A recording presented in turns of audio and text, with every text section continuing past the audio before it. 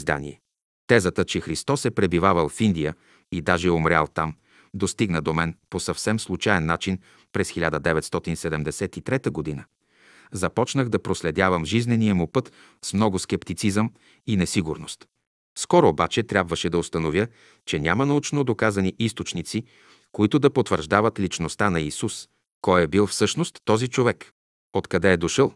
Къде е отишъл? Защо изглежда странен и различен от съвременниците си? Какво е искал? В течение на моите разследвания достигнах до Индия и се запознах с много учени, които се занимават от десетилетия с въпроса. От тях получих много удивителна информация, съществени подтици и ценна помощ. От първото публикуване на книгата в Германия през 1983 г. получих стотици писма от възхитени читатели, които изразяват не само почита и благодарността им, но и дават много ценни сведения. Благодарен съм на внимателните критици, които си направиха труда да проверят твърденията ми и по този начин ми предоставиха възможността да отстраня съществуващите неточности. В течение на 10 години книгата стана труд, в който може да се намери и най-малкото сведение за индийския происход на Исусовото учение. Преведена на 15 различни езика, сега и на български историята на живота на Исус в Индия се радва на международна популярност.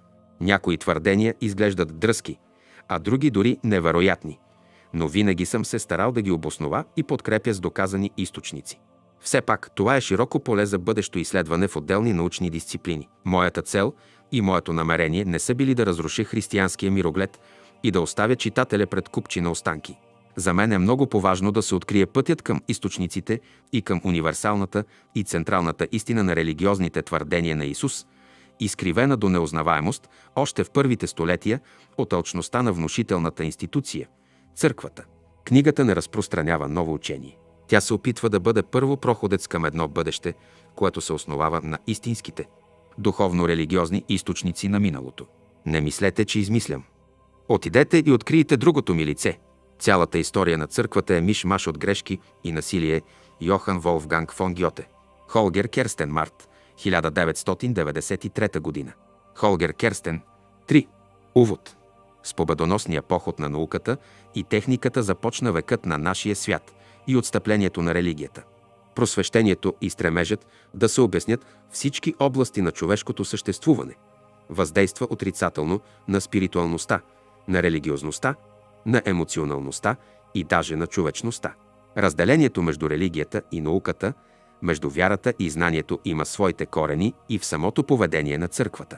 За да не изгуби влиянието си и в светските области, тя обяви претенциите си за истинност в област, в която изобщо не е компетентна – емпиричното опознаване на света. Това усили още необходимостта от разделение на областите на компетентност. Разделението между научното мислене и религиозната вяра доведе до непреодолимо разцепление на човешкото съзнание. И Исусовото откровение постоянно се взема под съмнение и се оспорва.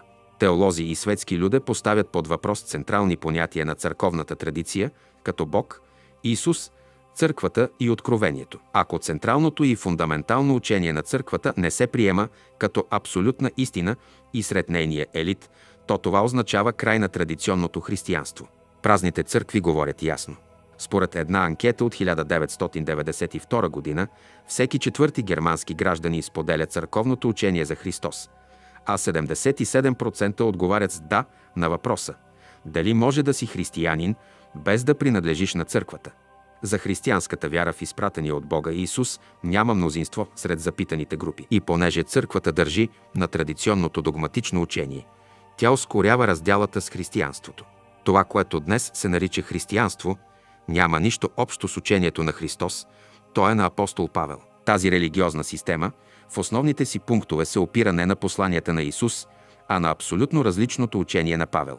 Днешното християнство започва от момента, в който е прието като държавна религия. Евангелистският теолог Манфред Мецгер пише, Емил Брунер нарича църквата недоразумение. От названието проистича учението от свободната общност, правното сдружение, от свободното сдружение, иерархичният апарат. Всички детайли и цялата линия е пълната противоположност на това, което било замислено. 4. В мрачното време се появява един човек, който носи послание, пълно с надежда, любов и доброта. И какво създава човечеството от това? Хартия, слухове, насилие и бизнес. Всичко, което по-късно възниква в Негово име. Това ли е било Неговото желание? И Исус още преди 2000 години държал да е далеч от официалната църква с нейните закони и догми, от буквоядството, иерархията, култа и иконизирането. Неговата цел била непосредствеността на връзката между Бога и хората, а не бюрократичното инстанциране. Но днес гласът на Исус не достига свободно и непосредствено до нас. Достъпът до Него минава през привилегирована иерархия. От името на Исус се управлява, събират се данъци. Истинската жива вяра изчезва и на нейно място се появява тесноград догматизъм. Проповядваните от Исус любов към ближния и толерантност се заместват с фанатизъм и деспотичност. Борбата за уж истинската вяра оставя по пътя към църквите дълбока следа от насилие и кръв. Тази борба започва от времето на апостолите и продължава до наши дни и представлява най-трудното препятствие за помиряването на християнските вероисповедания. Теологът Хайнц Царнт пише, като теолог изживях дълбока травма. Чувствам се унижен, потиснат, обиден, обезчестен не от атеистите, богохулниците, присмехулниците и съмняващите се. Макар и безбожници, те са много човечни. Много по-страшни са правоверните и църковните им покровители. Ранен съм на най-интимното място, във вярата ми в Бога. С израстването, религиозното се изтласква в сферата на ирационалното и се разглежда като непроверимо и следователно недействително. Логическото мислене и действие единствени определят реалността. Трансцендентното постепенно губи значението си, защото никога не се изживява съзнателно. Това почива главно на погрешно интерпретираното понятие за Бог. Божественото не се намира някъде извън утопичните пространства, а е у нас и ни учи да изживяваме живота си в хармония с безкрайното. То ни учи също да осъзнаем нашето кратко съществувание като част от вечното цяло. Човекът от векове се осъзнава като отделено от Бога същество. В просветения 20 век той като никога не е наясно къде да намери отговорите на прастарите въпроси за Бога и смисъла на живота. По целия свят възникват нови центрове, които се опитват да дадат отговор на тези въпроси. Въпроси, на които закостенялата институционална църква не може да отговори. Възниква своеобразна синкретична световна религия на бъдещето, която посредством съзерцание, самоопознаване и медитация 5. води до себеосъществяване, към стремежа за просветление, до мистично осъзнаване на влиянието на космическите връзки върху собственото съществуване на индивида. Решителните подтици към себевглъбяване са идвали и идват от изтока, предимно от Индия. Човекът трябва да се ориентира наново, и то в истинския смисъл на думата, да се обърне към Ориента. Изтокът е происходът и изворът на нашия опит. Не трябва да очакваме загуба на вярата, морална и духовна развала, а изгрев на семето на духа, оживяване на самовглъбяването.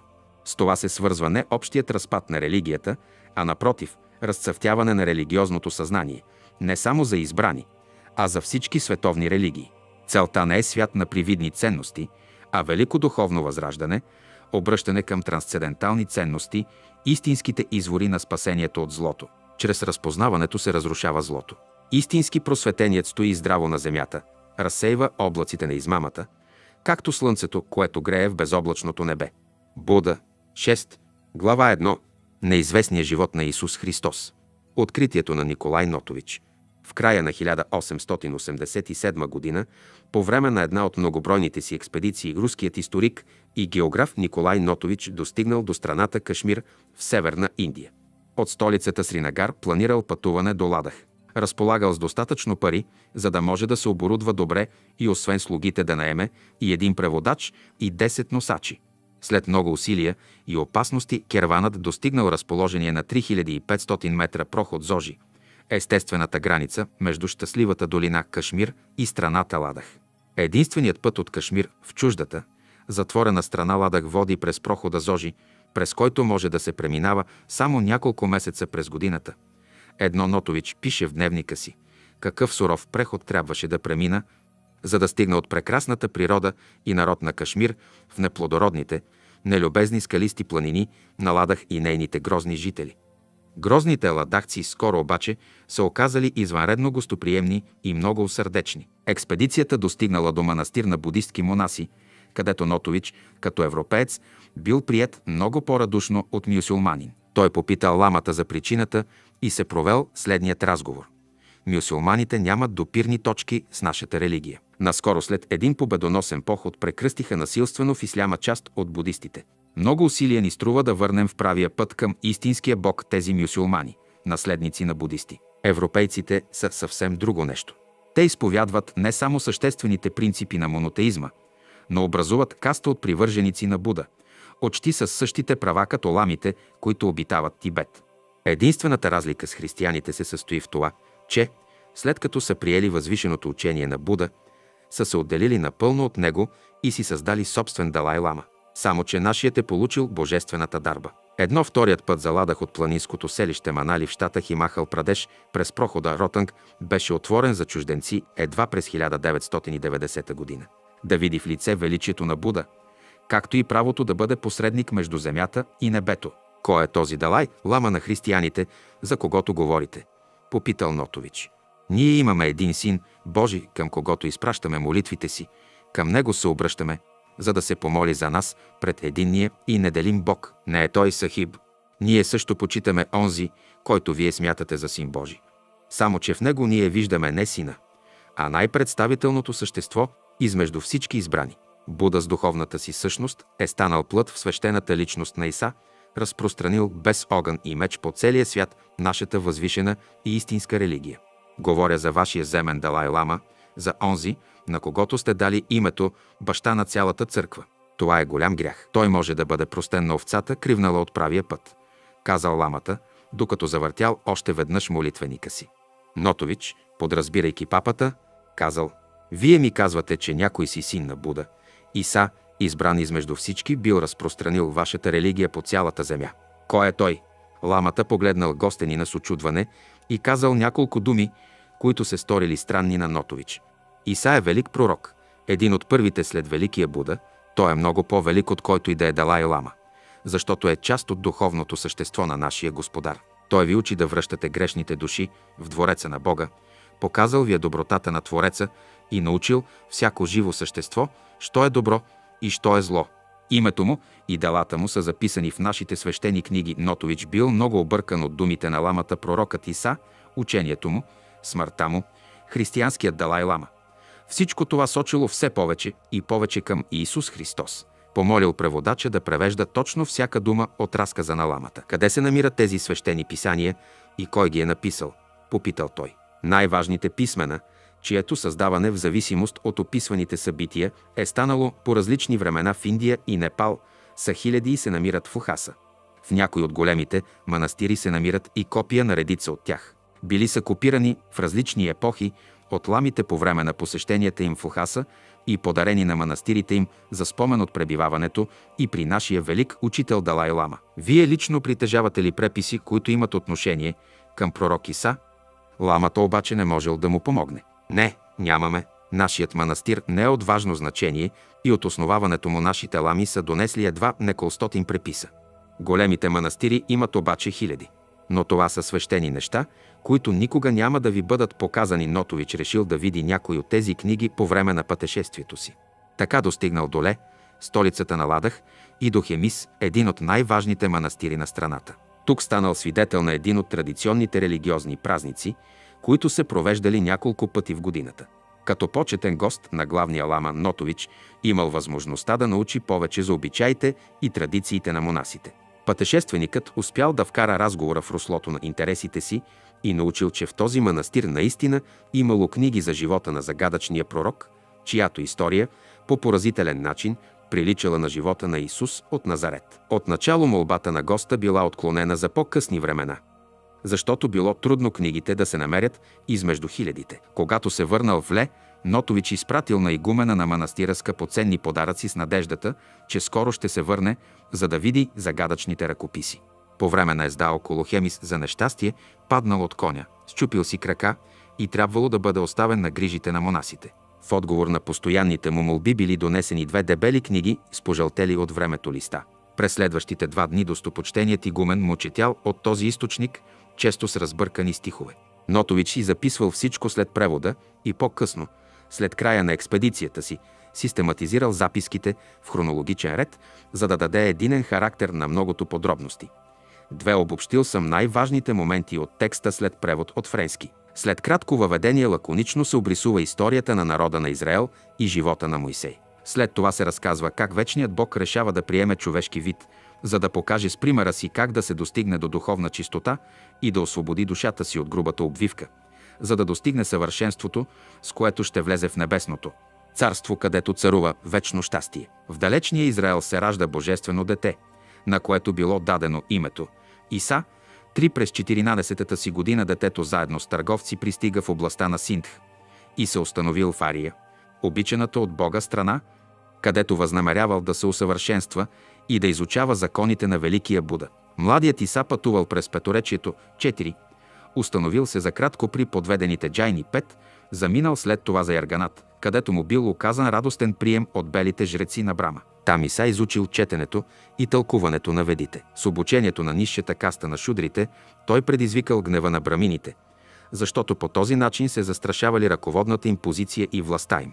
След 6 години в Ярганат, Раджагриха, Бенарес и други свещени градове, Иса трябвало да бяга от гнева на брамините, тъй като учил, че разделението на хората на касти не е богоугодно.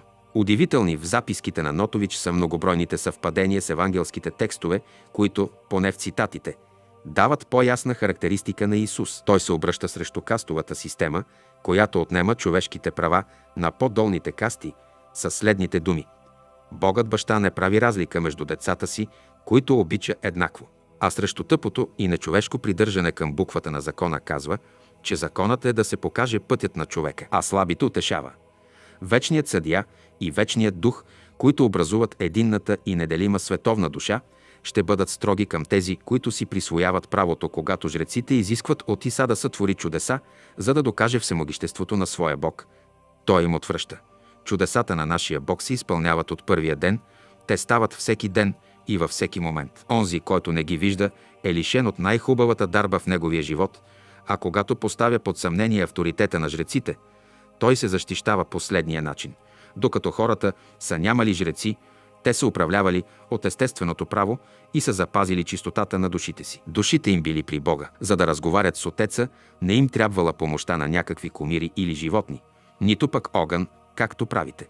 Вие твърдите, че трябва да се молим на Слънцето, на демона на доброто и на демона на злото. Но аз ви казвам, вашето учение е Три Иса е арабско-ислямското име на Исус. Четири перс, панче равно пет, а правно вода, т.е. петте води пет. Джейнизъм, древноиндийска религия, тясно свързана с будизма, но по-аскетична от нея.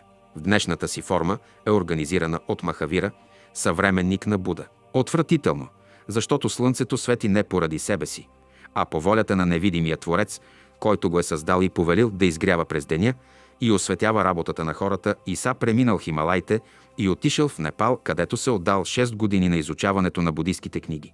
Учението, което проповядвал, било просто и ясно, насочено преди всичко към потиснатите и слабите, на които открил фалша на жреците. Накрая, като странстващ проповедник, преминал през различни страни на път на запад, а славата му го изпреварвала. В Персия също се изправил срещу жреците, които го изгонили през една нощ, надявайки се, че ще стане жертва на зверовете. Провидението обаче довело Иса невредим в Палестина, където мъдреците го разпитвали. Кой си ти и откъде си дошъл при нас? Не сме чували преди нищо за тебе и не знаем името ти. Аз съм израелтянин, отговорил Иса, и в деня на моето рождение видях стените на Ярусалим и чух риданията на моите братя, доведени в робство, и плачовете на моите сестри в пустинята. И душата ми ме заболя, когато чух, че моите братя са забравили истинския Бог.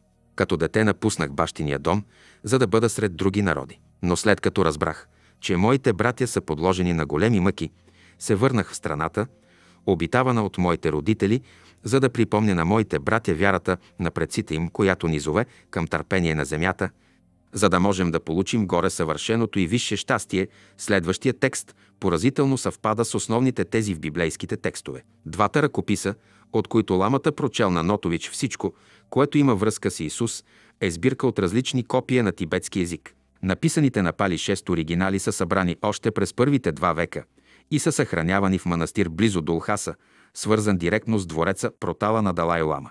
Когато се върнал отново в Европа, Нотович потърсил няколко висши църковни сановници, за да им разкаже за откритието си. Киевският митрополит веднага му забранил да изнася откритията пред обществеността, като не обосновал причината за това.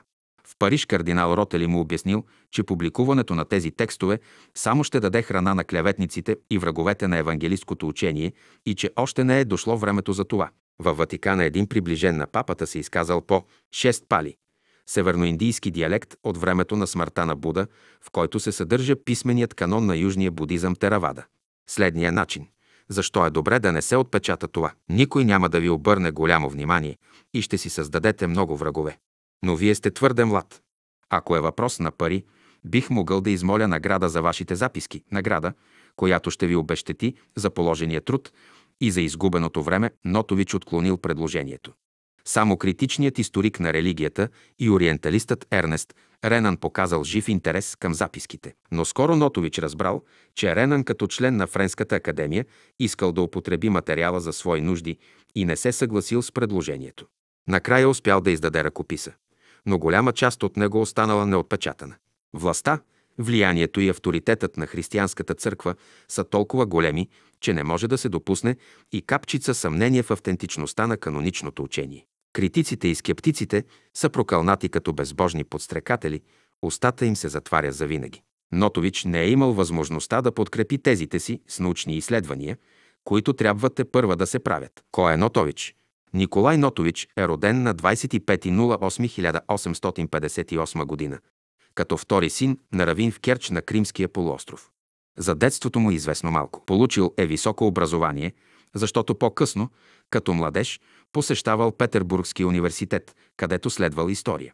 През 1880 и 1889 година излязал пред публиката със собствена пиеса «Идеална сватба», която била одобрена от Комитета за драматична цензура.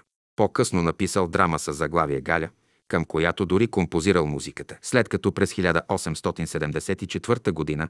в Русия била въведена всеобщата военна служба, Николай Нотович, 17 годишен, отбил военната си служба и през 1876 г.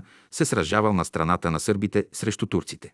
Скоро след това взел участие в руско-турската война. Дори и по време на следването си Нотович, изглежда, е бил ангажиран от армията, защото Daily News в кратка дописка от 23 юни 1894 г. пише, че той е казашки офицер. Научните му изследвания го въодушевили за панславянската идея, докато брат му Осип, завършил право в Петербургския университет, се посветил на философско-литературните си интереси. Николай се занимавал повече с влиянието на руската политика върху хода на световната история. Двамата братя след това обаче записали и журналистика. В. Санкт Петербург Осип станал през 1873 редактор в един вестник, за който по-късно работил и Николай като кореспондент за изтока. Седем под управлението на цар Александър III римско двамата братя изпитали на гърба си засилената антисемитска политика и за това Осип още като младеж преминал в Руската православна църква. Тази стъпка изглежда направил и Николай, понеже във френското списание Ло Икс открито изповядва православната религия. През 1887 г. в Париж се появява първата публикация на Нотович, френски превод на творбата на руски генерал, която документира възхищението му от идеята за руско-френски съюз, 8 втората му, също издадена във Франция, работа от 1890 г., също е посветена на въпросите на Руско-Френския съюз. Като кореспондент на вестника Ново Евремя през 1883 и 1887 година.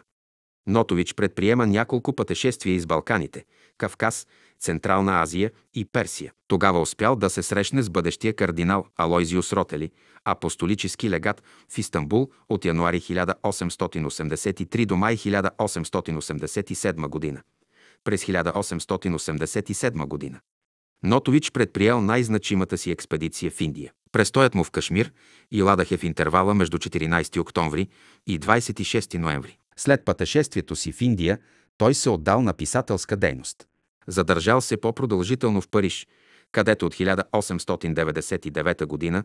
публикувал многобройни статии в пресата La Figaro, La Journal и La Science Française, тъй като се опасявал, че поради рестриктивната религиозна политика в родината му публикуването на будистката биография на Исус ще бъде спряно от цензурата, предал ръкописа на един издател от Париж. Въпреки всичко в контролираното от цензурата списание «Вера» и разум се появили първите, преведени от немски, откази от книгата му. При престоя си в Санкт-Петербург, малко след появата на творбата му Ло Вайн Цонно Еди и Джизас Цристи, бил арестуван и през 1885 г. затворен в Петропавловската крепост. Обвинението било, че е извършвал опасна за държавата и обществото литературна дейност и бил изпратен на каторга в Сибир. Било му разрешено да се върне от изгнание през 1897 година.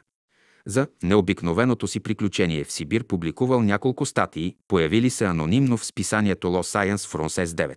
В. Седем данни за биографията могат да се намерят в Dictionnaire National de Contemporains. Т. За страница 274, Париж, 1901-8. Е. Пето Римско.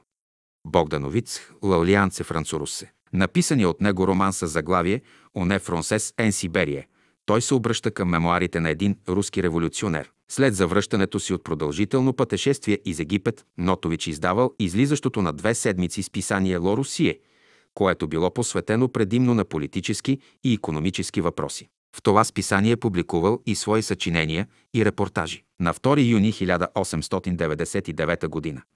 Нотович бил прият в реномираното общество по история на дипломацията, състоящо се от висши дипломати и историци. В него участвало и семейството Ротшилд от 1903 до 1906 година. Нотович живял в Лондон. След това вероятно се върнал в Русия. От 1906 година съществува обширен проект за договор между него и персийския шах за строеж на пътища и водопроводи в Иран. 10 през 1910 година се появило ново руско издание на будистката биография на Исус «Животът на Свети Иса». През 1916 година Николай Александрович Нотович се споменава в един руски каталог като редактор и издател на различни вестници в Санкт-Петербург. 11 след това следите му се губят в мрака на историята. Може би отстъпил пред многобройните нападки на противниците си. Възможно е неудобният размирник да е бил разчистен от пътя. Критика и критици. След появата на първите издания на книгата на Нотович през 1894 г., още през октомври същата година в английското списание The 19th Century е публикувано мнението на прочутия немски индолог Макс Мюлер. Според него откритието на Нотович е фалшификация. В статията авторът, който никога не е бил в Индия, публикувал писмо, датирано от 29 юни 1894 година, в което според упълномощен от Мюлер британски колониален служител потвърждава, че документално Владах никога не е бил някой Синотович. Движещите Мюлер причини могат да се видят в едно писмо, писано през 1876 г. до негов приятел – Индия е много по-зряла за християнството, отколкото Рим и Гърция по времето на СВЕ Павел. 12 той допълва, че не би заминал за Индия като мисионер, защото това ще го направи зависим от правителството. Бих живял там 10 години в пълна тишина и бих изучавал езика, бих се опитал да. 9 библиот Хекуе Натиона Леперис. Сигнатур. Фол. Ар 226. 10 Виш Пъблик Рекорд Офис. Кев. ФО 371 върху 113 номер. 29196 11 библиография периодических издани Руси. Ленинград. 1958. 12 Н. С. Схаут Хури Сколър Екстраорданери. Пи 325. Завърже приятелства и след това да разбера дали бих могъл да взема участие в мисия, чиято цел е да разруши подлото индийски жречество – и да се отвори врата за обикновеното християнско учение. Това ясно показва каква е била мотивацията на Мюлер и какви са били причините на враговете, които постоянно нападали Нотович. Малко по-късно, през май-юни 1895 г., заладах заминал преподавателят от правителствения колеж в Аградеже, Арчибалд Дъглас, който също се опитал да разобличи Нотович като измамник. Разказът му се появява през април 1896 г. в Ориентал библиография 13 под разтърсващото заглавие. Нотович е документално разобличен. Отначало Дъглас не намерил никаква следа от Нотович в Лах, но после се запознал с потвърждението на лекаря Карл Маркс. След това, по негови думи, посетил манастира Хемис. По-късно в разказите си Дъглас казва, че игуменът на Хемис никога не бил срещал Нотович. В списанието 19th Century април 1896 година. Дъглас разказва, че ламата след като се запознал с текста на Руснака, спонтанно изрекал «Сун, Сун, Сун, Манна Мидук, интерпретирано като лъжи, лъжи, лъжи и само лъжи. Забележително е обаче, че цитираните думи нямат никакъв смисъл нито в тибетски език, нито в някой от тибетските диалекти, нито пък в някой от другите азиатски езици, както и да е достигнал Дъглас до тези твърдения. Във всеки случай той ги легализирал с подписи и печати. В едно допълнение към статията на Дъглас професор Мюлер помолил монасите от Хемис за извинение, тъй като отначало смятал, че Нотович е заблуден от монасите на манастира. Той говори за унищожението на господин Нотович от Арчибалд Дъглас. Следователно, имаме две свидетелства. Това на руския журналист Нотович и това на британския професор Дъглас. Това, че Дъглас не видял следите на Нотович, не означава, че тези следи не съществуват. Но и след Нотович има други свидетели, видели със собствените си очи спорните текстове от Хемис. 40 години преди посещението на Нотович в манастира Хемис някой си мистър Харви разказва в появилата се през 1854 година книга The Adventures of a Lady in Tartary за тибетски писания, в които се говори за Исус. В следващите години тези документи са видени от няколко други свидетели, преди окончателно да изчезнат. Това е, например, индийският монах Свамия Пхедананда, следвал в източния семинар в Калкута, по-късно заминал за Англия, където се срещнал с Макс Мюлер през 1922 година. Абхедананда странствал от Кашмир до Тибет. От записките в дневника си от тази експедиция по-късно написал книга с заглавие «Кашмир и Тибет». По пътя към Тибет посетил и манастира Хемис. Понеже знаел за откритията на Нотович, попитал монасите от манастира дали разказът на Руснака отговаря на истината. От тях научих, че разказът наистина е достоверен, по-късно и гуменът развел посетителя из стаите на манастира и от една етажерка, извадил и му показал ръкопис. Това бил препис на съхраняван в манастира Марбур, край Лхаса Оригнал. По молба на Абхедананда и гуменът му помогнал при превода. До тогава Абхедананда бил скептично настроен към публикациите на Нотович, но като видял ръкописа, повече не се усъмнил в истинността на спорното откритие. Не много след Абхедананда през 1925 г. руският археолог и художник Николай Рьорих споменава и други сведения за тибетски книги, в които се говори, че Исус се върнал от Хималайте в Палестина на възраст 29 години. 14 по време на едно от своите изследвания Рьорих се позаинтересувал сред населението на Ладах за тези документи. От разказите на местните разбрал, че легендата за Иса има много варианти. Местните не знаят нищо за публикуваната книга, но те знаят легендата и говорят със страхопочитание за Иса. 15 леди Хенриета Мерик също потвърждава съществуването на книгата.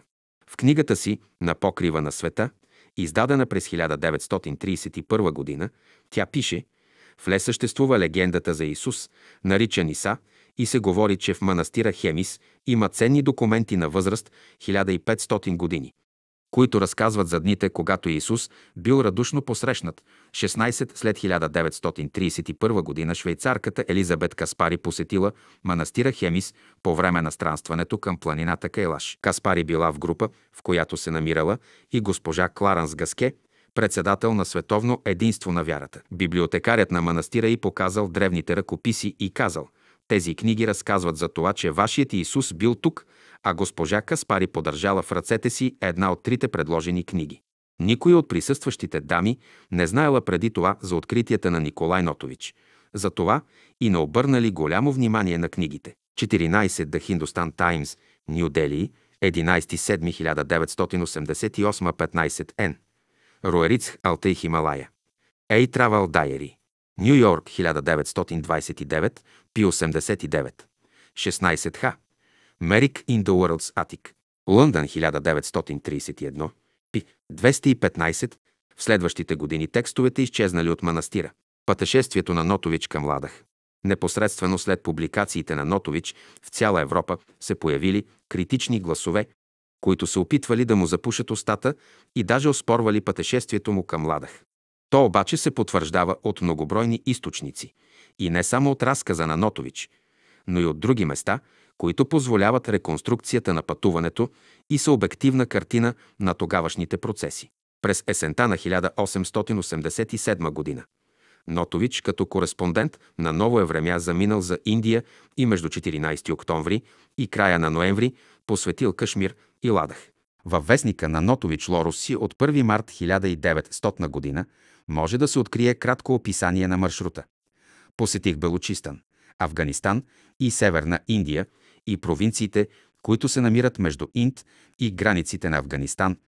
17 географските данни се потвърждават в статия във Франкфуртер Зейтунг, в която се говори, че Нотович пристигнал в разположение на височина 2180 метра град Симла в полите на Хималайте и оттам заминал за северо-западните райони на Индия към Квера. След като се върнал от Афганистан в Индия, Нотович поел по течението на Инд към Равалпинди. Оттам се обърнал на югоисток първо римско заминал за Амрицар в Пенджаб, където посетил Златния храм, светинята на сикхите.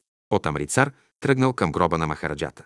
Ранджит Синг в Лахор и оттам поел с влака на 14 октомври 1887 г. за Равалпинди. Заедно с говорещия френски слуга, родом от колонията Пондишери в Южна Индия, качили багажа си на конска каруца и заминали през хималайските предпланини за Кашмир. Вечерта на 19 октомври 1887 г. достигнали кашмирската столица Сринагар. Нотович описва последния начин първите си впечатления. Когато се достигне градът, се вижда цяла редица от лодки плаващи къщи, в които живеят цели семейства, настанил се в целогодишно работещия хотел Недол, който съществува и до днес.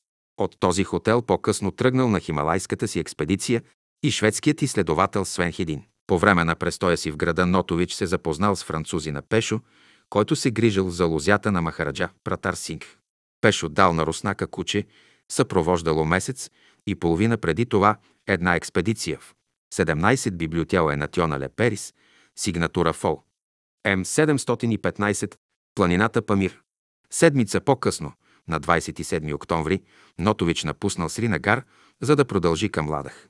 Два дни по-късно в Матеян срещнал бъдещия английски комисар на Кашмир сър Френсис Янг Хъзбенд. Янг Хъзбенд правил там почивка по време пътешествието си от Пекин за Равалпинди. При по-нататъчния си път към Ладах Нотович събрал няколко камъка мани с гравирана свещена формула на тибетците. Он мани Падме Хум, които после предал на музея в двореца Трокадеро в Париж. Парче кашмирен плат, водещо се на негово име и днес се намира в музея на човека. 18 за подаряването на сбирката си по-късно бил прият във Френския почетен легион. 19 нощта на 3 срещу 4 ноември Нотович прекарал в манастира Хемис, където се събудил с силен забобол. Изпратил човек до губернатора. Отговорът му бил да се обърне към доктор Маркс от Ладане Чаратабъл Диспенсари. Карл Рудолф Маркс, мисионер от Моравските братя 20, следвал медицина в Единбург. През декември 1896 г. поел ръководството на болницата в Ле. Дневниците на доктор Маркс потвърждават, че той е лекувал Нотович. Когато руснакът решил, че трябва да се връща, недалеч от манастира Пиятек, паднал от коня и си щупил десния крак под коляното. Споменатата вече бележка във Франкфъртър, Зейтунг, потвърждавала случката. Нотович бил закаран обратно в манастира Хемис, където научил за странните текстове. Тайнственият орден, широко разпространеният в Индия мистичен орден на йогите над съхранява древноиндийска сутра, наричана Ната Намавали, която разказва за свещения Иша Нат, който дошъл на 14 години в Индия. След като се върнал в родината си, започнал да се занимава с разпространение на учението си. В резултат на това станал жертва на заговор и бил разпънат на кръст. С от него в Индия йогически умения, той преживял екзекуцията и с помощта на свръхестествените сили на индийския си учител 18 инвентарен номер 88.177-19 в Дистионейре National Dead Tempoins за страница 274, Париж, 1901, се намира доказателството, че Нотович през 1889 г. е бил прият за офицер в почетния легион заради предаването на сбирка от Индия и Персия, 20, наричани още Хернхутерово братство. Четан над, гуру на над, се върнал обратно в Индия, където в хималайските поли основал манастир. 21 йогите над, поклонници на Шива, разпознаващи се по големите обеци, са един от най-древните индийски монашески ордени, чието происход се губи в мрака на историята, някъде преди рождението на Христос и преди началото на нашето летоброене. Орденът може би е възникнал от махаяна будизма. За разлика от многото хиндуистки ордени, и секти йогите над не признават кастовата система и първенството на брамините. Те разглеждат всички хора като братя и приемат в редовете си всеки без разлика на происход и съсловно положение. Паралелите с отношението на Исус към жреците от Ярусалим и към неевреите, самаряните и грешниците не могат да бъдат пропуснати. От гледната точка на днешната наука за живота на Исус наистина е невъзможно да се отрече пребиваването му в Индия. За въпросния период няма нито исторически достоверен източник, нито сведения в Евангелията. Животът му като че ли започва след 30-та година, когато бил кръстен от Йоанн. Наистина в Евангелието на Лука има едно многозначително изречение. И Исус пък преуспяваше в мъдрост и възраст и в любов пред Бога и човеците. 21 ААО. Глава 2. Кой е Исус? Неканоничните източници. Няма друга тема, така разбумвала духовете, като тази свързана с личността на Исус от Назарет. За никоя друга област не са писани толкова много книги, не се е дискутирало толкова оживено и страстно. И все пак личността на историческия Исус е обвита в дълбока тъмнина. 1500 години Христос се разглежда от официалната църковна теология като спасител с цел да укрепи вярата на християните или да покръсти и други народи. В Европа с настъпването на просвещението за първи път са публикувани съчинения, които оспорват действителното съществуване на Иисус от Назарет. От 19 век книгите от Новия Завет се разглеждат от историческа гледна точка. С това започва систематичното изучаване на живота на Исус. Немската теологическа школа има голям принос за това. За известния лекар и теолог Алберт Швайцер, един от най-блестящите и представители, изследването на живота на Исус е най-голямото дело, което е извършило религиозното самоосъзнаване. Днес ние едва ли бихме могли да разберем духовните прегради пред историческия възглед към Исус. Най-големият стимул за научното разбиране според Швайцер е омразата. Изследването на живота на Исус за е църквата школа за истина, болезнена и тежка борба за истината, която светът до днес не е виждал. Днес съществуват повече от 80 000 монографии по темата, но резултатите от историческото изследване са минимални. Кой всъщност е бил Исус Христос? Кога е роден? Как е изглеждал? Кога е разпънат на кръста? Кога, е, как и къде е умрял? Във всички книги, написани през първите два века от новата ера, има много малко сведения, възоснова на които можем да кажем нещо за човека Исус, а по-късните източници са изключително тенденциозни и предполагат вярата в Христос като Месия и Син Божий. На практика не съществуват непредобедени свидетелства и в неканоничната литература. Науката и до днес не е в състояние да назове точната година на рождението на Исус. Дискутират се годините между четвъртата и седмата преди новата ера. Сигурно е само, че е роден по времето на царуването на Ирод. Детските и юношеските години в каноничните Евангелия са почти неспоменати, макар че са решителната фаза в формирането на характера на човека. В разказите за краткото време на обществената му дейност намираме много малко сведения за живота му. За историците от неговото време той е напълно непознат. Как е възможно историографите да не запишат нито ред за чудните дела и невероятните неща, написани в Евангелията? Тацит споменава в своите анали 22 суеверната секта на християните, чието име произхожда от някой си Христос, екзекутиран по времето на император Тиберий от наместника Пилат Понтийски. Този разказ на най-големия римски историк е възникнал около 108 г. СЛНЕ, т.е. близо 80 години след разпъването на кръста и се опира на двовековни предания. Плиний младши 23 и Суетон 24 споменават сектата на християните – но дума не споменават за Христос. Историографът Суетон бил началник на канцеларията на римския император Адриан и е имал достъп до държавните документи в императорския архив. Опирайки се на тези документи, той описал най-забележителните събития по времето на по-ранните императори, между които и император Клавдий, управлявал от 41 до 54 г.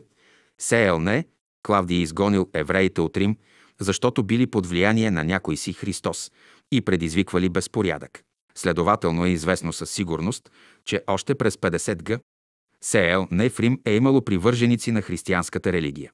Еврейският историограф Йосиф Бен Матиас, станал римски гражданин под името Флави Йосиф, публикувал през 93 г. импозантната си творба Еврейските старини, своеобразен възглед за света от създаването му до времето на император Нерон който трябвало да запознае читателя с историята на евреите. Той описва детайлно политиката и обществото по времето на Исус и разказва за Йоанн Кръстител, Ирод и Пилат, но името на Исус се споменава.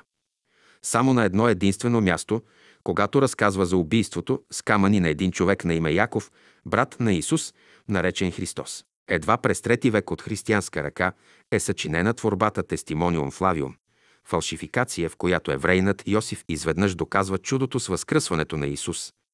25 църковните писатели Юстиниан, Терцили и Киприан Не, 22 Тацитус, Анален 15, 44, 23 Плиниус Дариимгере, Бриефе 10, 96 Ф, 24 Суетон, Вайта Цесарум, Ниро Клодиес, 25 Фокавиус Джусифас, Юдист Хелтер Томер 20 Римско, 9.1, 18 Римско, 3, 3, знаят нищо за смяната на вярата от Флавий, а Оригений 26 дори многократно споменава, че Флавий не е вярвал в Христос. Друг еврейски писател, Юстос Тибарийски, бил съвременник на Йосиф и живял близо до Каперна, където често се отбивал и Исус.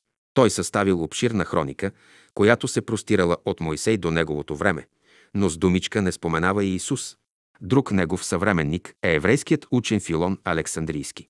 От него днес съществуват около 50 творби. Той е специалист по библейските писания и еврейските секти, но не пише нито един ред за Исус. 27 обаче от яростния противник на християнството Целзии научаваме някои исторически подробности, които не са особено ласкателни за Христос. За някой от тях ще споменем по-късно. Сборникът на Новия Завет очевидно е единственият източник за историческите изследвания. Четирите Евангелия. Думата Евангелие произхожда от гръцки и означава добра вест. Това понятие съществува в литературата, дълго преди християнството да я преобразува в посланието на Исус.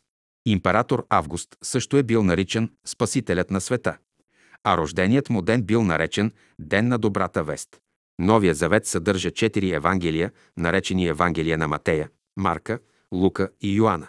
Те са произволен подбор от многото Евангелия, използвани преди канонизацията в различните християнски общини.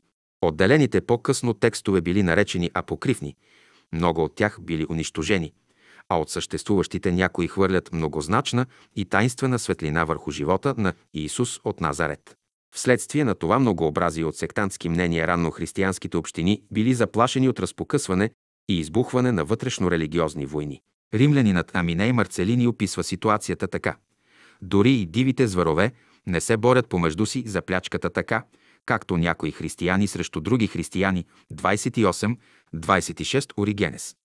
Контра Целсум 1, 27 ампера. Древс. Дайц Христос Митхе 1911 С. 3. 28 откъсите са издадени и преведени от Вилт. Рееп Лайпик 1923. Църковният писател Климент Александрийски виждал в ожесточените спорове за различните тълкования главната пречка за разпространението на вярата. 29. А противникът Целзий писал през II век, че единственото, което споява различните групи, е думата християнин 30. Поради цялото многообразие от съвсем различни съчинения за живота на Исус, делата и думите му някои от водещите личности на църквата виждали само едно спасение от пълния разпад на противоречащите си общини.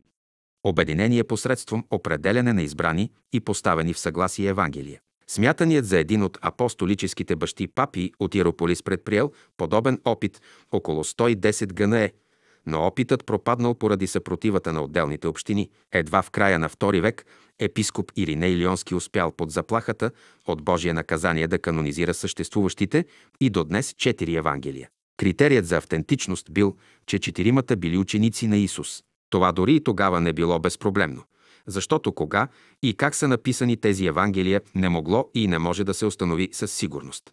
Не може да се състави дори и приблизителна датировка. Времето на възникване на текста от Марко се определя малко преди 70 г, на Матея малко след 70 г, а за текста на Лука между 75 и 80 г, Сеел е според други около 100 г. Евангелието от Йоанна е написано едва в началото на второто столетие. Ако Исус е бил разпънат на кръста около 30 г, Сеел е, до първите съчинения за съществуването му са минали вече две или три поколения, абстрахирайки се от истинските писма на апостол Павел, които трябва да се разгледат отделно. Трите Евангелия от Матея, от Марко и от Лука са много подобни едно на друго, като тези на Матея и Лука се опират в съдържанието си на Евангелието на Марко. От това може да се заключи, че текстът на Марка е съществувал преди Евангелията на Матея и Лука. Каноничният текст от Марко съдържа обаче и притчи, които не са взети нито от Матея, нито от Лука.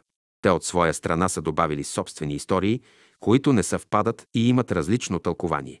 Това обстоятелство ни кара да предположим, че двете по-късни Евангелия са използвали някакъв прототип на Евангелието на Марко, от който по-късно е възникнал каноничният текст. Теологичните съчинения, които застъпват тази хипотеза, са 29 Клеманс Вон Александриен, Строматей 7, 89 2 F30, Оригенес, Контра Целсум 3, 12. Многобройни, но Гюнтер Борн към 31 смята. Опитът да се конструира прототип, а на Евангелието на Марко е безплодно усилие, в текста на Марко ясно личи тайната около месианската роля на Исус. Той не само не се обявява за Месия, но дори изрично забранява на учениците си да твърдят подобно нещо. В Евангелието на Матея Исус е представен като завършител на Моисеевата религия и като предречения от пророците Месия. Отдавна е прието, че евангелистът е искал да представи Христос като човешко същество. Но авторът не е историк и не е искал да пише биография на Исус. Авторът на Евангелието на Лука включва само исторически събития. Въпреки всичко, и това не е взаимно свързана биография на Христос. В него също липсват исторически хронологични данни. Не е и биографичен материал, защото ранно християнската общност отдавна не разполагала с такъв. Още по това време картината на историческия Исус била избутана на заден план в полза на религиозните мотиви. Текстът на Лука почти не съдържа юдеизми и в елинистичния си стил се обляга главно на гърците и римляните. И Исус е не само национален месия, но и спасител на света. В един пункт Евангелието на Лука е в остро противоречие с Евангелията на Марко и Матея, в които няма и дума за това, че Исус изисквал от учениците си да останат в Ярусалим. В Лука 24 се твърди точно обратното. А вие стойте в град Ярусалим докле се облечете в сила отгоре в наречените на Лука деяния на светите апостоли, също има изрични сведения за присъствието на учениците в Ярусалим. Авторът се стреми да представи разпространението на християнството с изходен пункт Ярусалим, макар че е исторически факт, че по това време християнски общини е имало и на други места. Така той конструира и събитието на чудото на Педесетница, за да докаже, че разпространението на християнските общини е започнало оттам. С подобно божествено чудо учениците изведнъж получили дарбата да говорят с чужди уста, като по този начин елегантно се заобикаля възражението за евентуалните трудности в разбирането. Тъй нареченото Евангелие на Йоанна без съмнение е най-новото от каноничните разкази за живота на Исус. Първите сведения за съществуването му са от ранно християнските съчинения от средата на втори век. Няколкото реда от написан на гръцки папирус открит от английския историк Гренфел, говорят, че текстът е написан най-рано в началото на II век. Това е по-скоро философска творба, която допълва останалите три Евангелия. Ириней твърди, че любимият ученик на Исус, Йоанн, е авторът му, но това може да се изключи със сигурност, защото простият рибар от Галилея не бил толкова образован нито в теологията, нито в гръцкия език и философията, като автора на Евангелието. Творбата свързва автентични разкази за живота на Христос в една християнски обоснована религиозна философия. Тъй като между появата на Евангелието и разпятието има поне 80 години, Евангелието от Йоанна може да се смята само ограничено като източник за изследването на живота на Исус, макар че съдържанието му е много близко до мислите на Христос. В по-ново време много важна роля в евангелистично-теологичната литература играят тъй наречените библейски мъдрости – Рудолф Бултман смята, че тези мъдрости са възникнали още в първите християнски общини. Те трябва да се смятат за най-старите предания на тези общини. Бултман казва, че няма сигурност, че думите от този най-древен слой наистина са изречени от Христос. Този слой може би е продукт на по-сложен исторически процес и по-нататък. Традицията събира крилати фрази, изменя ги и ги умножава с други мъдрости. По този начин някои от библейските мъдрости са поставени в устата на Исус – Историците днес са в състояние да представят почти целият жизнен път на Пилат или на Ирод. Личности, към които има интерес и само заради това, че са били в близък в най- широкия смисъл на думата контакт с Исус. Могат да се изредят биографиите на много други големи личности от по-ранни епохи. За живота на Исус от първата до 30 г. Сеелна е обаче само няколко оскъдно коментирани реда – в чието документален характер може да се съмняваме. Ернст Кеземан обобщава резултатите от изследването на живота на Исус последния начин. Написаното за Христос в Новия Завет не може да бъде наречено автентично. За историческия Исус се отнасят само няколко думи от проповета от планината, спорът е фарисеите, няколко сравнения. 32 кои от думите на Исус са исторически, е спорно сред тълкователите. Специалистът по история на религиите Йоахим Еремяс в книгата си Неизвестните думи на Исус Христос отбелязва само 21, които със сигурност са от Него. 33, а критикът Бултман смята. За нас характерът на Исус, картината на Неговата личност и животът остават непознаваеми. 34, свидетелят апостол Павел. Най-ранните документи във връзка с Исус са писмата на апостол Павел. Той произхождал от строго еврейско семейство.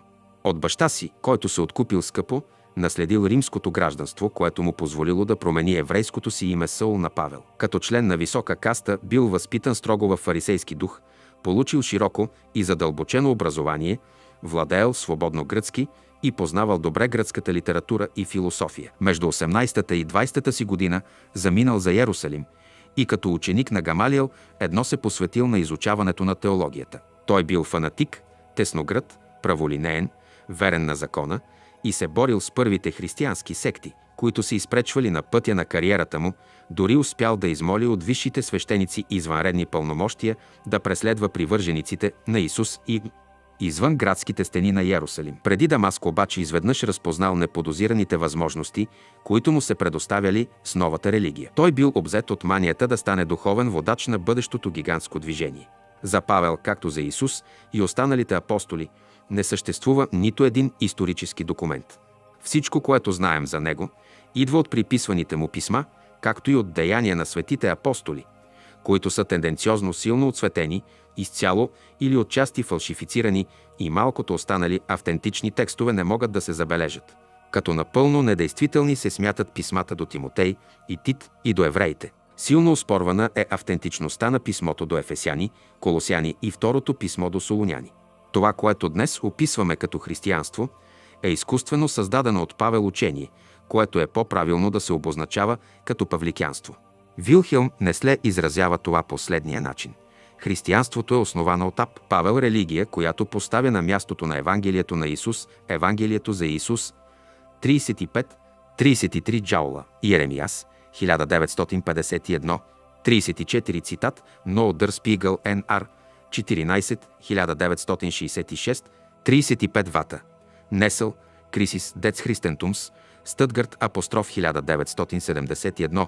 Павликянството е манипулирано от Павел преиначаване и фалшифициране на истинското учение на Христос. Поставянето в центъра на църковното християнство на учението за спасението чрез опрощаващата смърт на Исус е банална истина за най-новата теология. Всички красиви страни на християнството се свързват около Исус, всички грозни – около Павел. 36. С това учение за спасението, чрез смъртта на Божия син Павел, извършил връщането в семитската религия, която изисквала от всеки баща принасянето в жертва на първородния син. Павел подготвил пътя за бъдещите учения, за наследствения грях и за Божествената Троица. Още в началото на 18-то римско-английският философ Лорд Болинброк забелязал в Новия Завет две коренно различни религии – тази на Исус и тази на Павел. 37 Кант, Лесинг, Фихте и Шелинг също различават учението на Исус от това, което са направили апостолите от него. Голяма част от съвременните теолози обосновават и защитават тази теза. Павел, непоносимият фанатик, когато от първите апостоли дели огромна бездна – Класикът на нетолерантността 38 изравя пропасти между правоверните и неверниците. Той малко се интересува от думите и учението на Исус, а само от собствените си цели. Павел поставил Исус на трона и направил от него Христос, което Исус никога не е искал. Ако днес трябва да се направи дълбоко осмислене на християнството с отхвърлянето на ясно видимите фалшификации и връщане към истинското чисто учение на Исус и същинското ядро на религиите – то възгледът вероятно може да се примири с павликянското изопачаване, че без Павел и другите слепи фанатици вероятно днес нямаше да знаем нищо за Исус. Теологът е Грим. Истинският Исус едва ли е знаел колко дълбоко ще се загнезди това учение сред християните. 39. Заключение. Следователно, може да се установи, че от известните източници няма основа за обосновани открития за историческата личност Иисус Христос. Съчиненията, открити от Николай Нотович в Падах, може би. 36 Фарехайт, Овербец, Цлиристентум und Култур, Аусдем нацхла 1919, 37 цитат по-на, Ацкеннен, Енстелунг und Кларунг, Дерботсхафт, Иесо 1961, 38 Ампера, Дейсман, Полас, Тубинген 1925, 39 и Грим, Дайет Хик Иесо 1917 ще запълнят една много важна дупка в живота на Исус, за която няма исторически документи. Въпреки, че подобно огромно откритие, което може да внесе светлина в историята на християнската религия, изглежда съвсем фантастично, ако не се разгледа в контекста на резултатите от обективното, освободено от църковния догматизъм изследване на религията. По този начин, постепенно би се получила картината на човека Исус, която най-пълно би съответствала на действителността. Кой е Исус и какви са били истинските му цели, може да се разбере от традициите на формиралите се у него морал, дълбоките етични, хуманни и духовни черти. Днес повече от всякога въжат думите на Алберт Швайцер от 1913 г. Модерното християнство трябва винаги да има предвид възможната оценка за историческата роля на Исус, Христос 40 Рудолф Бултман допълва. В никакъв случай не бих се удивил, ако се открият костите на Исус, 41. Моето пътешествие в Хималайте през 1973 г. в едно голямо немско иллюстровано списание 42 се появи малък репортаж за известен индийски професор, който твърдеше напълно сериозно, че е открил в Индия гроба на Исус Христос. По край статията бяха отпечатани и снимки, на които се виждаше гробът. Професорът твърдеше пред цялата общественост, че Исус не само прекарал юношеските си години в Индия, но след като преживял трика със смъртта си, умрял на преклонна възраст в столицата на Кашмир след много години на странстващ проповедник. Там и бил погребан. Това беше чудовищно твърдение и в редакцията на списанието. Позволило си публикацията на това твърдение, се изсипаха хиляди писма с грозни ругатни и шумни протести. Някои писма съдържаха обаче интересни въпроси от честни хора, които смятат непорочното зачатие, възкръсването и възнесението на Христос за басни. Чудно е как на никой от тези скептици не е минала през главата мисълта къде е погребан Иисус, защото, както и да се обяснят чудесата на Христос, невероятно е тялото му след разпятието да е останало да виси. 40 ампера. Астхвейзер Гестхицте Дърлебене Софорстхунг. Тубинген 1913. С. 512. 41 цитат. No Дър Спигъл Н.Р. 14 1966. 42 Дърстърн Н.Р. 16 1973 във въздуха, което Лука описва с думите. И, както ги благославяше, отдели се от тях и се възнасяше на небето, материята обаче не може да се задържи в духовното пространство. След като получих незадоволителни и уклончиви отговори на многото мои въпроси по време на работата ми за историческата личност Иисус Христос, реших след завършване на учението да отида в Индия и да проведа самостоятелно изследване. През 1979 г. отлетях за Индия през Египет. От Бомбай с влакове и автобуси отпътувах към Дхарамсала в подножието на Хималайте, където от 1959 г. след бягството си от Тибет се беше установил Далай Лама. Исках да получа препоръка за игумена на манастира Хемис, която би ми дала възможност да погледна в откритите преди почти 100 години от Нотович текстове. Трябваше да чакам 4 дни за аудиенция, но получих желания документ с подписа на Негово светейшество 14-я Далай Лама. Заминах за Кашмир и там чух, че след няколко дни манастира Хемис започват прочутите дни на мистериите, за които писал още Нотович. Този празник се нарича от тибетците Чам Сечу. Той се провежда в чест на будисткия светец и пророк Падма Самбхава от 9 до 11 ден на 5 тибетски месец. Днес до Лех, столицата на Ладах, може удобно да се стигне двудневно пътуване с автобус през Трансхималайте. Когато най-после стигнах до Хемис, празникът беше в разгара си. Имаше безброй хора и, макар че страната е отворена за чужденци едва от 5 години, много на брой западни туристи. Не исках да се установя сред това гъмжило, върнах се в Лех и дойдох отново в Хемис чак след три седмици. Хемис е най-големият, най-богатият и най-значим манастир на Ладах. Името произхожда от дърдийската 43 дума Хем или Хен, което говори, че там още в дотибетско време е имало селище. Търпението и издръжливостта са важни качества, които веднага се проверяват от чужденците. Затова отначало не ми обърнаха кой знае какво внимание. Аз се присъединих към монасите в кухнята, която приличаше на мрачна средновековна алхимична лаборатория. Чаках и си пиех подсоления чай с масло.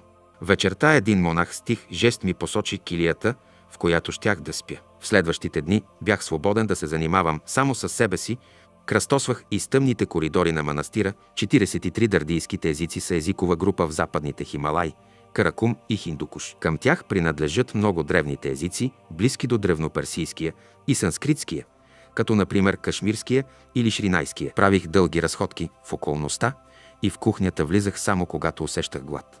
На сутринта на четвъртия ден от престоя ми в манастира в килията ми се появи млад монах, който ми направи знак да тръгна с него. Последвах го през тъмните коридори и по стръмните дървени стълби и се озовах в по-високите етажи на манастира, в които още не бях стъпвал. Най-после достигнах покрива на храма. На голямата тераса пред портала на най-високото помещение, под една стряха, се намираше една маса, около която се бяха събрали няколко монаси.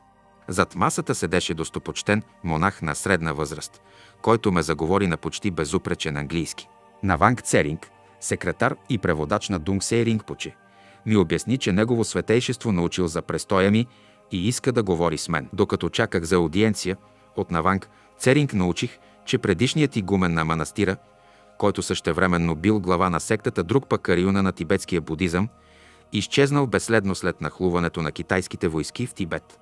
На игумена, който заминал за родината си Тибет за обучение, било отказано излизането оттам, тъй като настоявал да вземе със себе си старите си родители, за да не ги остави на произвола на съдбата. След известно време комунистическият режим му забранил писмата, а последното известие за ламата било, че се намирал като затворник в трудов лагер. След като в продължение на 15 години не била получена никаква вест от него.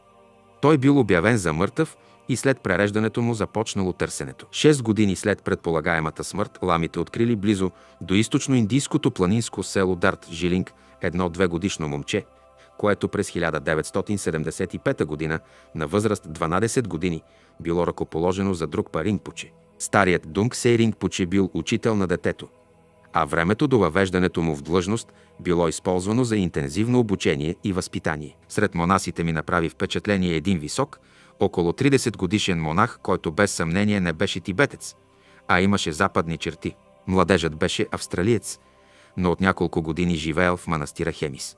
Говореше свободно тибетски и беше заинтересуван от моите изследвания. Когато най-после ме поканиха за аудиенция, австралиецът ме съпроводи, за да ми превежда думите на негово светейшество, който говореше само тибетски. Влязохме във великолепно украсена стая – където на малък трон в поза лотос седеше достопочтен възрастен човек. Пред него на малка поставка седеше сребърна купичка за чай. След като се поклоних с плетени ръце, той ме помоли да седне на килима. От покритото с рядка бяла брада лице ми се усмихваха будни и светещи очи.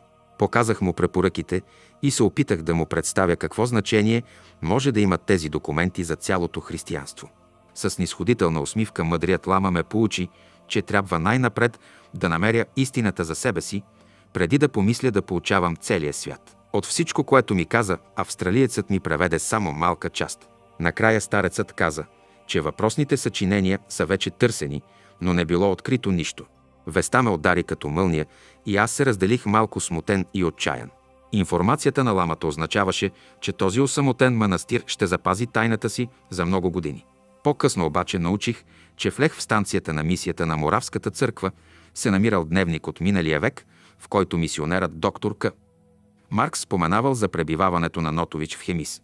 Веднага след като се върнах в Лех, издирих лагера на Моравската църква, основана от братството на хернхутерите още през 1885 година.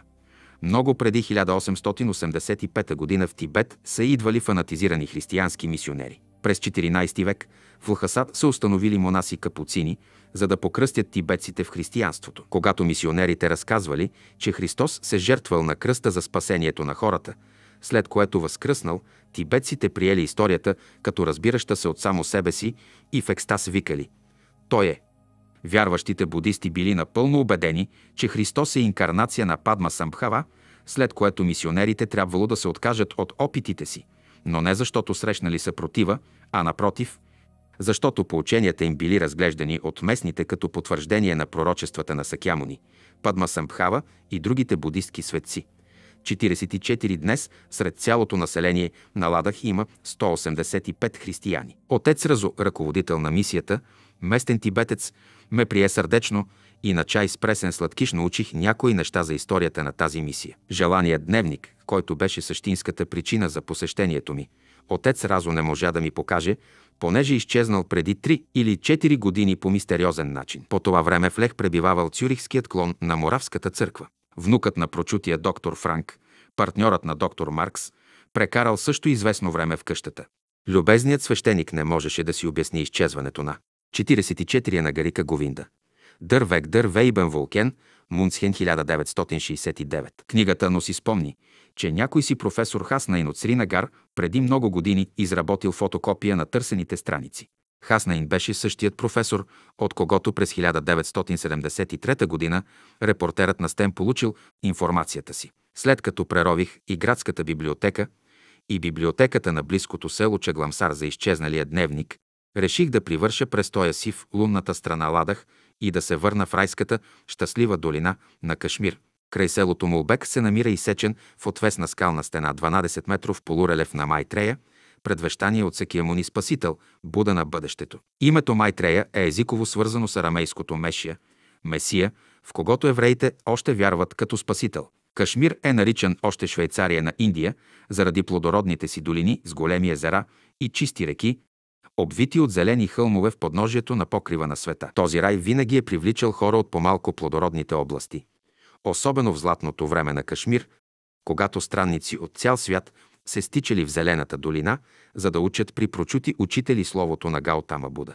Кашмир се смятал за център на махаяна будизма, работилница за най-висша човешка духовност. Ислямизирането на страната оставило само части от някогашните манастири, храмове и учения на аскетите. Въпреки идиличното си положение Сринагар е турбулентен, шумен голям град с динамика и делово оживление. Градът се намира между няколко езера, на левия бряг на голямото езеро Дал и е прорязан от много канали, които правят от него Венецията на изтока. Значителна част от населението живее в къщи лодки, които са закотвени плътно една до друга в каналите на Стария град или по бреговете на езерата и между плаващите градини. В зависимост от състоянието на притежателите им къщите лодки са прости донги или изкусно резбовани луксозни плаващи палати с всякакъв комфорт. Успях да си намеря храна и квартира в една по-стара, но хубава малка лодка малко извън града, която стана моето убежище в течение на следващите три месеца. От тук с малките покрити лодки таксита Шикара можеше да се достигне до всяка точка на града, а безбройните плаващи търговци доставяха всичко необходимо за живота. Имаше даже и плаваща почтенска служба. В такова райско място времето се прекарваше добре и затова много европейци и американци бяха тук до началото на вълненията през 1989 година, за да учат санскрит или да дишат неповторимата атмосфера. Оттам до университета на Кашмир бяха 10 минути. Пешак, където трябваше да прекарам много часове. Защото в него преподаваше професор Хасна Ин, за когото бях чувал много и който беше същинската причина за моя интерес към Сринагар. Професор Хаснаин е международно признат учен, автор на много книги, гост професор в Япония и САЩ, директор на Кашмирския център за изследване на будизма и член на Международната конференция по антропологически изследвания в Чикаго. Освен това, до пенсионирането му през 1985 г. под негово подчинение бяха всички музеи, колекции и архиви в Кашмир. Приемната на кабинета му чаках за аудиенцията заедно с много други индийци. След като му представих молбата си, той започна въодушевено да разказва за изследванията си и накара чакащите да дойдат следващия ден. След неколко часова беседа дойде краят на работното време и ме покани на вечеря вкъщи. Въпреки високия си пост, професор Хаснаин е обикновен, достъпен и симпатичен човек. По време на нашите срещи научих всичко, което е открил в продължение на 25 годишните си изследвания за пребиваването на Исус в Индия. Тези исторически факти, находки, връзки и доказателства ще останат обаче неразбрани и абсурдни хипотези без фундаменталните открития на науката за живота на Христос. Едва когато се създаде научна основа на твърденията на професора и се изясни происходът на Исус и неговото учение, може да се установи дали изобщо е възможно Исус. А. В младостта си наистина да е бил в Индия. Б. Да е преживял разпятието. Не се е възнесъл на небето, в отново да се е върнал в Индия, за да умре на преклонна възраст в Сринагар. Без тази подготвителна работа всеки по-християнски възпитан човек би отхвърлил живота на Исус в Индия. Срещу 2000-летната дълбоко вкоренена традиция трудно може да се направи нещо. Но все пак едно твърдение не може да бъде вярно само за това, че е разказвано 2000 години. Глава 3. Моисей и Божият народ. Произходът на евреите. Праисторическият създател на социалните и религиозните закони на Индия се нарича Ману. Законодателят на египтяните носил името Манес. Критянинът дал на гърците законите, изучени от него в Египет, бил Минус. Водачът на еврейските племена и разпространител на десетте Божи заповедни се наричал Моисей. Ману, Манес, Минус и Моисей, големите световни революционери, са от един и същи архетип. Четиримата са били долюлките на значимите древни цивилизации. Четиримата създават законите и теократичните общества. На санскрит Ману означава прекрасен мъж, законодател. В началото на развиващата се цивилизация винаги има хора, които са призвани за велики дела, които впечатляват хората и могат да убеждават. За разлика от голата сила, смятана за върховен закон в древността на хората, властта на тези духовни водачи е в ориентацията им към върховното същество, Бога или първопричината за всичко в света. Тези хора са обвити с таинствен ореол, происходът им е неясен, наричат ги пророци или Божи пратеници, защото само те може ли да обяснят събитията. Под умелите им ръце всички физични процеси се превръщат в манифестация на небесната власт и божествен гняв, който може да бъде изсипан върху хората или пък да бъде смекчен в зависимост от желанието на тези хора. Подобно на Моисей Ману владее магията да приведе змията в кататонично състояние, да я използва като пръчка и отново да я превърне в змия, представление, което се изнася и до днес от индийските факири. Но ролята на подобни личности винаги е амбивалентна. Ману укрепил властта на жреческата каста на брамините, което в крайна сметка довело до застиването на обществото в твърд социален ред и задушаването му от закони и табута. Подобна деспотична роля у народа на Израел играе Моисей. Етимологията на името е спорна. На египетски Мое означава просто дете или буквално е роден.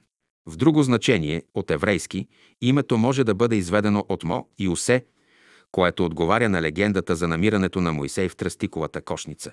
Не е възможно да се състави единна картина на историческата личност, защото преданието ни подхвърля нови загадки. Историческото изследване на Вехтия завет показа, че Моисей в никакъв случай не е автор на приписваното му петокнижие. Много по-вероятно е то да е съставено в днешната си форма след векове на устни и писмени предания.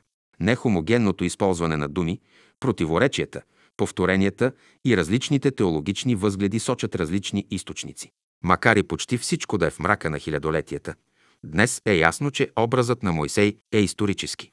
Трябва да приемем, че е израснал в царски двор, бил е възпитан от жреци и получил толкова висока степен на образование, че влиянието му върху държавните служители се простирало във всички области.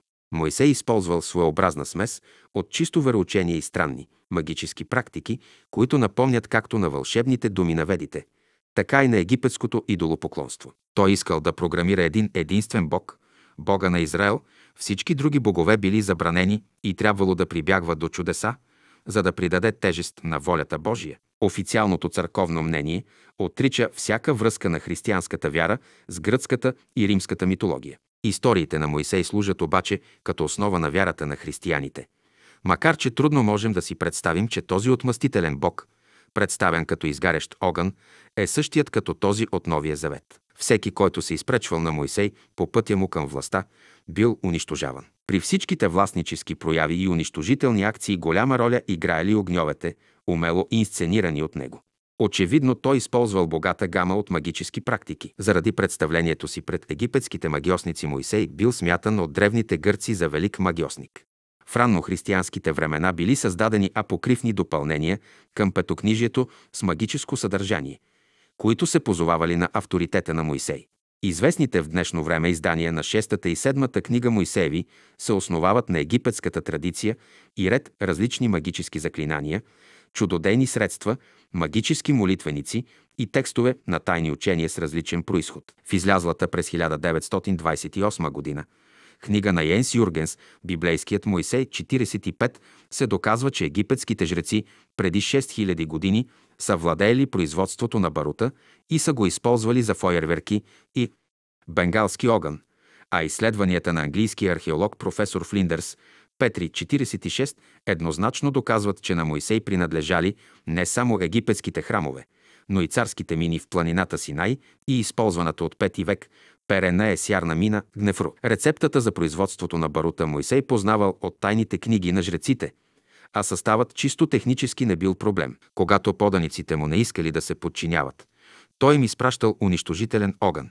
който подсилвал думите му 47, като представител на своя огнен бог Моисей можел да иска всичко, което му хрумне, а когато народът се възпротивил срещу натиска на налозите, била достатъчна само една впечатляваща демонстрация на мощта му на планината Синай, за да възстанови мира. По време на възстанието на Корай били изгорени най-напред 250 мъже и малко след това 14 800 други са заклятници. Когато синовете Ааронови се опитали да експериментират с чужд огън, за който той не бе им заповядал, те били смъртно ранени. При една експлозия самият Моисей получил толкова силни наранявания, че трябвало да носи превръзка. Моисей е смятан за голям законодател, но десетте Божи заповеди са само извадка от закони, използвани много преди него от народите на Близкия изток и Индия и съдържащи се в прочутите закони на Вавилонския цар Хамурапи.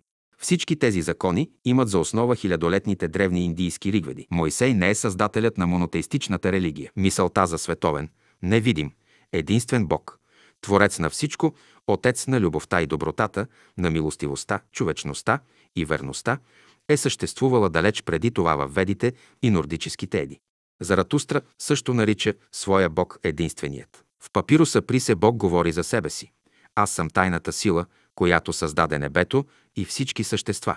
Аз съм великият Бог, създаден от само себе си, който няма равен на себе. 45 джаула. Юргенс. Дърби Блистхе Молзас. Мунцхен 1928. 46 проф. Флиндърс Петри. Researches in Sinai 1906, 47 сравни, изход 19, 11,24, 17, 33, 9, второзаконие 4, 11,4, 24,4, 33,4, 36, 5, 4, 5, 5, 5, 23, 9, 3, 32, 22 си. Аз съм нощта и денят. Аз съм законът за всяко живо същество. Този един единствен Бог бил наричан в Египет много преди Моисей безименният и този, за който не трябва да се говори. Нук по нук равно аз съм този, който е в това, че Моисей е наистина историческа личност. Днес никой не се съмнява. Чудесата му обаче са от по-стари предания. Например, легендата за античния бог Бакхус, който също бил спасен от водата. Преминал по суша през Червено море написал законите на каменни плочи. Неговите армии били водени от огнена колона, а от челото му излизали светлинни лъчи. 48. Индийският епос Рамаяна разказва за героя Рама, който преди поне 5000 години повел народа си във вътрешността на Азия и Индия. Рама също е велик законодател и голям герой. Той накарал да извира вода от пустинята, през която водел народа си и излекувал епидемия със свещената сома, индийската жива вода накрая завладял обетованата земя. Целон, върху чието цари сипал огнен дъжд, до Целон достигнал по сухопътен мост, който се появил по време на отлива. Той и днес се нарича пътят на Рама. Рама, подобно на Мойсей, бил рисуван в излизащи от главата му светлинни лъчи. Заратустра също притежавал свещен огън, с който правил различни фокуси. Според гръцките писатели Евдоксий, Аристотел и Хермодор Киракийски 5000 години преди Моисей живял някой си Зороастир. Той бил с царска кръв, бил отнет от майка си и бил хвърлен в една река. На 30 години станал пророк на нова религия. Бог му се появил облечен в светлина на огнен трон и подтътен на обхванатата от пламъци свещена планина, Алборди му дал свещения си закон. Зороастра заедно с привържениците си отишъл в далечна обетована страна. Когато достигнал до брега на морето с Божията помощ, водата се разделила така че богоизбраният народ да премине пеша през морето. Известната ни еврейска история започва от там, когато еврейските племена под ръководството на Моисей бягат от Египет, за да се заселят в друга страна като нов самостоятелен народ. Страната Гошам, в която най-напред се спрели евреите, не е установена еднозначно, но най-вероятно била на източния край на делтата на Нил. Библейските текстове споменават за смяна на фараона по това време. Това съвпада с 48 вата. Ф. Ирланд. Дай мемоирен Дейвид Ризиос. Лайпсик 1852. Изгонването на хиксусите от Амос. Първо римско в началото на 17-то римско династия. Следващата стъпка по пътя от Червено море към Палестина била в посока североизток, но там пътят им бил спрян от филистимците. Защо Мойсей не тръгнал към Бершеба, мястото на Яков, не може да се разбере. Във всеки случай той завил на юг. През третия месец след изхода народът достигнал до Синайския масив, вероятно до хълма, наричан днес Джебел Муса, където се състояло грандиозното представление на огнения бог Яхова. Според библейските предания евреите прекарали ла, ка 11 месеца, преди да се опитат да потеглят за обетованата земя. Това мероприятие обаче се провалило и еврейският народ скитал 40 години из пустинята. В долината на Йордан Моисей усетил да се приближава краят му. Той разбрал, че не може да заведе народа си до крайната цел на дългия път и съобщил законите, които трябвало от бега нататък да въжат в обещаната земя. Издал последни нареждания и указания за времето след преминаването на Йордан, произнесъл последната си реч и се изкачил на планината Нево, за да види преди смъртта си страната, където текат мляко и мед. Там умрял. Гробът му и днес е неизвестен, защото и дори до днес никой не знае да е погребан. Това, че последното му убежище никога няма да бъде открито, е толкова удивително, понеже съществува подробно описание на мястото с данни за имената. Тогава Моисей се възкачи от равнините Муавски на планина Нево, на връх Фазга, срещу Ветвегор. Също така невероятно е, че народът на Израел дори не направил достоен гроб на великия си спасител и водач, от който да останат поне някакви следи. Подобни следи има наистина, но не в палестинските земи, а в Северна Индия. Гробът на Моисей в Кашмир. В Библията във връзка с гроба на Моисей се споменават пет различни места. Това са Муавските равнини, планината Нево, върхът Фазга, Ветвегор и Галат. Обетованата земя от другата страна на Йордан не била обещана изрично на всички евреи, а само на децата на Израел. Ако успеем да намерим споменатите места, то е възможно локализирането на обетованата земя. Ветвегор означава по смисъл отварящо се място, нещо като долина, която се отваря към равнината. Реката Ихилум в северен Кашмир на персийски се нарича Бехат, а малкият град Бандипур, който се намира там, където долината на Ихилум преминава в равнината около езерото Волар, по-рано се е наричал Бехатпур. От Ветвегур се получило най-напред Бехатпур и накрая днешното Бандипур в окръг Сопор, 70 км северно от столицата на Кашмир Сринагар. Само на 18 км североизточно от Бандипур се намира малкото село Хазба или Хазбал. Това е библейският Галат, споменаван във връзка с Ветвегор и Фасга. В подножието на Фасга на север от Бандипур се намира прочут лековит извор. Долината и равнината му са равнината Млавска. Идеална планинска ливада, само на 5 км северозападно от планината Нево. Тази планина е един самотен връх от планината Абарим и се споменава във връзка с Ветфегор. 49 пете назовани имена се срещат едновременно в една пространствено ограничена област. От планината Нево, която се нарича също и Ваал Нево или Нилтуп, се открива прекрасна гледка към Бандипур и цялото кашмирско плато и рече му Господ, ето земята, за която се заклех на Авраама, Исаака и Накова, думайки, на твоето семе ще я дам, аз ти дадох да я видиш с очите, ала в нея ти няма да влезеш. И умря там Мойсей, раб Господен, в Муавската земя, според думата Господня. И погребаха го в долината на Муавската земя, срещу Ветфегор, и дори до днес никой не знае да е погребан на около 12 км от Бандипур се намира селото Ахам Шериф, където свършва автомобилният път. Който иска да стигне до селцето Бут в полите на Нево, трябва да продължи пеша. По една едва видима пътека човек се изкачва постоянно около час, движейки се на запад.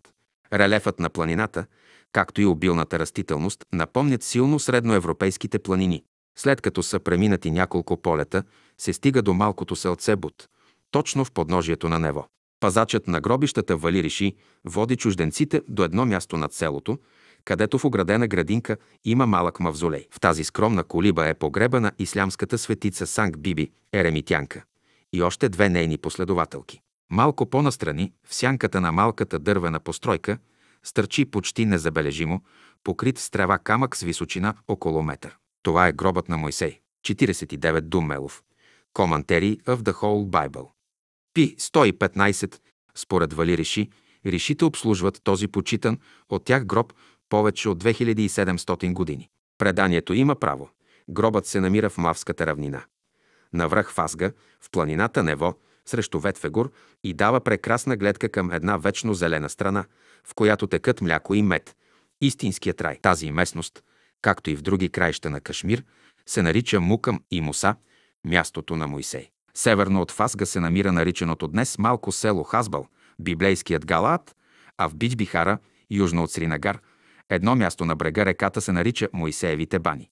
Там се намира магически камък на име Кака, Ваал или Санг и Муса. Легендата разказва, че 70 килограмовият камък се издигал сам на височина 1 метър, ако 11 човека поставят пръста си върху него и изрекат магическата формула ККК. Картата показва областта около гроба на Мойсей, планината Нево, върха на планината Фесга, планината Абарим, Ветвегор, Хезбон и Муавската равнина. Едно друго наречено на Моисей място се намира края от Вату в окръг Хандвара. Скалата на мястото на сливането на Ихелум и Синдх в близост до Шедипур, северно от Сринагар, се нарича Кохна и Муса, камъкът на Моисей. Вярва се, че Моисей си почивал на този камък. Според преданията той си почивал и в Аяти Маула, на 3 км северно от Бандипур, от завладяването на страната до изгнанието. След смъртта на Моисей 12-те племена на Израел под ръководството на Исус постепенно завладели Ханаан и чрез жреби разделили страната помежду си. Процесът на завладяването и адаптацията се извършил за 150 години. В песента на Девора се казва, че всички жители наброявали около 40 000 души. Те били управлявани от строги диктатори, съдии по Моисеевите закони. Властта на съдиите не била достатъчно дълга, за да направи от непостоянните номади единен народ. Израелтяните искали силен владетел и Самуил, последният съдия, помазал Саул в края на 11 век за цар. Едва по времето на цар Давид обаче Израел става единна държава със столица Ярусалим, където по времето на сина на Давид Соломон е построен прочутият храм. Соломон станал световно известен с огромната си мъдрост, но записаното в Библията със сигурност е възникнало след смъртта му. Не се знае нищо за това, на кои учители дължи знанията си. Доктор С. Матеер пише в своята естествена история на Трамванкор. Един много странен факт е свързана с името на тази птица, който хвърля светлина върху светото писание. Цар Соломон изпращал флота за Тарсис, която се връщала след три години, натоварена с злато и сребро, слонова кост, маймуни и пълни. В еврейската Библия се използва думата туки и тъй като евреите нямали наименование за тази красива птица до тогава, докато не били донесени от цар Соломон в Юдея, няма съмнение, че туки е просто тамилската дума толи, която означава пълн. Маймуна на еврейския ков, индийската дума за това е кафи. Слонова кост има в изобилие в Южна Индия, а златото е широко разпространено в реките по западното крайбрежие. Затова думата Тарсис безспорно означава Западна Индия. А Соломоновите кораби са древните представители на източно-индийската компания. С удовлетворение можем да прибавим, че освен злато и сребро, слонова кост, маймуни и пълни, цар Соломон и приятелят му Хирам са донесли от Индия и нещо друго – магията и мъдростта. 50 други изследователи, като например прочутият индолог Макс Мюлер, смятат, че еврейските имена за Паун и Маймуна произхождат от индийски източници.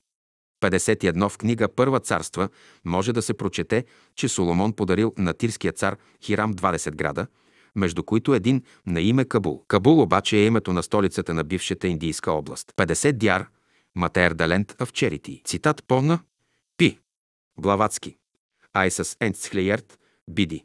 Второ Ден Хагл 974, С135, F 51 CPF. Макс Мълър, Индиен Уебър, Индисхескизен, Берлин 1857, Афганистан. Мюсюлманските жители на Кашмир го наричат Бакхи Сулейман, градината на Соломон. На един хълм над Сринагар има малък храм, който се казва Такхи Сулейман, тронът на Соломон. Върху темелите на древната разпаднала се постройка е реставриран новият храм, според един надпис през 78 г. Сеел на е от цар Гопадата. Преданието разказва, че Соломон посетил страната, отворил канал за водата, която захранва, и днес голямото езеро дал, като разделил планината Барехмулех и построил малка сграда, която и до днес се нарича Тронът на Соломон 52. Тахти Сулейман и до днес е свещен в Индия. Будистите в Ладах вярват, че тронът на Соломон е резиденция на свещения Падмасамбхава, който довел през 8 век. Перена е будизма в Тибет. Сринагарският тахт и Сулейман не е единственото тронно място на библейския цар в голямото пространство между Палестина и Индия. В североизточен Иран, южно от град Табрис, сред прекрасна местност, се намира хълм, който носи това име и е прочут с руините си, чието най-древни части са от началото на първото хилядолетие Перене. По-късно тук бил издигнат значим зороастричен храм на огъня, а в разцвета на сасанидите, последната до ислямска династия в Персия през IV римско 6 век, Сеелна е, е построен огромният палат на хосрите. Този хълм играе важна роля в митичния свят на Ориента. Така, например, единият от тримата влъхви умрял тук след връщането си от Витлеем. След смъртта на Соломон през 930 г. той бил наследен от сина си Ровоам. Едва стъпил на трона, избухнало недоволство срещу високите данъци, водено от ефремеца Яровоам. Вследствие на това възстание царството се разделило на две части. Десете северни племена образували независима общност под името Израел и издигнали Яровоам за свой владетел, докато другите две южни племена нарекли управляваната от цар Давид държава Юдея. Двете враждебни държави съществували 250 години. Населението за 400 години, откакто започнало да живее оседнало, нараснало на 300 000 души. След разделението на страната, в тъй наречените царски времена последвали вътрешни размирици и нападения от враждебните съседи. Израел бил окупиран за 3 години от асирийците, водени от Саргон II римско от царската династия Ехо. Държавата били унищожена с завладяването на град Самярия.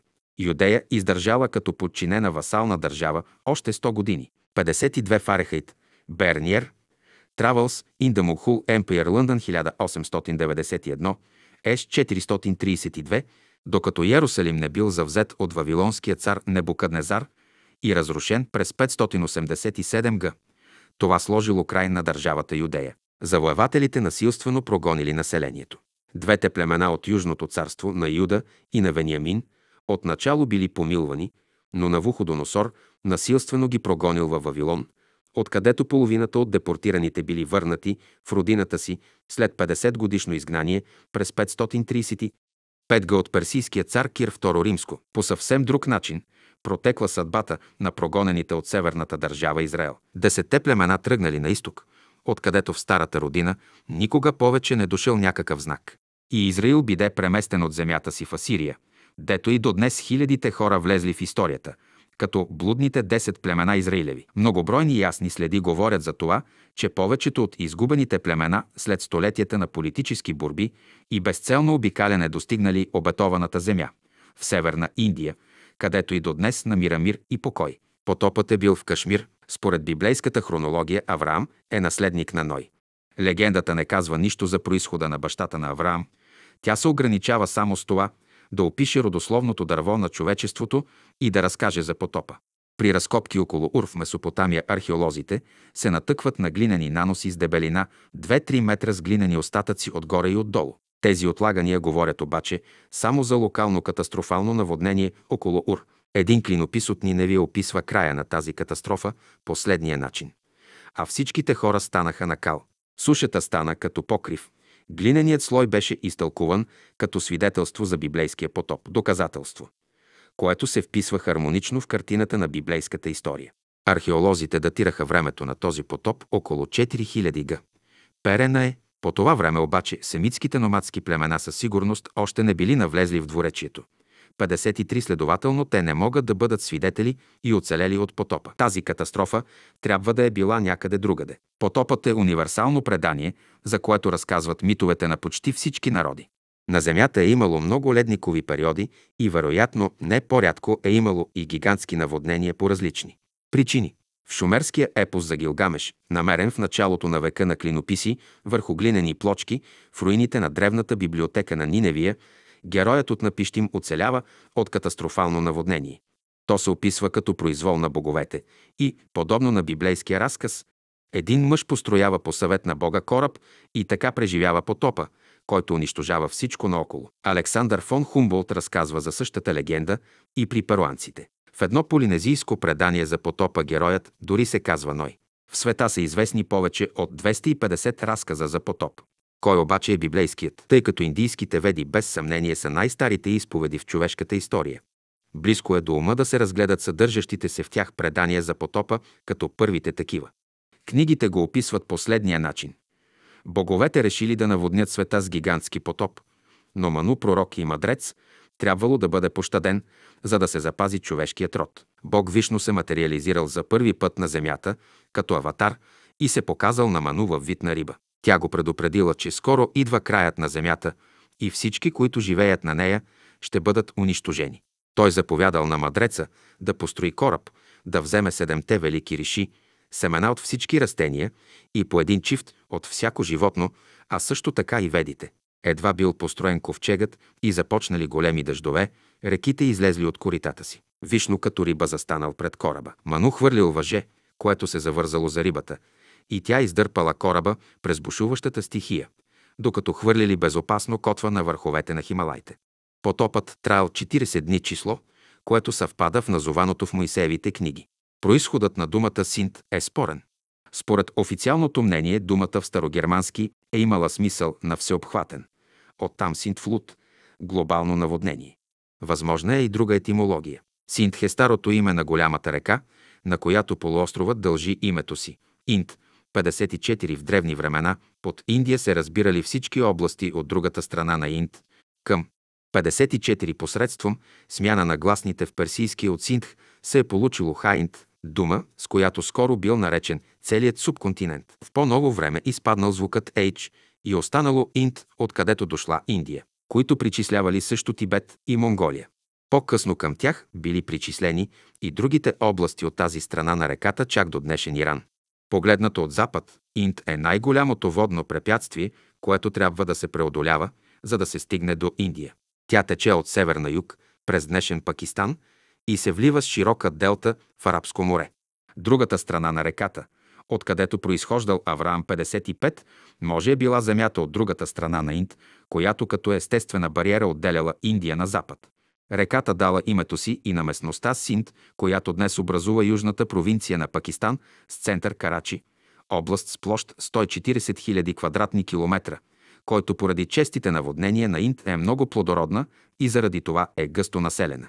В североиндийския щат Кашмир има още една река с име Синдх. Тя е много по-незабележима от великия си събрат, но във връзка с потопа има също така важно значение. В северната част на Кашмирската долина Синдх минава през областта, която се вижда от планината Нево.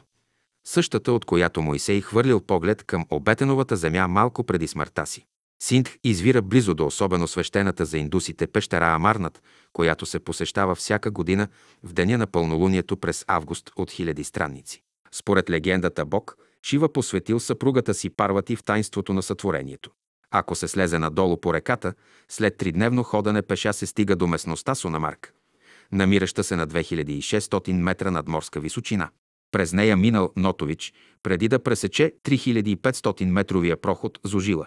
От Сонамарк пътят следва реката и през няколко древни дървени моста след 84 км се достига до Сринагар. По пътя се намират малки селца между тучни зелени ливади и градини от праскови, круши и ябълки. Изкусно разбованите рамки на прозорците и украсените покриви са доказателства за богатството на района. Колкото по-навътре се навлиза и колкото се наближава Сринагар, толкова позалесена и плодородна е долината, по чието две страни има терасовидни ниви Сорис и Царевица, докато най-накрая се стига до местността Канган, където долината свършва и излиза в равнината.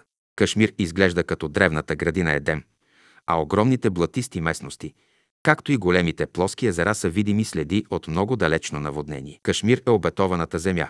Според Библията раят, където станало създаването на хората, се намирал на изток. И насъди Господ Бог рай в Едем на изток, и там настани човека, когато създаде географското положение на Едемската градина, се обяснява със сведение за четири реки. От Едем изтичаше река, за да напоява рая, и подир се разклоняваше на четири реки. В Месопотамия, която често се отъждествява с рая, текат обаче само две реки. В северната част на Индия се вливат даже пет големи реки от един огромен водосборен басейн, които дават име на местностите по техните брегове. Пунджаб – петоречие. При разделянето на индийския субконтинент през 1947 г. английската провинция била разделена между двете нови държави Индия и Пакистан. Тези пет реки от лявата част на Инд носят имената Ихелум, Ченап, Рави, Беас и Сутлеч. Областта Пунджаб е най-ранната културна област на Индия, но археолозите са открили в Кашмир следи от цивилизация от преди 50 000 години. Етимологията на думата Кашмир допуска различни тълкования. Куш бил внук на Ной, чието наследници населили света, и дали имената си на земите, в които се заселили. В разказа за сътворението се казва Името на втората река е Гихум, тя обикаля цялата земя Куш. Всички библейски имена в течение на историята са претърпели редица промени. Възможно е от Куш да се е получило Каш. Мир означава на персийски нещо ценно, на руски е свят, а на турски е почетна титла. Друго тълкование идва от еврейската дума кашер, което има смисъл на безупречен и се отнася предимно за ястие. Съгласно еврейския закон 56 можело да се използват само ритуално заклани и напълно обезкръвени животни. Евреите се различават от другите народи по тези забрани за храни и за това са били наречени, както и страната, в която живеели, Кашер, от което се получило Кашмир. Днешните кашмирци наричат страната си все още Кашир, а жителите – Кашур. Накрая името Кашмир може да произхожда от ведическия пророк Кашиап, който живял тук от прастари времена. Кашиапа означава на санскрит костенурка, а според древноиндийската картина на света 56 Вишлевит 11, Второзаконие 14, земята била поставена на гърба на плуваща във водата костенурка. В някои книги името Кашиап се идентифицира с Бога Творец, Кашиапмър, от което се е получило Кашмир, т.е. обетованата земя. Десете изгубени израилеви племена. Едва през 19 век, в течение на колонизацията, се събужда интересът към страните от Средния изток и някои западни изследователи разказват удивени за срещите си с племена в цяла Северна Индия, които очевидно били от еврейски происход. Така, например, пасторът доктор Йозеф Волф в двутомника си Разкази за мисията в Бухара в годините 1843-1945-57 твърди.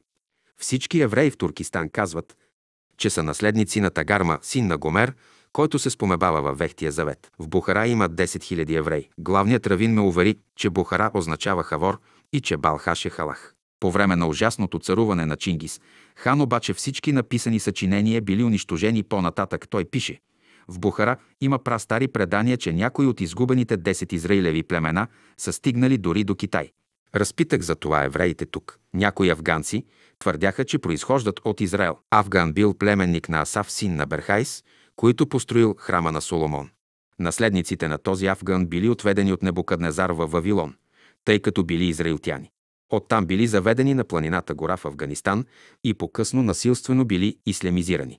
Те притежават книгата Маджмоа Лансъп. Това е колекция от родословни дървета на персийски език. Трябваше с очудване да разбера, че сержант Райли разглежда афганците като народ с израилтянско потекло. Накрая Волф пише, прекарах 6 дни при децата на Рахаб, Бани Арбал. При тях бяха също децата израилеви от племето Дан, които живеят в Тарим Хатрамавал 58 един френски пътешественик. Ж. Т. Вини пише в личен отчет за пътешествието до Хузин. Кабул, в Афганистан 59. Бащата на Еремия е баща на афганците. Той бил съвременник на Навуходоносор – Наричал се Бени Израел и имал 40 деца. Един наследник от 34-тото поколение се наричал Кис и бил съвременник на пророка Мохамед, Джеймс Брайс и Кейт Джонсън записали в обширен преглед на географията 60 статията за Афганистан. Те водят происхода си от цар Саул и се наричат Берене и Израел. Според А. Бърнс те били преместени от Навуходоносор, от свещената земя в Гхор, на североисток от Кабул. Те останали израелтяни до 682 г. Сеел не е когато арабският шейх Халедим Абдала ги направил мюсюлмани. Редица други източници се отнасят предимно до заселването от евреите в афганското пространство и прилежащите области, като една от най-важните творби трябва да се спомене «Изгубените племена» от доктор Джордж Мур, 61, който намерил в археологическите разкопки многобройни надписи на иврит. В пакистанската провинция Сиркап, близо до Таксила, е изровен камък, върху който има арамейски надписи – език, който бил говорен от Исус. При най-новите изследвания в пакистанската част на Кашмир, в долината на Горен Инд, където някога е минавал знаменитият път на Коприната, Бяха открити хиляди скални надписи и картини от праисторическо, раннобудистко и след християнско време. Измежду тези надписи е намерен един еврейски, датиран от изследователите към 19 век. Не е когато ислямът напредвал към Индия. 62 арабският историк Бируни писал през 11 век, че тогава в областта не били оставени никакви чужденци, евреите обаче били изключени от това правило. Още в средата на 19 век в Англия се образувало дружество, което си поставило за задача да открие десете изгубени израилеви племена – Identification Society of London. Повечето от работите на британските учени в тази област идват от това обединение. Би било излишно да се изброяват тук повече от 30 автора и творби, които доказват происхода на кашмирското население от израилтяните. Във Вехтия завет има повече от 300 географски наименования на местности, области и собственици, племена, родове, семейства и отделни личности, които съвпадат с същите имена в Кашмир – или близките области. Име в Кашмир в Библията, място в Библията. 60 Диар Джей. Брайс Ун Диар Кей. Джонсън. Умфасен де Бесхрейбунг Дър Ерт Кунде. Лондон Унд Гласкол 1880. С. 25. 61 Г. Мур Lost Tribes. Лондон 1861-62 К. Йетмър. Фелсенбилдер ин Каракорум. Ин Спектрум Дър Висенсхъфт Дезембър 1983, С 2232, 49, Амал Амал 1 Паралипоменон 7. 35, Асерия Асир Битие 30. 13, Атая Тай 1 Паралипоменон 12. 11, Вал Ваал 1 Паралипоменон 5. 5, Вала Вала и Исус Навин 19. 3, Бера Бера 1 Паралипоменон 5. 6, Габба Гева Исус Навин 18. 24, Гади Гадиел числа 13. 11. Гани Гуни 1 Паралипоменон 7. 13. Гомер Гомер Битие 10. Две и други. Места в Кашмир вертикална черта библейско име. Място в Библията. Агурн Агур 1 Паралипоменон 7. 35. Аясая Битие 36. 24. Амоно Амон три царства 22. 26. Амария Амария 1 Паралипоменон 23.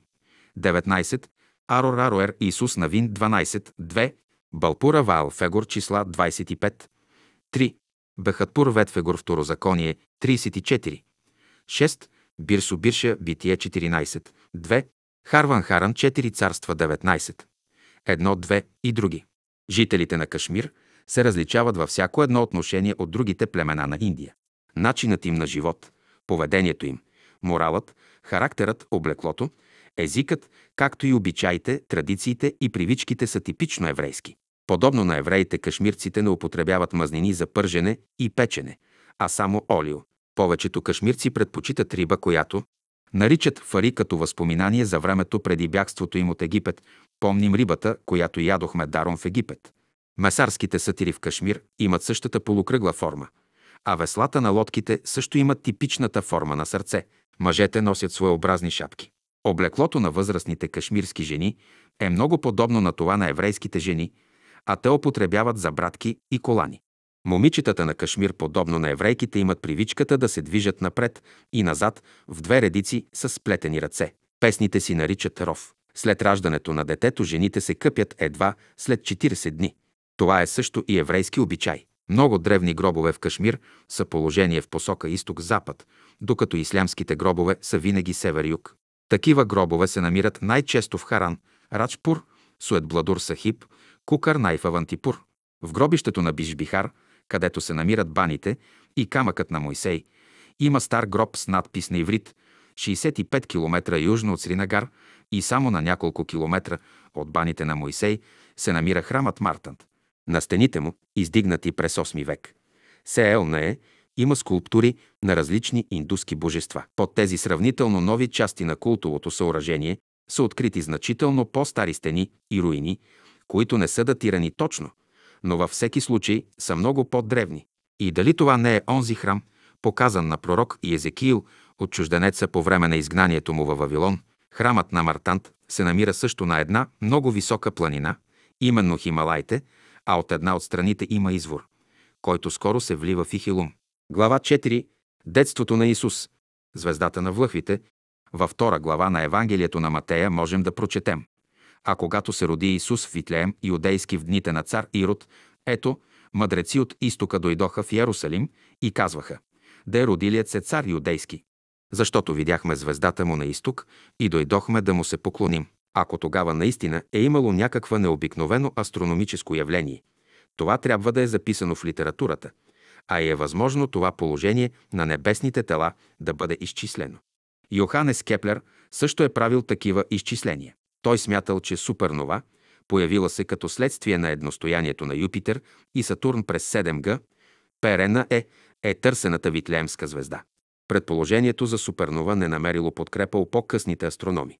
Днес за Витлеемски знак се смята конюкцията, която Кеплер разглеждал като предпоставка. През 7Г Перена е имало трикратно конюнкция на Сатурн и Юпитер в съзвездието Риби.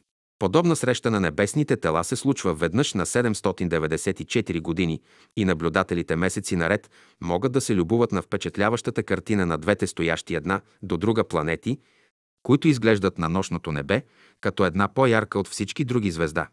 63 през 1925 г. ориенталистът Паул Шнабел успял да разчете 2000 годишен клинопис от наблюдателницата Сипа край Ефрат. На тази глинена плочка е точно описано астрономическото събитие от 7Г. Перена е голямата конюкция на планетите Сатурн и Юпитер в съзвездието Риби. 64 в края на 8Г. Перена е Юпитер и Сатурн се виждали след залез Слънце от начало в западната полусфера. Те били разделени на около 16 градуса една от друга. Юпитер все още в съзвездието Водолей, Сатурн в Риби. През февруари на 7Г Перена е двете планети изчезнали за няколко седмици в лъчите на Слънцето и не се виждали. Звездобройците очаквали първата поява на 63 Ге Крол, Аов ден споре Есу, Лайпсиг 1964, С, 63 ФФ, 64 Пи, Шнабъл, Der jüngste Keilschrifttext. In Zeitschrift F. Arasirologie, NF2, S. 66 FF. Юпитер в ранни зори като знак за 13-тия дори на годината, 304 от Селкитската ера, което отговаря на 16 март 7 година. Перена е. Те наблюдавали как Юпитер постепенно се приближава към Сатурн, докато го достигне в края на месец Иро. Тази конюкция – при която Юпитер се намира на 21 градуса с разлика само от 1 градус по ширина и на същата дължина, се повторила по почти същия начин още два пъти през годината – на 3 октомври и на 5 декември. Двете планети се виждали от залез до изгрев Слънце и в полунощ светели високо в небето. Когато Слънцето потъвало на запад, планетите се издигали от изток, а когато потъвали на запад, на изток се показвала зората. Значи в началото на годината двойката планети изгрявала по посоката на Слънцето, в края на годината залязвала по посока на Слънцето. През цялата година Юпитер и Сатурн били ясно видими и не се разделяли на повече от 3 градуса една от друга. Този небесен спектакъл щял да се повтори едва след 8 века. В Евангелието на Матея звездата се споменава три пъти. Тримата мъдреци казват защото видяхме звездата му на изток, в гръцкия прототип се използва думата Анатол. Езиковедите установиха, че тази дума, използвана много рядко, има специално астрономическо значение. Тя означава, че звездата изгрява по посока на Слънцето, т.е. от изток. Употребена в множествено число, думата има географски смисъл, а именно страна от изтока. Следователно, тримата мъдреци наистина са следвали небесното явление от изтока на запад. Второто упоменаване на събитието има също една особеност в гръцкия текст на Евангелието на Матея – тогава Ирод тайно повика мъдреците и узна от тях точно за времето, когато се е появила звездата, започвала с пролетния месец Нисано, който отговаря на еврейската нова година. Когато мъдреците дошли в Ярусалим, Юпитер вече се намирал във втората година от конюкцията си с Сатурн и Исус, роден вероятно през 7 г. е вече е бил на две години. Това обстоятелство принудило Ирод да избие всички деца до две години от определени групи. Какво обаче е накарало тайнствените влъхви да поемат незгодите на многомесечно или дори двугодишно пътуване? Откъде са дошли всъщност и по каква причина са търсили едно малко момче? Отговор на този въпрос теологията не може да ни даде. Кои са били тримата мъдреци? В гръцкия текст мъдреците се наричат магои, а маговете били издигнати за царе едва в през 6 век от императора на Аро, а през 19 век им били приписани измислените имена Каспар, Мелхиор и Балтазар. Колко са били маговете, не може да се установи. От Оригени 65 нататък броят им се определя на 3, може би заради трите дарби.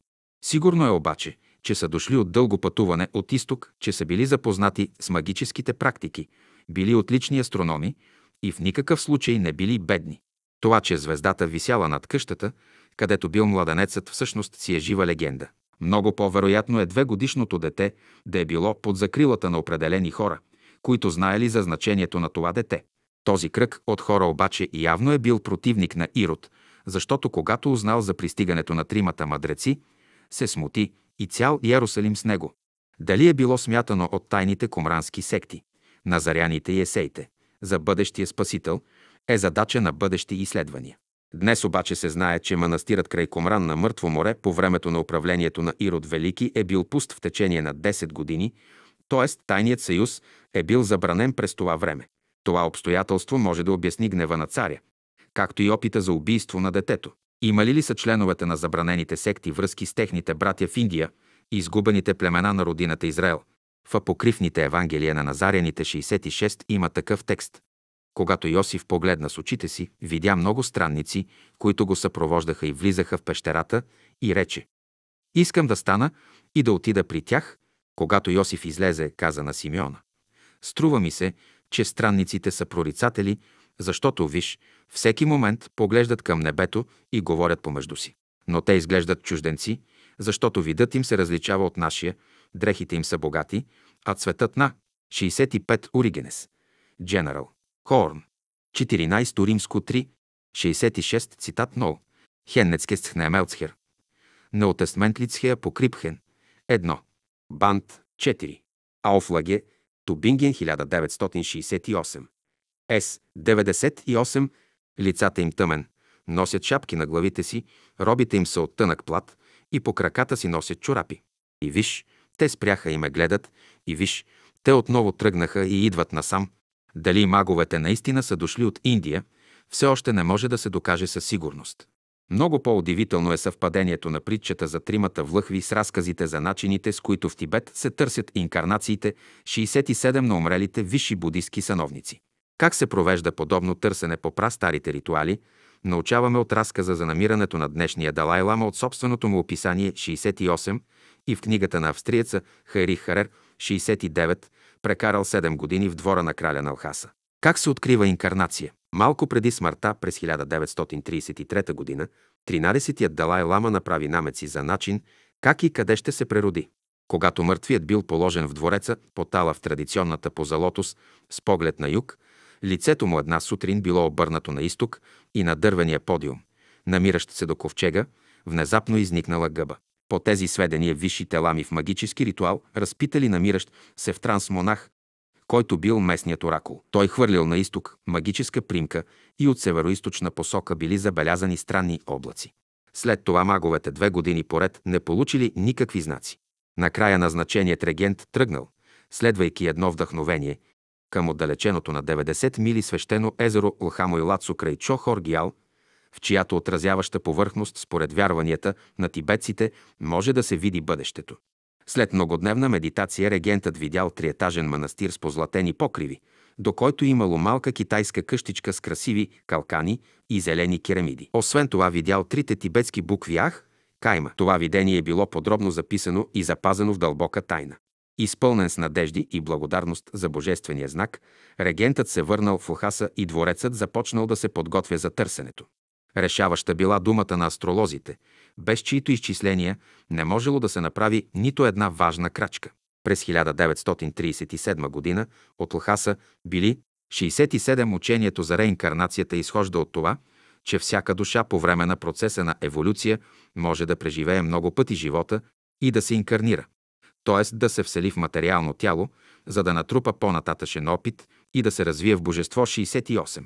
Далай Лома, Мейнленд und Мейне Леоте. Мунсхен 1982, 69 Х. Харер. Сиебен Яхретабет. Франкфарт 1966. Изпратени различни експедиции, за да търсят свещеното дете в оказаната от небесните знаци посока. Във всяка една от експедициите имало мъдреци, благородни лами, които заемали високи постове. Освен слугите, всяка група носела скъпоценни дарове, някои от които били лична собственост на починалия. Те служили, от една страна, като клетва за вярност към новия Далай Лама, а от друга – за идентификация на инкарнацията. Теоретично починалият може да се инкарнира на хиляди километри от предишното си място на дейност. В случая на 13-тия Далай Лама търсенето минавало през границите на Централен Тибет в намиращия се под китайско управление окръг Амдо в областта Дохам. Там тогава имало само няколко манастира, тъй като е родно място на реформатора на будизма Цонг Капа. Групата за търсене намерила редица деца, но никой от тях не отговаряло на тълкованията. Най-накрая през зимата край селото Такцер стигнали до манастир на три етажа с позлатен покрив, а недалеч от него имало хубава малка селска къща с турско-сини керамиди. Всичко отговаряло на видението на регента. След това двама благородни лами се преоблекли като слуги, а един млад мъж се представил за техен учител. Дегизировката имала за смисъл най-напред да се прикрие истинската цел, за да не се предизвиква излишно безпокойство и да се разузнаят обстоятелствата.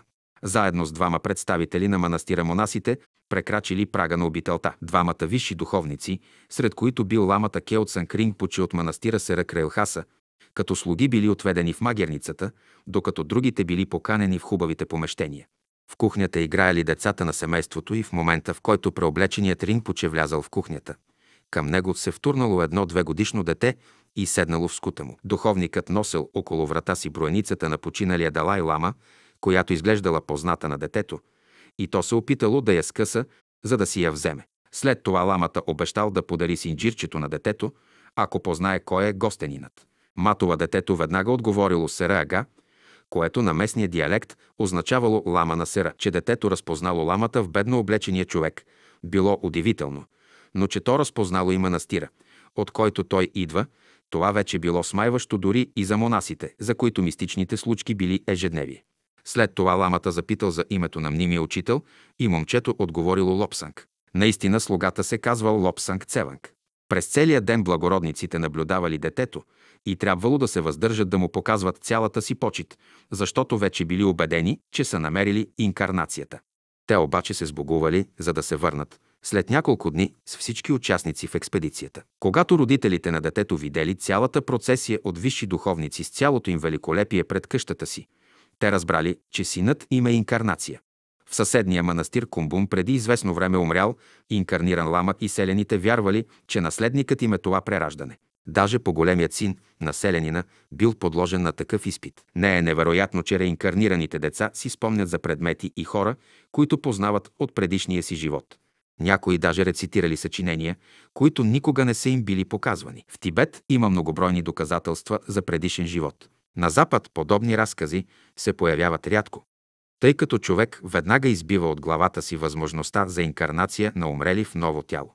Четиримата извършили предписаните изпити с детето. Най-напред му предложили две съвършено идентични броеници, едната от които принадлежала на 13-тия Далай Лама.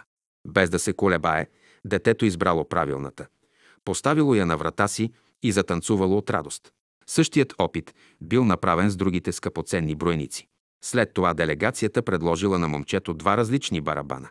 Един по-голям и украсен с злато и един обикновен, който принадлежал на починалия.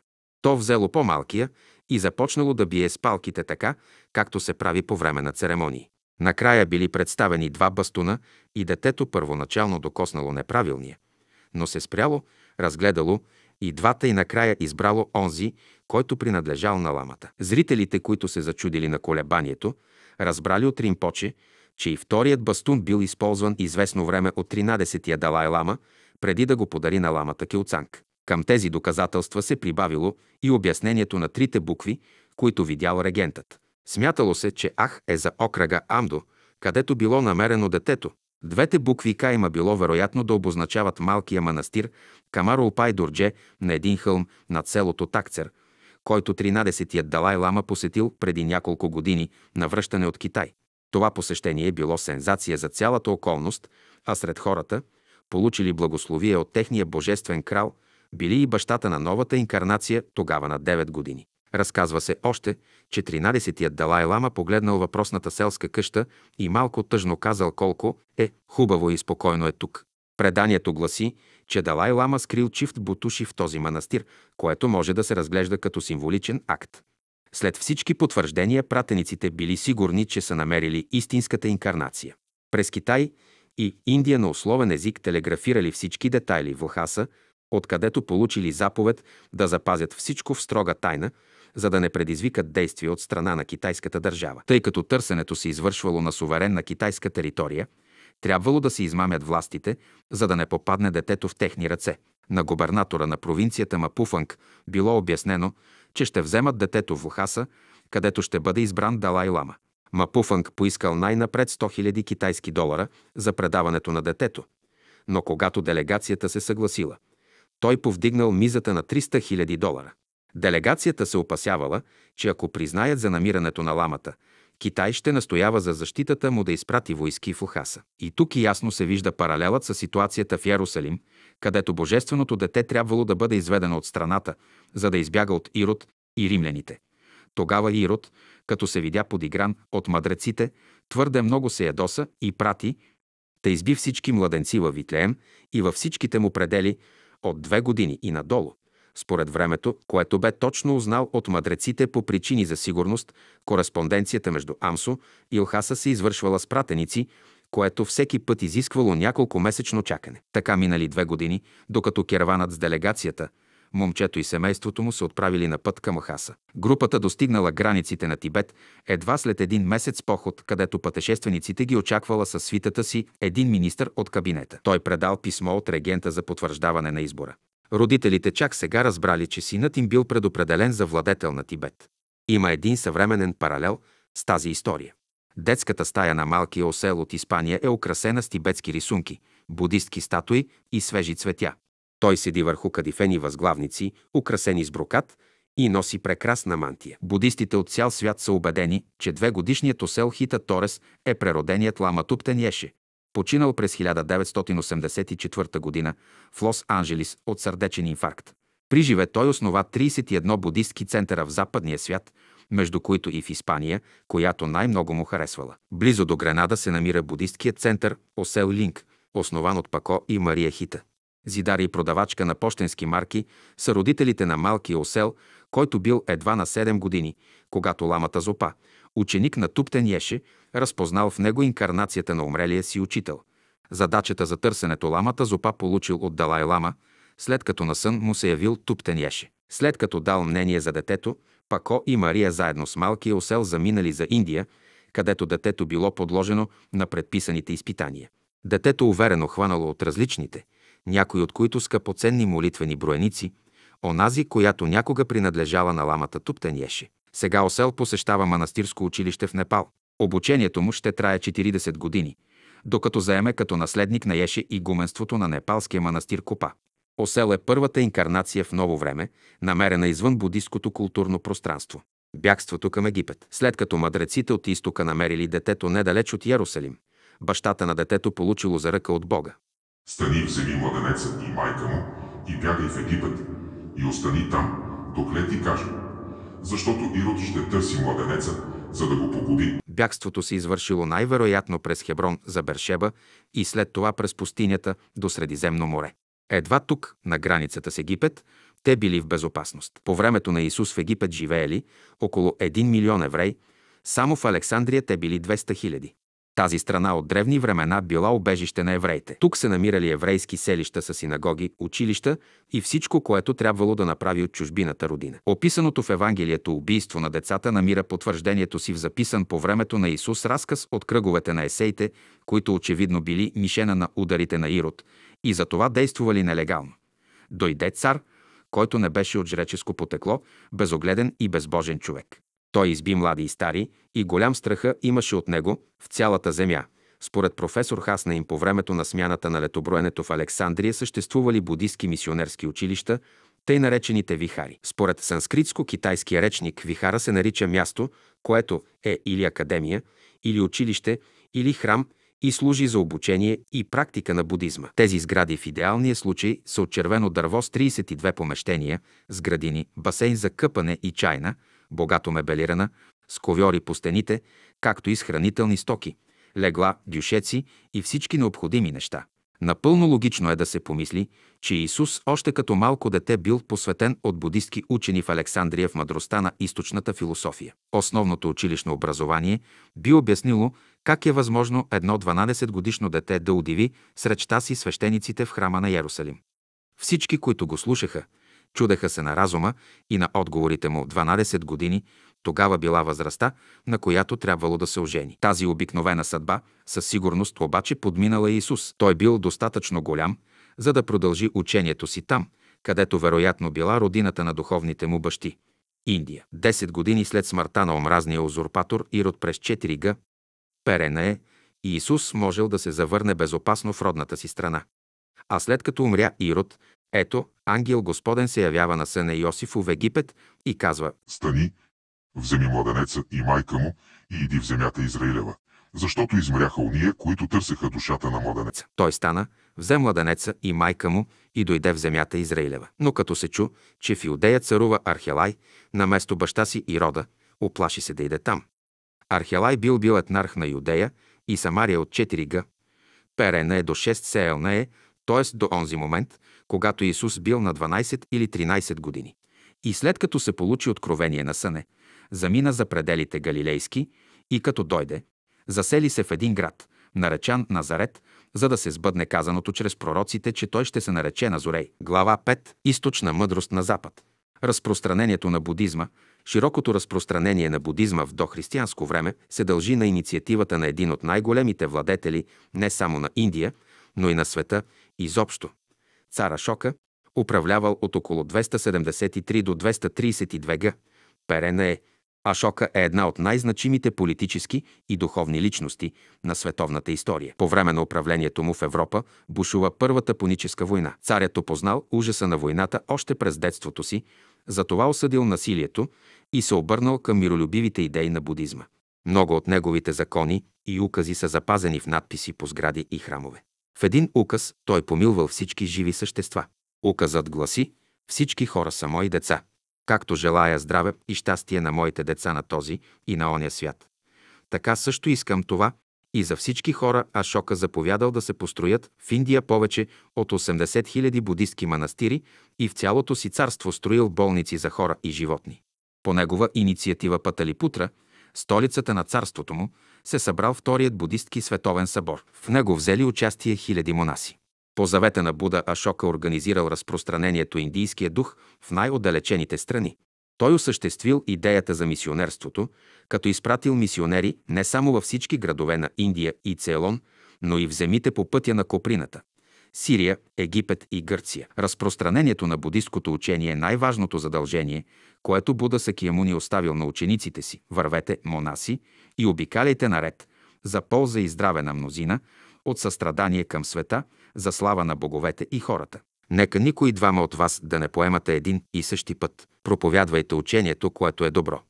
Проповядвайте го в духа си и в буквите си. Излагайте с пълна чистота упражняването на религиозен живот. Монасите били просеци и очаквали милостинята на миряните. Те не притежавали нищо повече от това, което носили по тялото си. Животът им бил отказ, но били свободни от аскетичната строгост. Главната им дейност била да медитират за учението и да се освободят от светските страсти. Към общността се присъединявали чрез акта на излизането, като се напуска къщата, символ на начина на живот на лаиците, за да се влезе в съсловието на странстващите монаси без покрив. За тази цел било достатъчно да се надене жълтата дреха на монасите, да се обръсне главата и три пъти да се изрече заклинание. Долната граница била 7 години. На тази възраст Рахула, синът на възвишения, влязъл в общността. При влизането на новия монах се обяснявали четирите основни правила на монашеския живот. Да се изхранва самостоятелно от милостиня, да се облича с изтресени от праха дрехи, да стои под дърветата, да лекува раните с урина от крава. Монасите без изключение водели странстващ начин на живот. Каноничните разкази говорят за Буда и учениците му, които обиколили цялото средно течение на Ганг, медитирайки и проповядвайки, понякога сами, по-често обаче на групи, от град на град, от село на село. Вижда се забележителният паралел с изпращането на учениците на Исус, които в последен отчаян опит да убедят Израел в посланието на Христос, преминават от място на място, Като повика 12-те, начена да ги разпраща по двама и им даде власт над нечистите духове. И им заповяда нищо да не взимате за попът, освен една тояга, ни турба, ни хляб, ни пари в пояса, но да се обуват в прости обуща и да не обличат две дрехи. И рече им, ако някъде влезете в къща, оставайте в нея, докато си отидете оттам. И ако някои не ви приемат, нито ви послушат, като излизате оттам, отърсете праха от нозете си за свидетелство срещу тях. Истина ви казвам, по-леко ще бъде Содом и Гомора в съдния ден, отколкото на оня град. Те тръгнаха и проповядваха покаяние, изгонваха много бесове и мнозина болни помазаха селей и ги изцериха, както в будизма, и тук няма и дума за насилствено покръстване, а се проповядва за оздравяването на мнозината, за които говори още пророк Исаия. Според индийските праисточници, след събора в Харан, проведен по времето на Канишка, били изпратени още мисионери към Кашмир, Гандхара, Махисамандала, Ванаваши, Юнарита и в Цейлон. В музея Борли в Марсилия се намират останките на две седящи фигури, вероятно идоли. Статуите са без глави и по мнението на учените представляват келтско и барийски божества, но отговарят напълно на статуите на Бодхисатва с всички атрибути на будистки светец. Те са в перфектна поза лотос.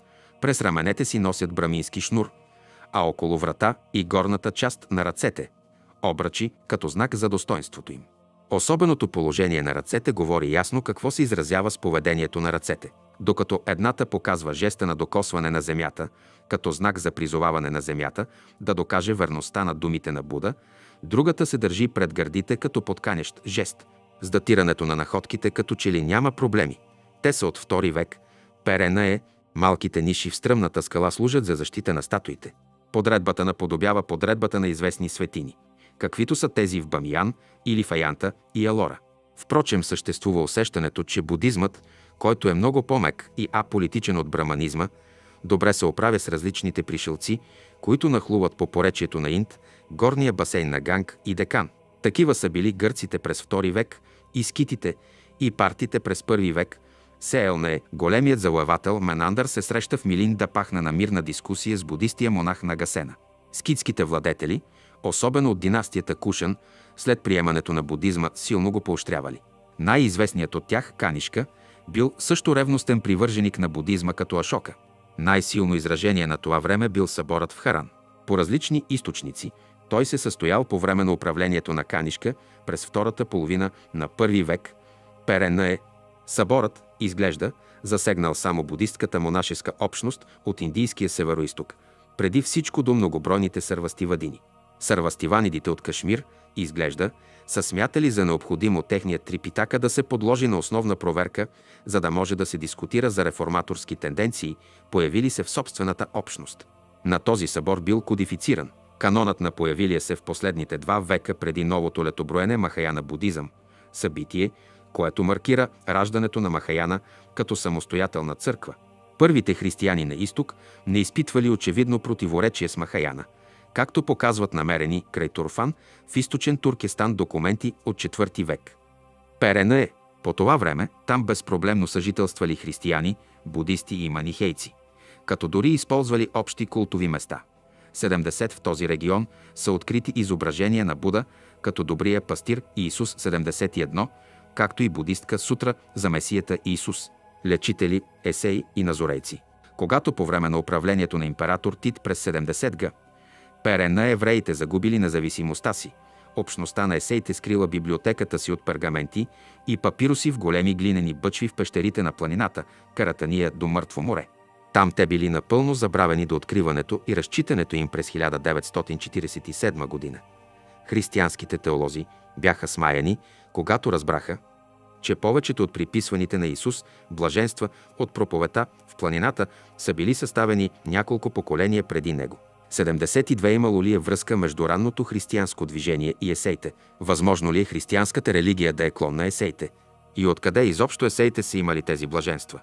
Възможно ли е в дохристиянска Юдея и Галилея да е проникнало будистки духовно богатство? От най-стари времена е имало разнообразни контакти с Ориента и Окцидента и се намират многобройни културни паралели между Древна Индия и Древен Египет, две цивилизации – възникнали през трети век на бреговете на големи реки. Свещеното растение на Индия е лотосът, което расте от пъпа на бог Вишно Издига бога Брама и на което е възцарен. 70 си пи Лацок, Устуркистан. Валц Смит, Зентраласиен. Лудерс. Дай литераристхе фунде 71. По H. J. Климкит Готес. Und Selbsterfachung in der Gnostische Buddhistische Religionsbegegnung Zentralasiens. In Zeitzcher F. Religions und Geistesgeschichte BD 35 1983 С. 236-247, 72. След дългогодишно оспорване на дохристиянския характер на творбите, някои учени стигнаха до убеждението, че части от текстовете са писани едва около началото на новата ера или малко след това и се отнасят директно до Ису, CPM. Байгент Ар. Ли. Версхлусацхи Джизас. Ди Кумранролен Унт. Дай Вахрхит. Обердас Фрихец Христентум.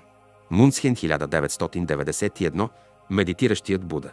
Лотосът е свещеното растение на Озирис, господаря на египетския пантеон и бог на смъртта. В Индия пълният със скръп бог Шива танцува с тялото на мъртвата му съпруга на рамене и разпръсква частите й из цялата страна. Същата легенда съществува и при египтяните. Сет, злият брат на Озирис, разпръсва като семена над земята 14 части от тялото на Бога. Докато всички древни култури на предна и средна Азия вярват в една единствена Вселена, която се движи право към деня на страшния съд, в Индия и Египет се смята, че светът се намира в безкраен кръговрат на сътворение и разрушение. В египетската книга на мъртвите пише «Аз съм вчера, днес и утре и имам силата да се родя втори път в долината на Ефрат са намерени печати от древна култура от поречието на Инд. Нейният разцвет бил 2000 години перен е. През цялата античност от Индия са внасени подправки, пълни, маймуни и санталово дърво. По неизвестен начин индийската азбука на говорените там семитски езици била заета в Етиопия. Индийски философи са достигали до Атина, Спарта и Коринт и са запознавали гърците с мъдростта на Опанишадите. Според Аристоксен, писател от времето на Александър Велики, философът Сократ в Атина се запознал с един индиец. Възможно е съдържащата се в философиите на Питагор, Платон и на стоиците теория за странстването на душата да има своя происход в ученията на тези индийски учени. През 325 г. Александър Велики пресякал прохода Хибер и нахлул в северо-западна Индия. Младият македонец бил не само голям пълководец, но и ученик на знаменития Аристотел, откъдето била голямата му любов към философията.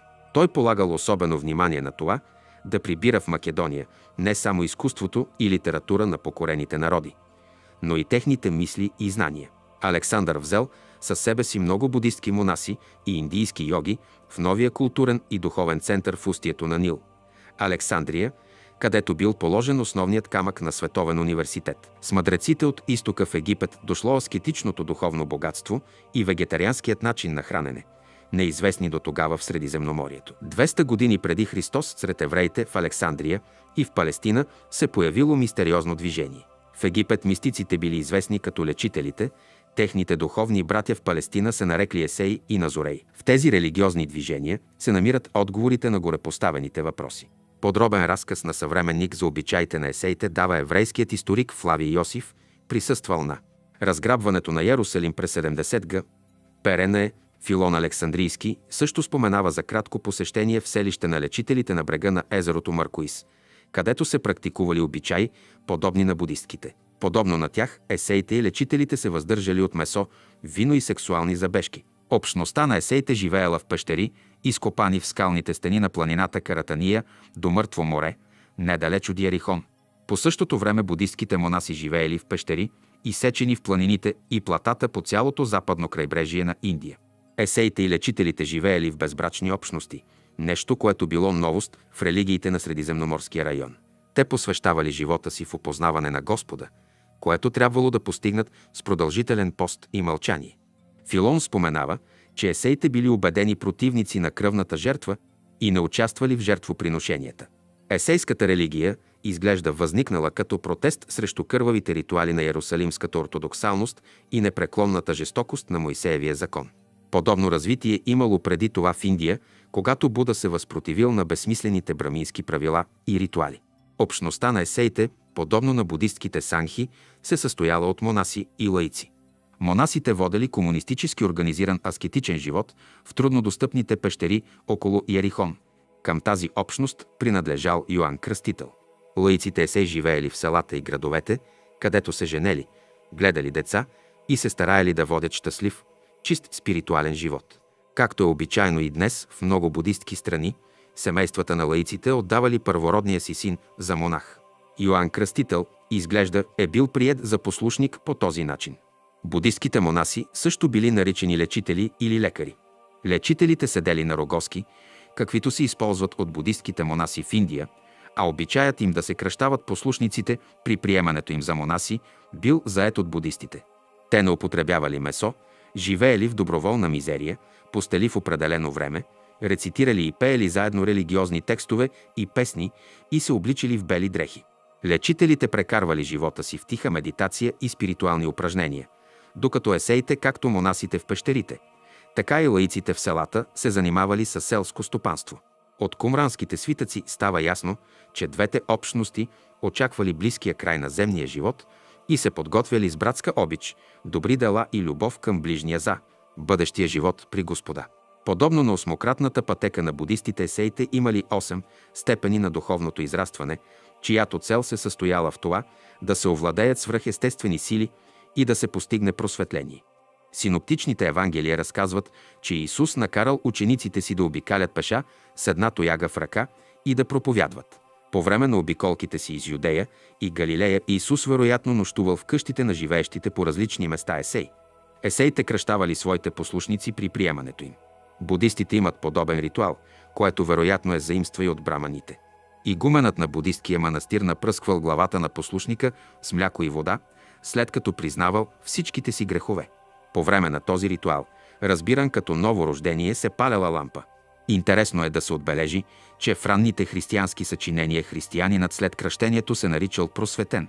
Според Епифан, саламски есеите били наричани още назарени или назорейци. В древен Израел някои пророци били назовавани назаритени. Назаритените проклинали кървавите ритуали и затова били ненавиждани от ортодоксалните свещеници. Всички вярващи евреи били задължени три пъти дневно да изричат следното проклятие «Изпрати гнева си, Боже, на назаритените».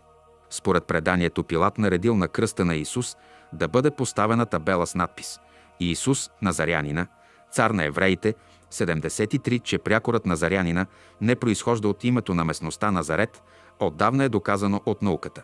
Едната точка от обвиненията срещу Исус очевидно е била принадлежността му към тази религиозна общност.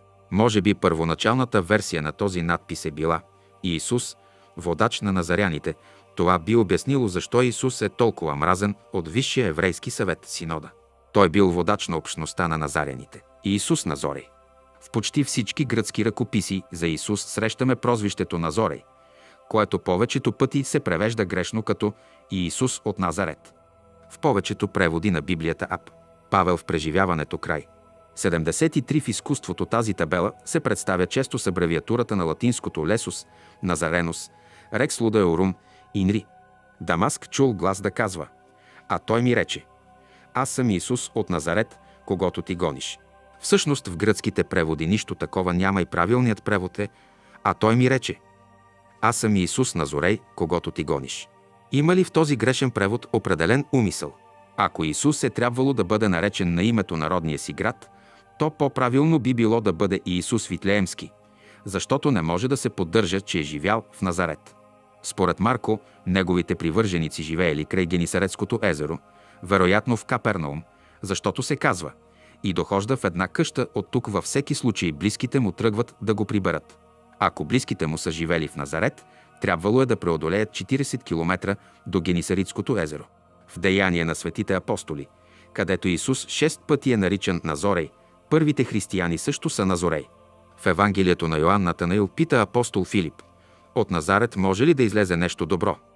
Този въпрос предизвиква голямо очудване за това, как някой, който произхожда от едно малко, незначително място, може да има толкова богати знания и да получи подготовка, каквато може да даде само прочута школа. Прозвищата на Зорей, Назарянин, Назарей се използват в Евангелията за Исус в тези различни форми, за да покажат происхода му от град Назарет, което в крайна сметка довело до погрешното название Иисус от Назарет. още през 1920 година. М. Лизбарски в книгата си «Мандахейски литургии» доказва, че етимологията на думата Назорей от Назарет езиково не е възможна. Мястото Назарет до тогава литературно не се споменава никъде и по времето на Исус е било малко селище. В Исус Навин 19, 10-15 не се споменава земята на Заволоновите синове, но за това пък се говори за отдалечената само на 3 км югозападно Яфия, разрушена през 67 г. Перена е от римляните. Назора произхожда от арамейската дума Назар, която означава раздяла, но и събуждам се, наблюдавам или запазвам. В преносен смисъл думата може да означава също и заклевам или задължавам се за служба на Господ. А като съществително е диадема, символ на коронована глава. Така назореят е пазител или наблюдател на култови ритуали. Назареите са били клон на есеите и принадлежали, като ебонитите към първите християнски общности, които според Талмуда били наречени нозари. 74 всички тези гностични секти използвали магически практики, членовете им били посветени и водели аскетичен живот. Може би в основата на различния запис на тези прозвища, които имат един и същ корен и происход, стоят различни групировки, различаващи се по начина на излагане на учението и по начина на живот. Името Назарянини може да бъде изведено от старозаветните назаритени. Според Джон М. Робъртсън силният Самсон бил Назорей и Назирей, не си подстригвал косите и не пиел, т.е. бил аскет. Затова не аскетите се нарекли назаряни, за да се отличават ясно от назириството, т.е. аскетизма. 75. Иисус не може да бъде със сигурност причислен към нито една от тези групи, тъй като очевидно отказвал робски да се подчинява на каквито и да е закони. Неговото правило било правилно действие в правилен момент, голямото пространствено разстояние до Индия в течение на вековете значително увеличила духовната яма между духовните бащи, приели принципите на будистката философия и останалите в Израел техни братя. По този начин Иисус може да бъде смятан за реформатор, който е изпратен, за да възстанови единството на вярата сред заблудените овце и да ги подкрепи духовно в борбата им срещу римските завоеватели, садокеите, фарисеите и ортодоксалните евреи. Иисус е пратеникът, който е очакван страстно в обърканата ситуация. Затова Йоанн и двама от изпратените ученици питат. Ти ли си оня, който има да дойде, или други го да чакаме? Йоанн Кръстител бил пророк на Назарените, а в Галилея бил наречен Спасител. В Флави Йосиф четем следно за него. Той бил почтен човек, който запалил евреите за обучение в добродетел, за подчинени на Господа и за приемане на кръщението. Тогава кръщението от Бога, казвал той, ще бъде приятно, тъй като то ще бъде за изцеление на тялото, но не и за опрощаване на греховете. Душата може да бъде предварително опростена с праведен живот. Около Йоанн се събирали мнозина, които се дивели на думите му. Ритуалното гмуркане във водата води происхода си от Индия и се практикува от индусите и до днес със същото отдаване, както и преди хиляди години, традиция, която е толкова древна, колкото и самото тайно знание. В Палестина сесейското къпане в росата започна отделяне от догмите на еврейското предание, преди всичко на кръвната. 75 джаула, Ма Робъртсън. Дай Евангелиен Митхен. Джи на 1910, С. 51 ФФ. 77 Юдист Хелтертумер, 18 римско 5. 2. Жертва, което почива на приемането, че може да се постигне опрощение на греховете предимно чрез проливане на кръв. Церемониалното измиване – от една страна, трябва да символизира освобождаването от всичко земно, от друга – прераждането на духа в ново, чисто тяло.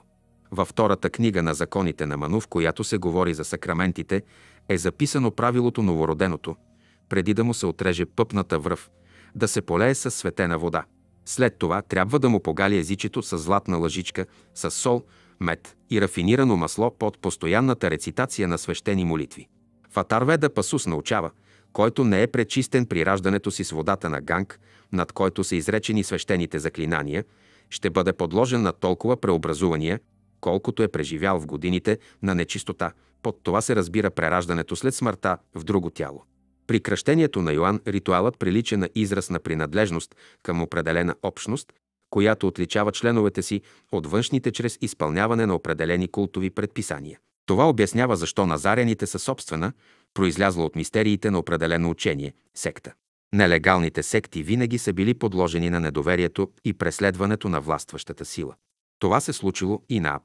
Павел, който бил обвинен от Тертил пред управителя на града Феликс, че е подстрекател на бунтове и че е водач на Назорейската ерес, според Плини Стари и Йосиф Назорейската секта е съществувала поне 150 години преди Христос край бреговете на Йордан и на източния бряг на Мъртво море. На привържениците й било разрешено да оставят дълги косите си. Вероятно за това те, подобно на индуските монаси, йоги и аскети, никога не са се подстригвали.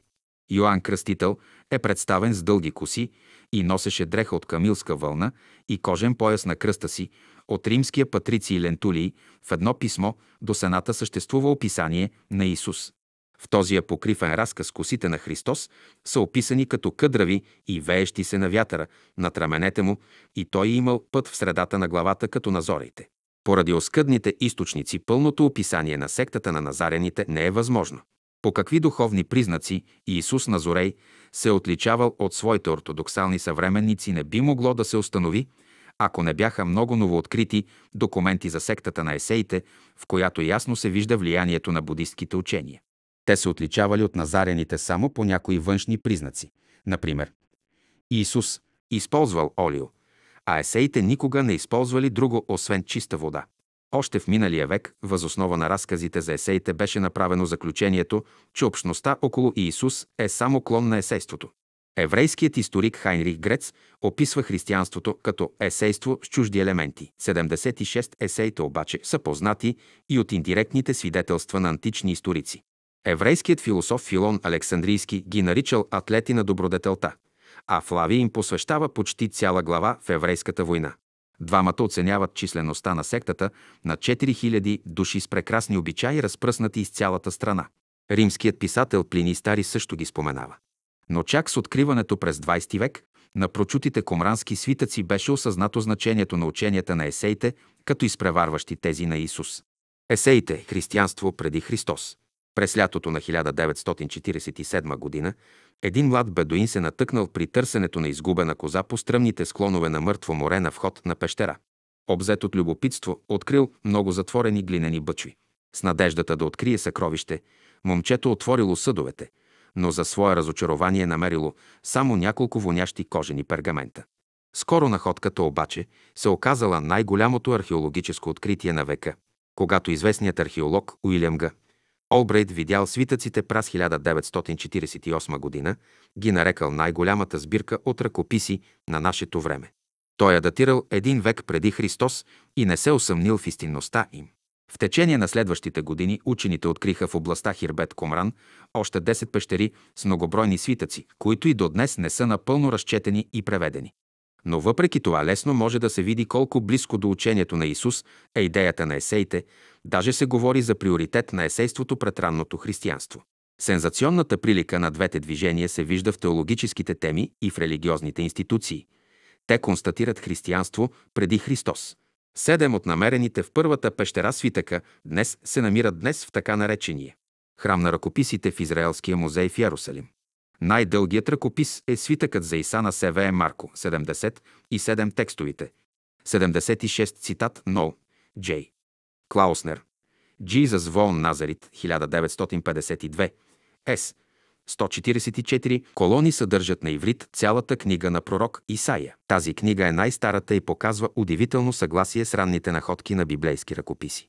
Освен това са намерени фрагменти от втори ръкопис на Исаия, както и коментар към книгата на пророк Хавакук. Най-важната находка обаче била един двуметров пергамент с нареждания за организацията на религиозна общност. Той се нарича с началните думи Серек Хаяхът, което означава правила на общността или наръчник с правила. В първата част се описва един съюз на вечната любов, който свързва членовете на посветената общност с Бога. Във втората част се говори за двете лица на човека – духът на светлината и на истината и неговото отрицание, духът на заблудата и на мрака. В допълнение следват правилата на ордена с детайлно описание на условията за приемане и наказанията за простъпки срещу тези правила и в края има дълъг химн на благодарността. Освен правилата на безбрачната общност, има и втори ръкопис, който е на вид заедно с първия и може би е бил съшит с него. Това съчинение носи името Правила за цялата общност и е насочено към светския клон на организацията – женените членове. Тук се вижда ясно приликата с ранните будистки общности, при които също има разделяне между монаси и лаици. Който принадлежал към светските членове на сектата, още от първия ден на живота си трябвало да бъде посветен в книгата на мъдростта и всички правила на Съюза. Мъжете може ли да се женят едва след 20-та си година. На 25 получавали място и глас в общината. Те може ли да започнат да се издигат в иерархията още след 20-та си година, но били задължени да се покоряват на свещениците и по-възрастните. Когато достигнали определена възраст, трябвало да се оттеглят от заеманите постове. Краят на свитъка описва реда при ехатологичното ядене. За това подреждане възникнал спор по време на тайната вечеря. На другия, отчасти силно повреден свитък, освен библейските псалтири се намират и около 40 есейски псалма, които започват с думите «Слава Тебе, Господи», поради което свитъкът се нарича Хухайот или хвалебствени песни. Останалите открити свитъци са само оскъдни остатъци от онова, което е било пропуснато откривателите, защото още 77 съкратено едно кис. Оригени споменава, че край Ерихон в Стомна е намерен превод на псалми и други ръкописи. Несторианският патриарх Тимотей Първо Римско разказва в едно писмо за намирането на еврейски ръкописи в пещера недалеч от Ерихон. Част от текстовете са тайнопис. Постоянно се говори за Новия съюз и за загадъчния учител по справедливост.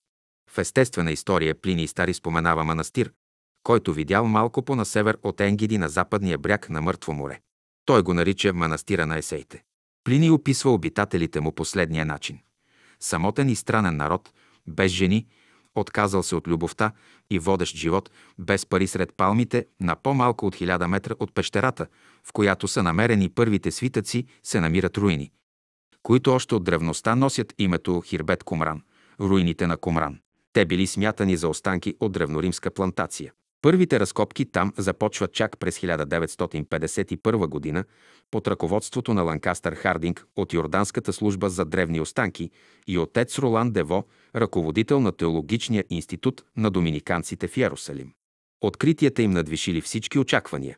Манастирът е Комран, в който са написани откритите свитъци. За пет години били извадени на бял свят голямо селище, оградено с крепостна стена, квадратна постройка, много спомагателни сгради, голяма столова, ритуални бани, 13 цистерни и сложна система от водопроводи.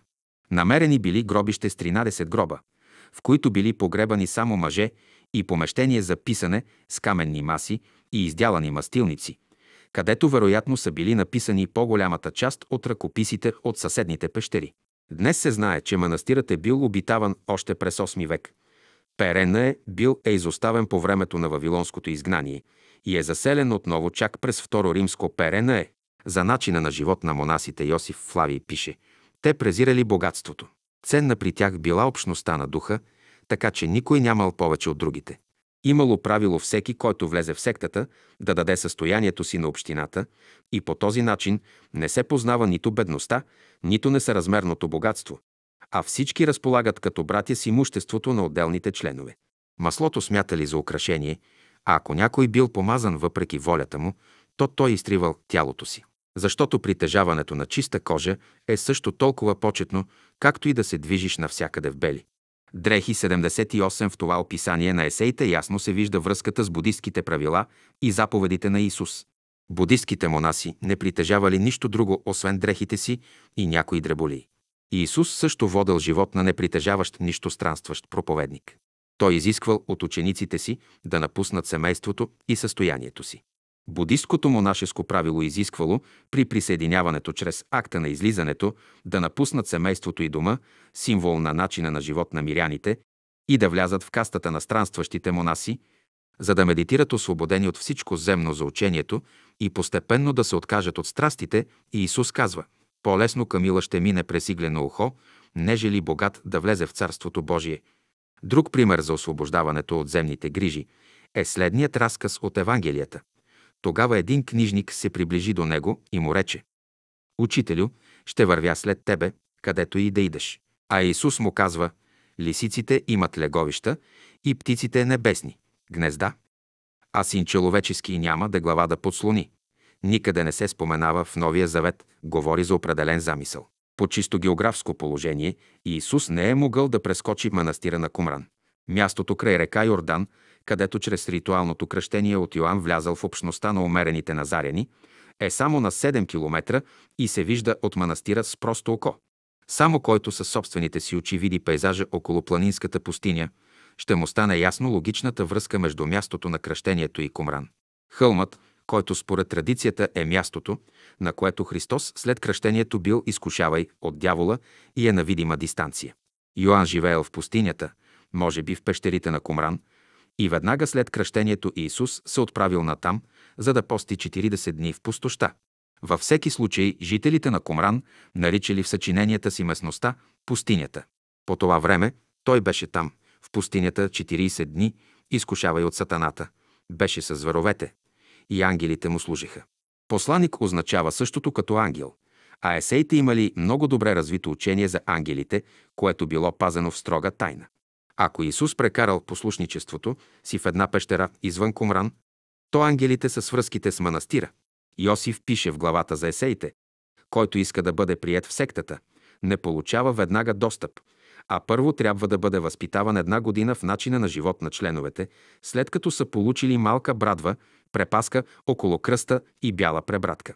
Ако е издържал изпита, той правил крачка напред към братството, участва в пречистващото кръщение с вода, но все още не е допускан до общото хранене 80, същото виждаме и в Тибет пред обикновения монах да бъде посветен в лама.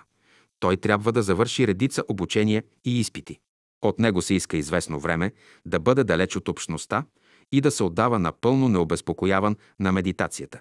Манастирът Хемис в като всички останали ламаистки манастири, има за тази цел още една по-малка сграда, която се намира на около 5 км от основната в подножието на по-висок хълм. На потънали в медитация монаси се носи от специални пратеници храна само два пъти на ден. През 31 перена е земетресение разрушило цялото селище на Кумран. Следите от пукнатини могат и днес да се видят на някои места. Разликата в нивата на пода е почти половин метър. След земетресението Кумран останал необитаем 30 години. Чак след новата ера манастирът бил населен с нов дух. Освен гробовете на монасите около манастира са открити заровените останки на животни кости от овце, кози, крави, телете и агнета, които били погребани в глинени съдове. Може да се приеме, че макар есеите са употребявали животински продукти, не са ги убивали, защото смятали убийството за върховно престъпление. Монасите се занимавали с земеделие, многобройните открити ядки от форми свидетелстват за наличието на палмова плантация, в чието сенки, според Плини и стари есеите, прекарвали времето си. Филон разказва за големия интерес на общността към пчеларството. Спомнете си храната на кръстителя. От откритите около 400 монети може много добре да се опише развитието на селището. Една група от тях е от времето, когато Архелей заменил баща си Ирод на трона. Дупката в хронологията на монетите говори за това, че манастирът е бил заселен отново едва по времето на управлението на Архелей. Причината защо членовете били толкова време далеч от центъра на общността си, очевидно е тази, че Ирод можел да следи и преследва всички есейски секти от зимния си дворец. След смъртта на Ирод есеите се върнали и започнали възстановяването на манастира. Комран бил населен до началото на еврейско-римската война през 68 г. Перена е. Цялата местност показва следи от насилствено разрушение. Слоят пепел говори за това, че манастирът е станал жертва на пожар. Учението на кумранските есеи. Есеите от общността на Кумран, според техните съчинения, нямат собствено име. Те се наричали свещената общност, бедняците, богоизбраните, хора на истината или най-често синове на светлината. Наистина есеите строго изпълнявали изискванията на еврейския закон, но в някои части се отклонявали толкова силно от него, че човек трябва да се запита дали общността от Комран може да се нарече еврейска секта. Според записаните благодарствени песни есеите искали да възвестят на бедните благата вест за Божията милост и да бъдат пратеници на добрата вест.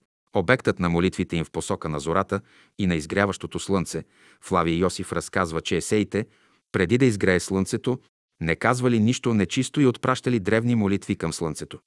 Това обяснение показва ясно, че слънцето при есеите било разглеждано като символ на божественост. Един комрански псалм прави това още по-ясно – като говори на Господа. Ти ще ми се явиш призори като истинската зора и ти ще ми откриеш силата си призори.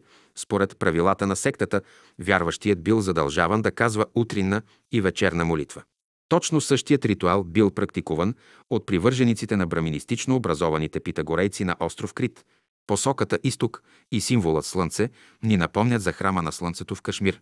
Удивителен факт е, че есеите не използвали календара по Ярусалимското храмово правило, който бил по същество лунен календар, а са имали собствено отчитане на времето.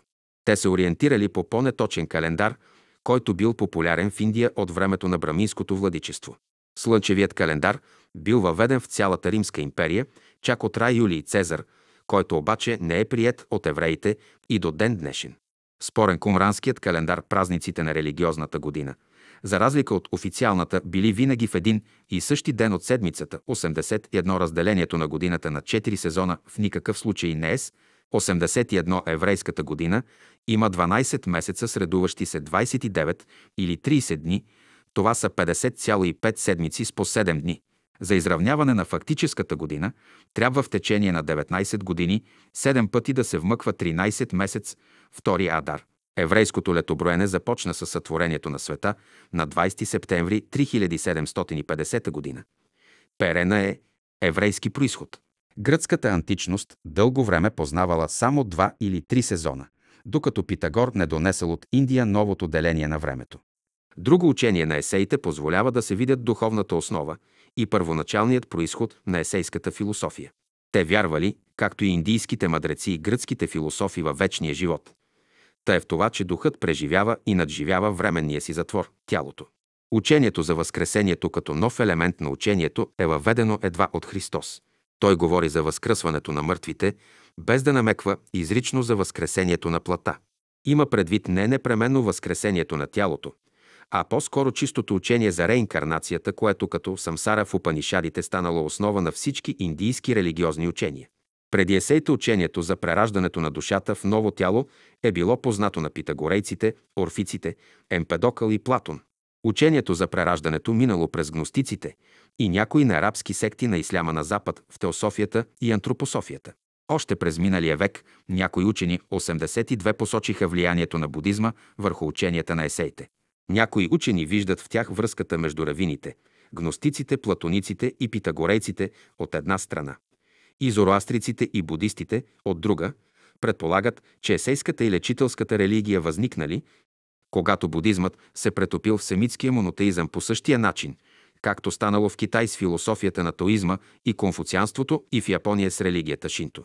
Будистите носели бели дрехи като есеите и ранните християни. Католическите учени били силно изненадани от необикновената прилика между ритуалите и ученията на тибетския будизъм и тези на католическата църква. Облеклото на тибетските лами прилича не само на тържествените одежди на католическите свещеници, но и в детайли на изрисуваните по стенописите облекла на апостолите и първите християни. Иерархичното изграждане на тибетските и римокатолическите религиозни ордени показва голяма прилика. Будистите също говорят за застъпничество и молитви, дават милостиня и жертвоприношения в двете религии. Монасите дават обед за бедност, целомъдрие и покорство. Будистите използвали светена вода и при богослуженията си пеели, литургията им била близка до тази на източно-православната църква. От будизма аурата влязла в католическата църква като ореол на светец в християнската. 82 ампера. Хилгенфелд. Зейцхрифт ар Висенсхфтл. Теология Бауър. СНР. Ин. Пауливи Сува Суппл. Биди четвърто римско. СП 426 Ф. Иконография. Църковният учител Иероним и историкът Озебий разказват, че християнските манастири изхождали от лечителите в Александрия.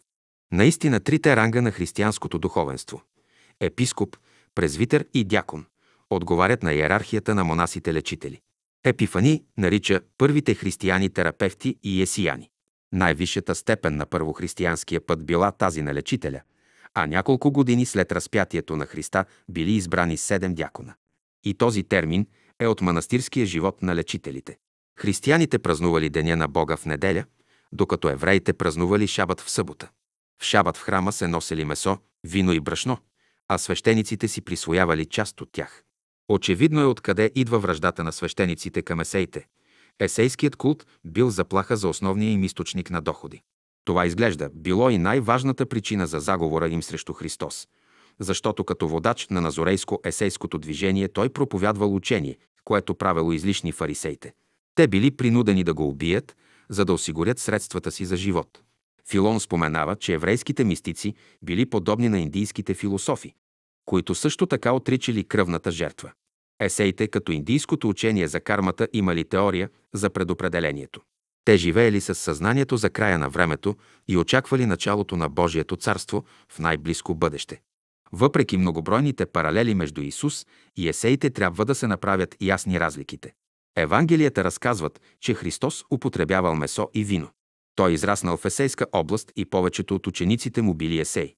Макар че послушничеството му, изглежда, било в есейски манастир, очевидно по-късно скъсал са закостенелите ритуали на есеите, тъй като, подобно на Буда, 500 години, по-рано смятал, че спазването на сурови правила и наредби не служи за постигане на избавлението.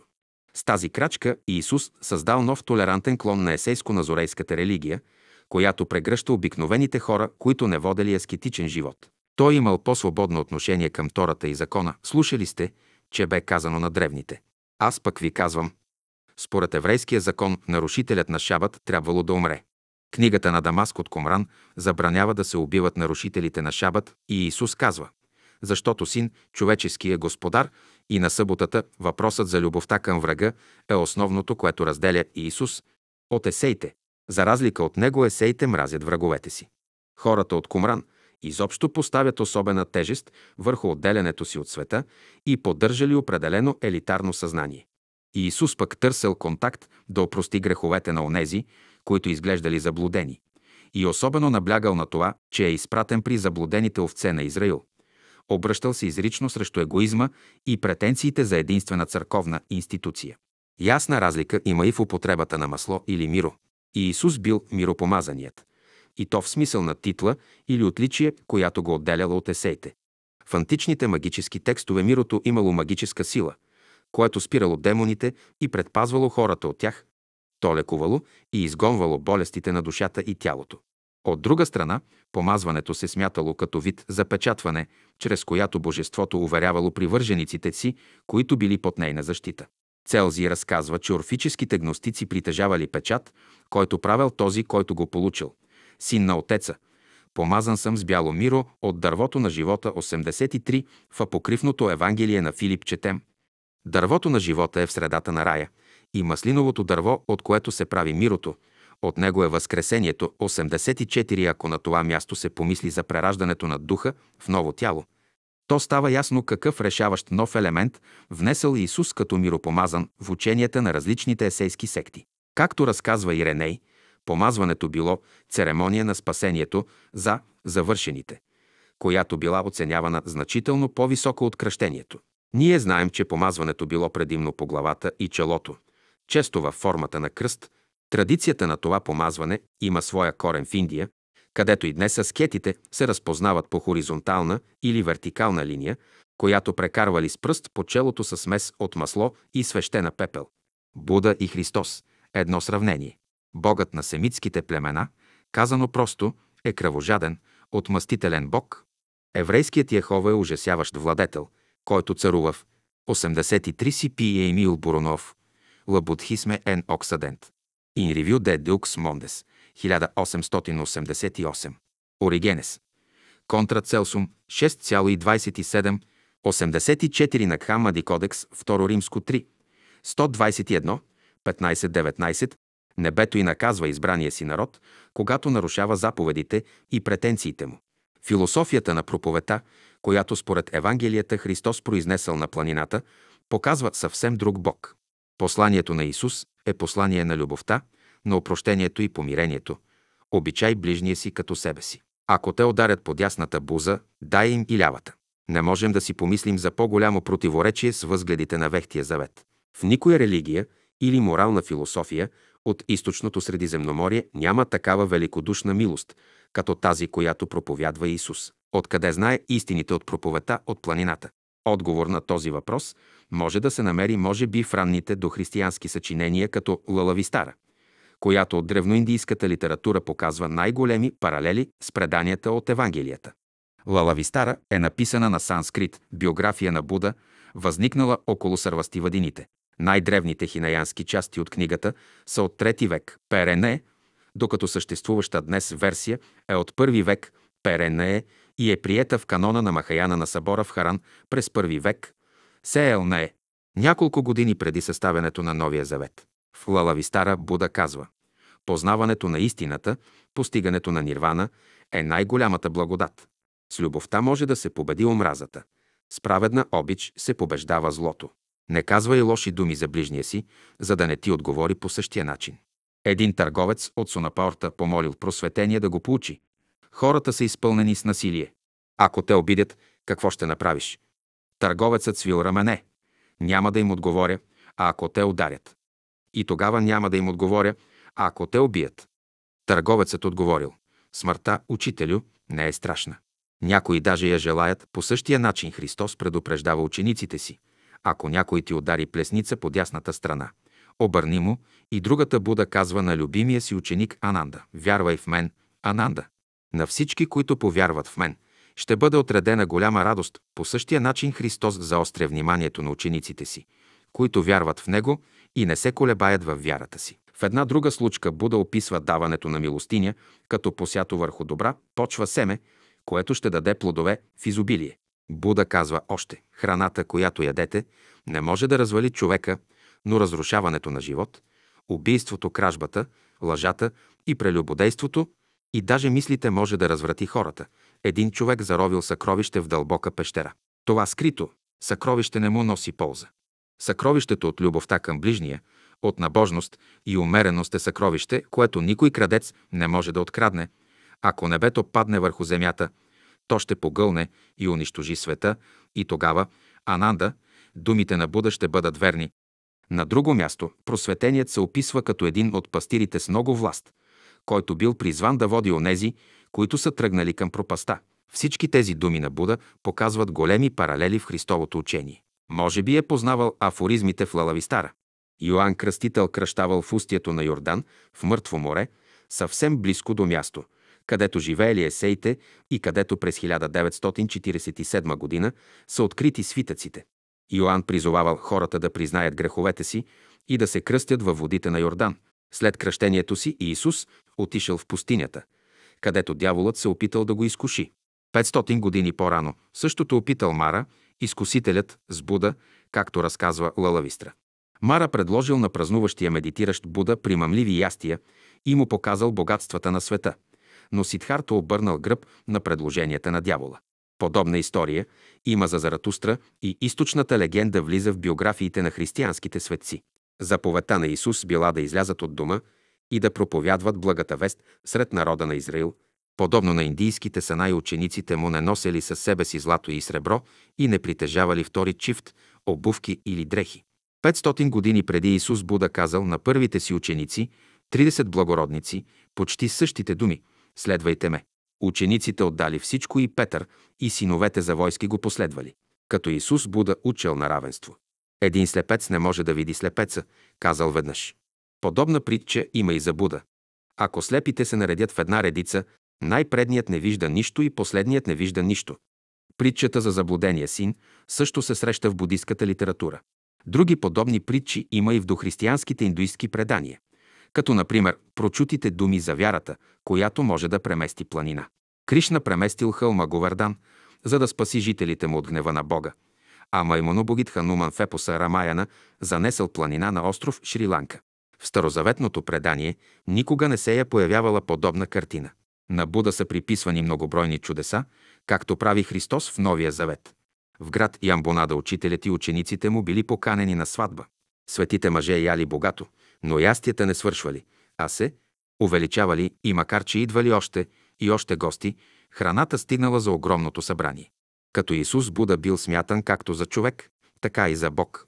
Преди слизането си в света на хората Буда съществувал като духовно същество сред божествата на спиритуалния свят и напуснал по собствена воля за благото и за спасението на всички същества, за да се роди по чудодеен начин като човек. Ангелите го възвестили като спасител на света и пророкували на майка му. Ще имаш радост, царице Майя, радвай се и бъди щастлива, защото това дете, което ти роди, е свещено. По подобен начин богобоязливият Симеон предсказал изпращането на Месията. Малко преди смъртта си Асите отишъл при новороденото дете, взел го в ръцете си и предвещал. Това дете е несравнимо, най-големият сред хората. Детето ще постигне най-високата степен на просветление, ще познае висшата воля и ще задвижи колелото на учението. Ще има състрадание за усилията на хората. Учението му ще разпростре над целия свят. Симеон, като поел младенеца в ръце, казал «Сега отпускаш твоя раб, владико, според думата си, с миром, защото видяха очите ми твоето спасение, що си приготвил пред лицето на всички народи. Светлина за просвета на езичниците и слава на твоя народ, Израиле скептичните учени също споделят възгледа, че този мотив е заед директно от будизма.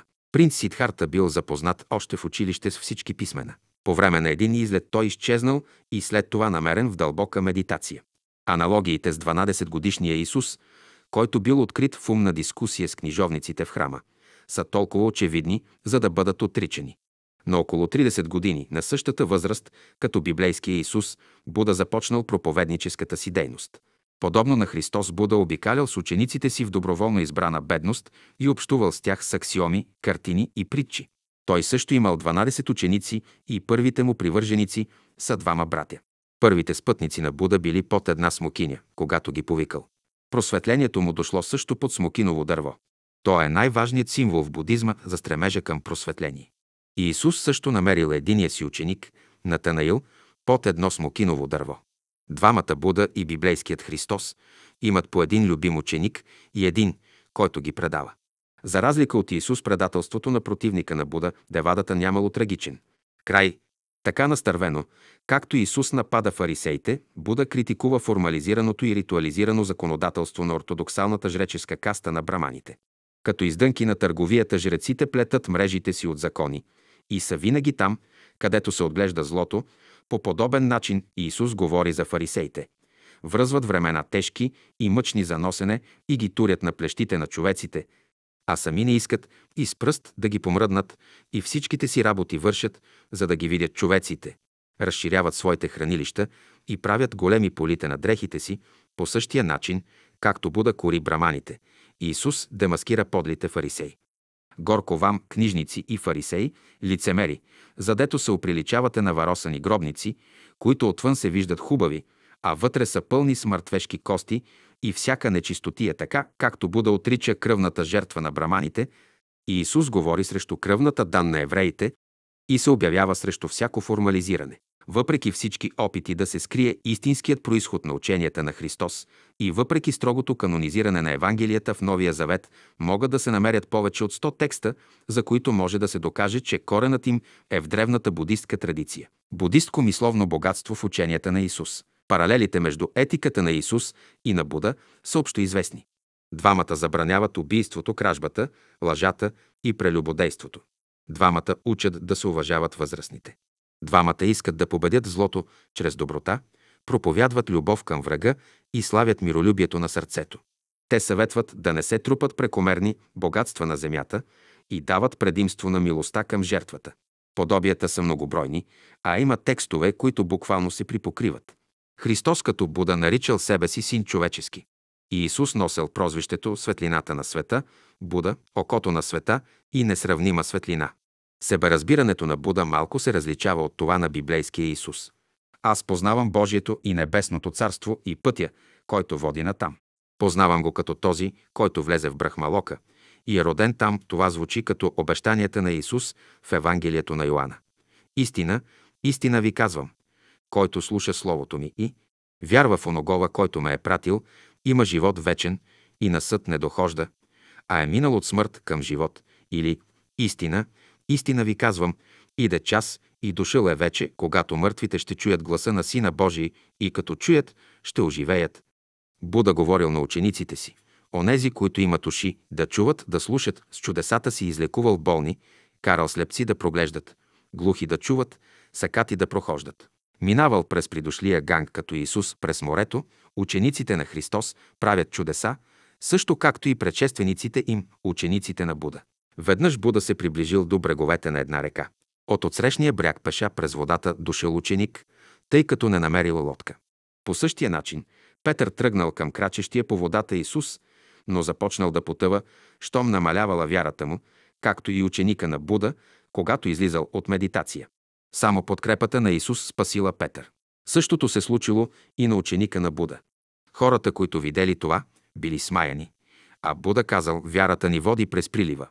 Мъдростта ни води на другия бряг, тъй като представата за ходенето по водата било напълно непознато сред евреите, а в Индия било широко разпространено, то Новият завет вероятно е заимствал тези истории оттам. Като Исус Буда отричал тези чудеса, само тогава, когато служили само за задоволяване на страста на хората към сензации. Буда казал на йогата, който прекарал 25 години в това, да върви по реката без да измокри краката си. Наистина ли си пропилял времето си само с това? Трябвало е само да дадеш една монета на лодкаря и той щеше да те преведе с лодката си. По-късно в Махаяна будизма тези предания за чудеса изиграли подобна голяма роля, както в християнството. Навсякъде хората по-лесно се впечатляват от магията, чудесата и външните признаци, отколкото от трудно разбираеми духовни истини. Тук искам да покажа едно удивително съвпадение между по-древните индийски източници и Новия завет – притчата за бедната вдовица. В будисткия вариант богатите хора давали ценни дарове по време на религиозна церемония. Една бедна вдовица не притежавала нищо друго, освен две малки монети, които дала с радост. Свещеникът забелязал жертвата и похвалил постъпката й, без да обърне внимание на другите дарения. И тук е паралелът с Евангелието на Марко. И седна Исус срещу съкровищницата и гледаше как народът пуска пари в съкровищницата. Мнозина богати пускаха много. А една бедна вдовица, като дойде, пусна две лепти, сиреч, един кодрант. Като повика учениците си, и Исус им рече. Истина ви казвам, че тая бедна вдовица тури повече. От всички, които пуснаха в съкровищницата. Защото всички пуснаха от излишека си, а тя от своята немотия тури всичко, що имаше, цялата си прехрана, абстрахирайки се от съвпаденията на главната тема, в очи се набиват следните особености. В двата случая става дума за вдовица, в двата случая се жертва в храма заедно с богатите, дава се всичко, което притежават, а именно две монети и двете са похвалени от един присъстващ, който оценява жеста им по-високо от даровете на богатите. Едва ли може да се отрече, че библейският текст е заел древната будистка история. Аналогиите между будизма и християнството продължават и след смъртта на основателите им. Митовете и легендите идеализират личностите. Малко след смъртта им Буда и Исус са въздигнати над всички богове и се разпространяват разказите за чудесата им. В двата случая отначало учениците не образуват организирана църква, а малки, разпръснати групи, стхавири и махангики, традиционни евреи християни и прогресивни християни светци. В двете религии се организират събори. Единият в Раджегриха, другият в Ярусалим. Римската църква определя догмите си на събора в Никия, т.е. 300 години след смъртта на Исус, а будистите правят същото на събора в Паталипутра 200 години след смъртта на Буда. По времето, когато Исус живял и работил в Палестина, в Индия от егоцентрично ориентирания махаяна будизъм възникнало учението на Махаяна, посредством което будизмът станал универсална религия. В философията на Махаяна централна роля играе съчувствието към всички същества, олицетворявано от възникналия през трети век, Перена е идеал на будхисътвите, на просветените, според който трябва да се отлага влизането в вечното изтриване, докато не се спасят с негова помощ всички хора и други същества. Земното съществуване на бодхисатвите се определя напълно от целта да се вкарат в пътя на спасението всички души, в правия път, който води към освобождаване от всяко страдание от кръговрата на битието. Всички тези характеристики, които определят един бодхисатва, се виждат до най-малка подробност при Исус. Той е перфектното олицетворение на идеала за бодхисатва. Бил ли е Исус ортодоксален еврейн? Наистина ли Исус е бил традиционен, ортодоксален еврейн, както често е представен? В поведението към смъртта, към семейството, закона и традицията се виждат коренни различия с ортодоксалното еврейство. Може даже да се каже, че Исус демитологизира всичко свещено за еврейската култура. Това въжи най-вече за смъртта и за семейството. В четири последователни стиха Лука разказва как Христос дава предимство на свободата и любовта пред предишните погребални ритуали. Други му пък каза «Върви след мене». А той рече «Господи, позволи ми първом да отида и да погреба баща си».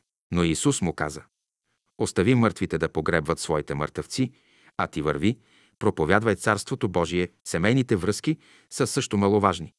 А друг един рече «Аз ще тръгна след тебе, Господи, но първо ми позволи да се простя с домашните си. Но Исус му каза, никой, който е сложил ръката си върху ралото и погледва назад, не е годен за Царството Божие, учението на Христос и отношението му към семейството нараняват еврейските чувства, както се изразява специалистът по история на религиите Монтефиори 85. Ако някой дохожда при мене и не намрази баща си и майка си, жена си и децата си, братята и сестрите си, та дори и самия си живот, той не може да бъде мой ученик. Особено разбираем и противоречащ на еврейската традиция е текстът от Матея, когато Исус решително отблъсква собствената си майка. И когато той още говореше на народа, майка му и братята му стояха вън и искаха да приказват с него. И някой му рече, ето, майка ти и братята ти стоят вън и искат да говорят с тебе. А той отговори на оногова, който му каза това и рече, коя е майка ми и кои са братята ми? И като посочи в ръка на учениците си, рече, ето моята майка и моите братя.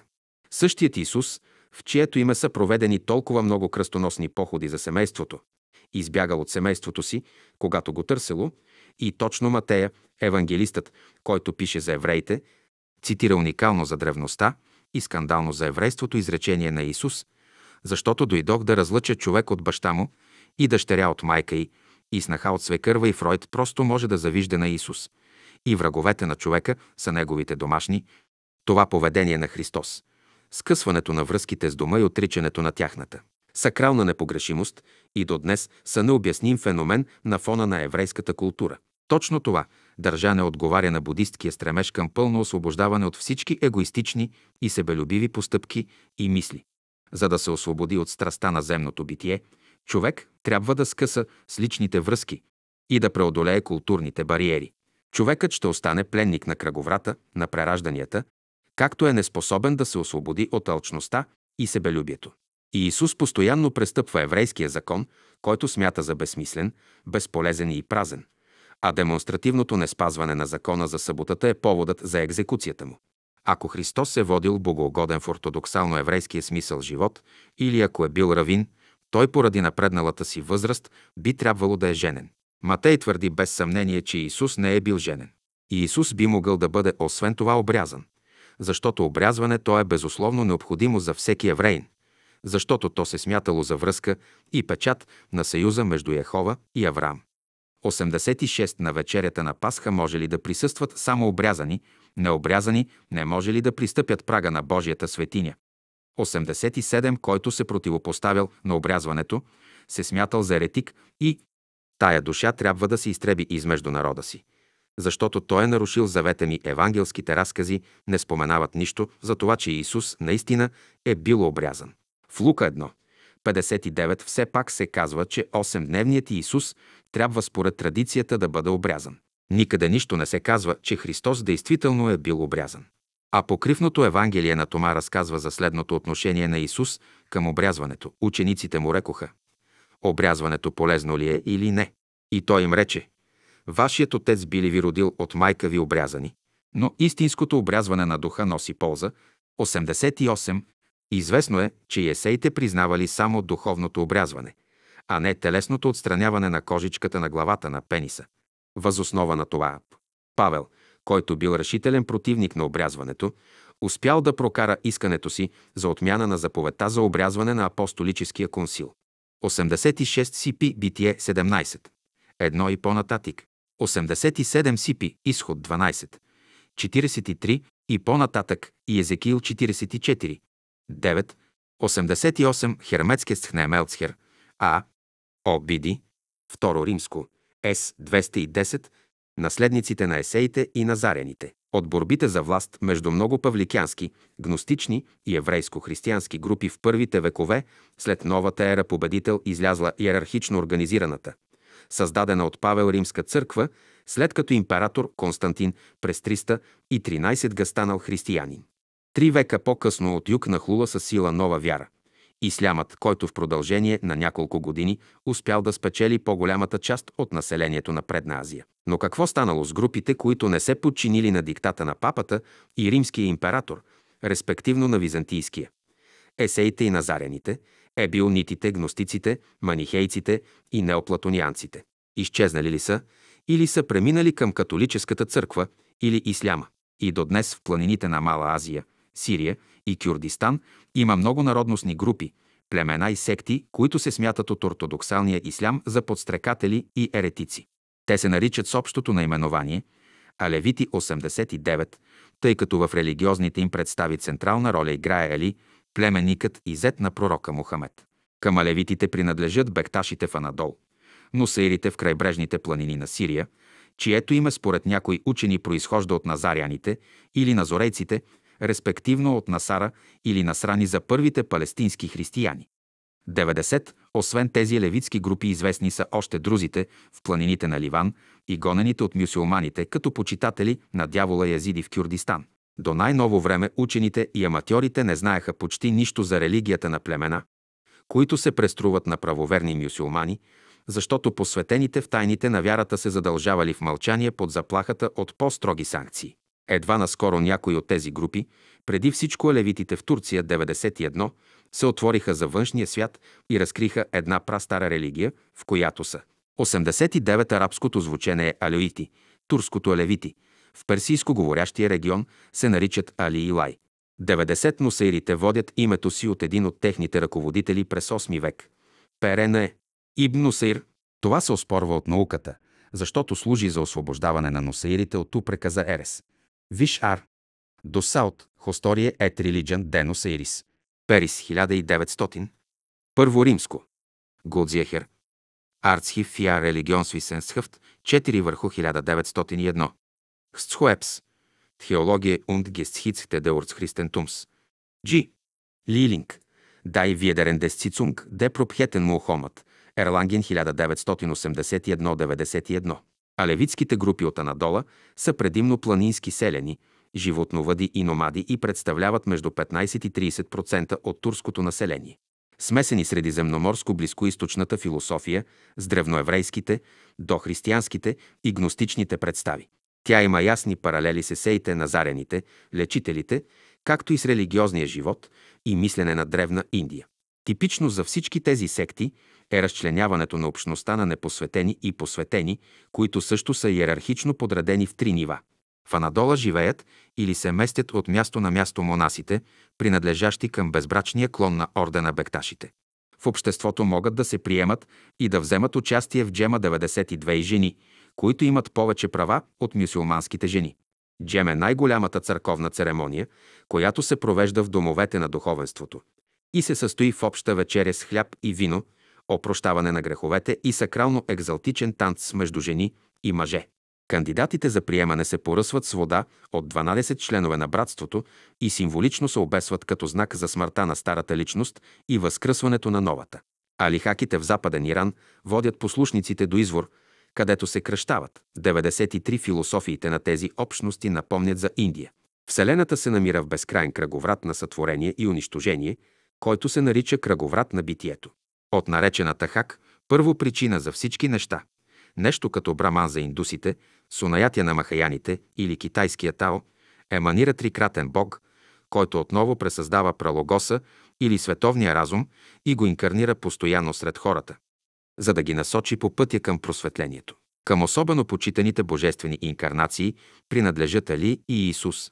Смята се, че целта на човешкото битие е да се достигне по веригата от прераждания до просветлението, до съвършения човек и с това се стане образ на Бога. 94. Един етнолог от Люксембург, който прекарал много години сред кюрдските племена в източен Анадол, ми разказа, че там има няколко легенди за пребиваване на Исус в днешна източна Турция след възкръсването му. По персийски източници това бил град Нисибиш, край Едеса, днешния Носайбин на сирийската граница. Други учени открили. 92 това не въжи за сирийските носейри, при които религиозните истини за запазени за мъжете. 93. Е. Мълър, културхистористсхе студиен зур генесе, псевдоисламистхер сектенгебилде инвурдерасин. Виезбаден 1967. 94 ампера. Джей. Диерл. Гестхицте und лехреде анатолистхе на левисмус бектасхисмус. Франкфурт. 1985 у анадолските левити предания, че Исус преживял екзекуцията, бил излекуван от учениците си и след това напуснал границите на Римската империя. 95. тъй като всички области на запад и на север били в римски ръце, Исус е можел да замине само на изток. Повечето учени са на мнение, че тези народностни групи са преки наследници на преминалите след Христос в еврейско-християнските антипавликянски ебионити есеи и назаряни, които по време на ислямското владичество в интерес на оцеляването си се маемрали като ислямски сектанти. Освен това, има и много други паралели. Така, например, тези групи почитат християнските празници, преди всичко Великден. Освен на Исус, отдават почет на Йоанн Кръстител и на Петър, а Павел отричат. На особено уважение се радва Евангелията на Матея и на Йоанн, а не на Гърка Лука. Интересно преди всичко, че областите на заселване на тези племена са идентични на първите християни. Турските левити, например, се заселват в областта на някогашната Галатяни, до които има едно приписвано на Павел писмо. Не е трудно да си представим, че тези живеещи в отдалечени, недостъпни планински местности общности са запазили относително неизопачено първоначалното Христово учение за разлика от римокатолическата църква с нейните папи, кардинали и императори. 95 Диерл, Ей, О, С, 125 Ф, глава 4, Загадката Христос. Кой ли е този? Опитът да се опише историческата личност на Исус Христос прилича на физическия експеримент по локализация и определене на заряда на атомна частица. Самата частица не може да се види непосредствено, но в опитната установка могат да се видят линии, оставени от траекториите на приведените в движение от частицата по-големи частици. Ако се проследят тези следи, може да се изчисли силата, необходима за привеждане на частицата в движение. По такъв начин може да се реконструира и описва невидимата причина. В случая на Христос има две затрудняващи причини. Едната е, че християнската църква е унищожила почти всички свидетелства, които улесняват реконструкцията на историческите събития. Другата е, че Исус още при живе е бил принуден да пази тайната си, за да може да избягва колкото се може повече от своите противници. Личността му е винаги забулена в загадки и мистерии. За събитията, които се отнасят до него, има определена неяснота, която предлага за всякакви предположения. Тази многослойна многозначимост води в крайна сметка до обща безпомощност. Личността на Исус за нас е не толкова в историко-научното явление, а е по-скоро над историческа истина. Тук се сблъскваме с една непреодолима граница, пречка пред естественото обяснение и разбиране. Всички въпроси се вливат в един, поставен още от учениците му. Кой ли е този? Същината на историческия Исус, своеобразна диалектика или напрежение между скриване и покриване дава възможност за различни оценки. Това са заповедите за мълчание, неразбирането на учениците и думите на сина човечески. Даже и учениците му, при все контактите с учителя, не могат да го тълкуват и разбират правилно. Той им се струва чужд и непрозрачен. Очевидно не се стреми да направи тази непрозрачност по-видима за обществото. От учениците изрично се изисква мълчание.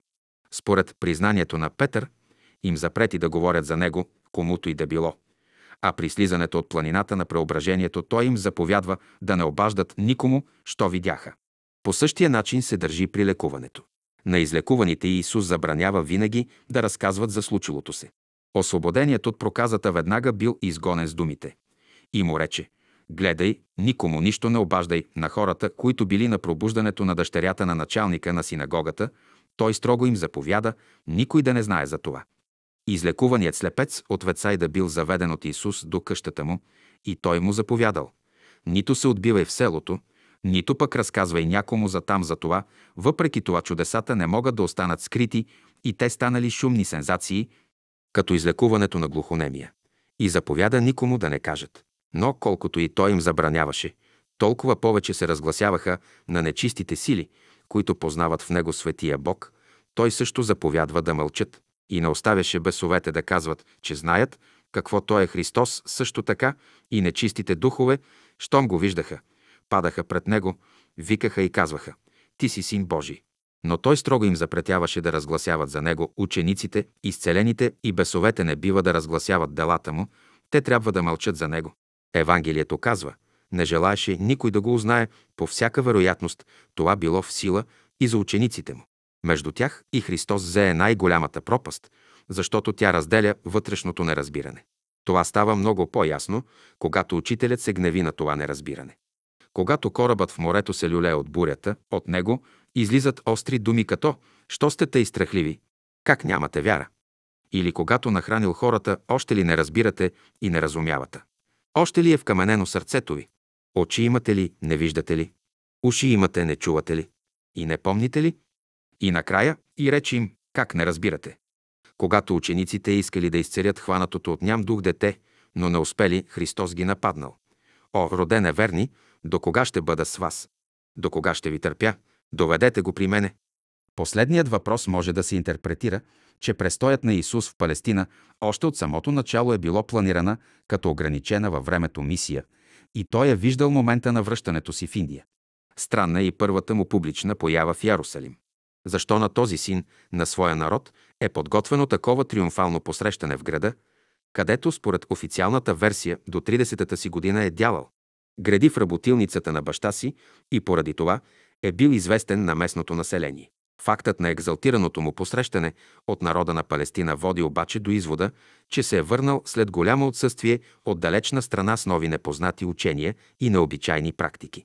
Това предположение поставя в нова светлина въпроса на Назарянина Йоанн. Ти ли си оня, който има да дойде, или други го да чакаме? Реинкарнация в Новия Завет. По статистически изследвания на института Галап през 1980-1981 година 23% от американците са убедени в учението за реинкарнацията.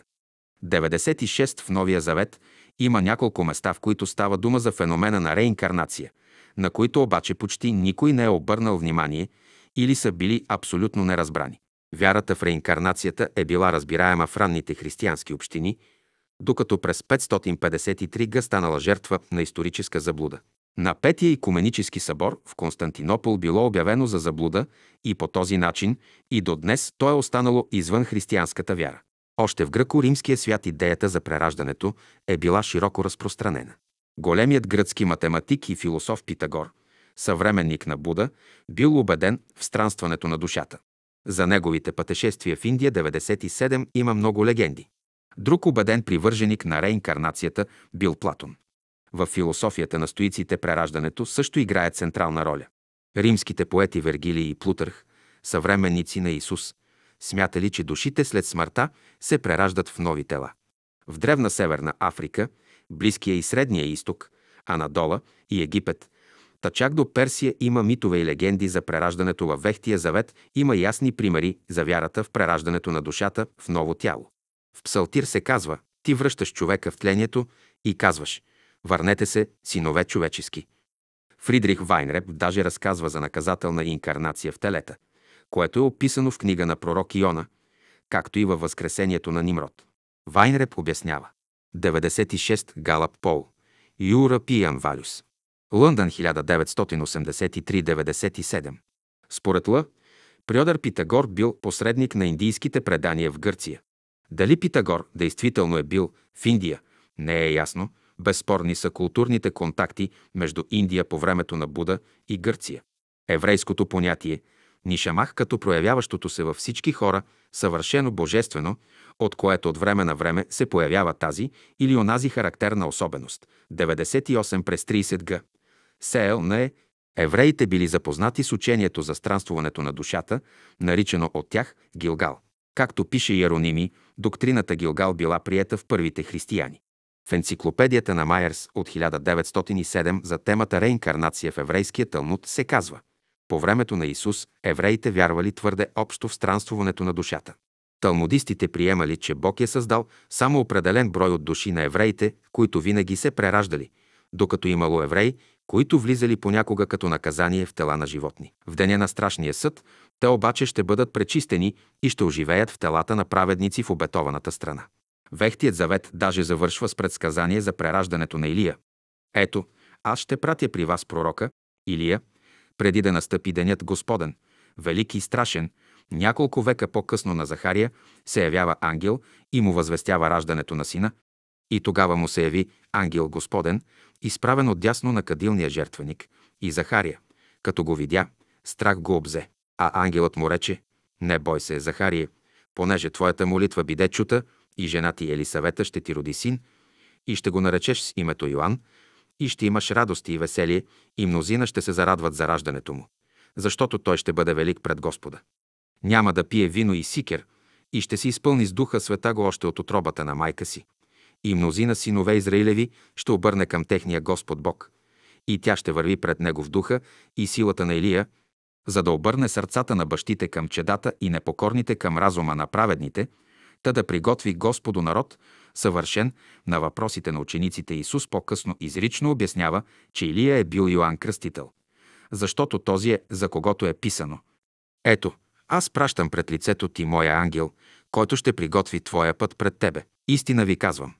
Между родените от жени не се е явил по-голям от Йоанна Кръстителя.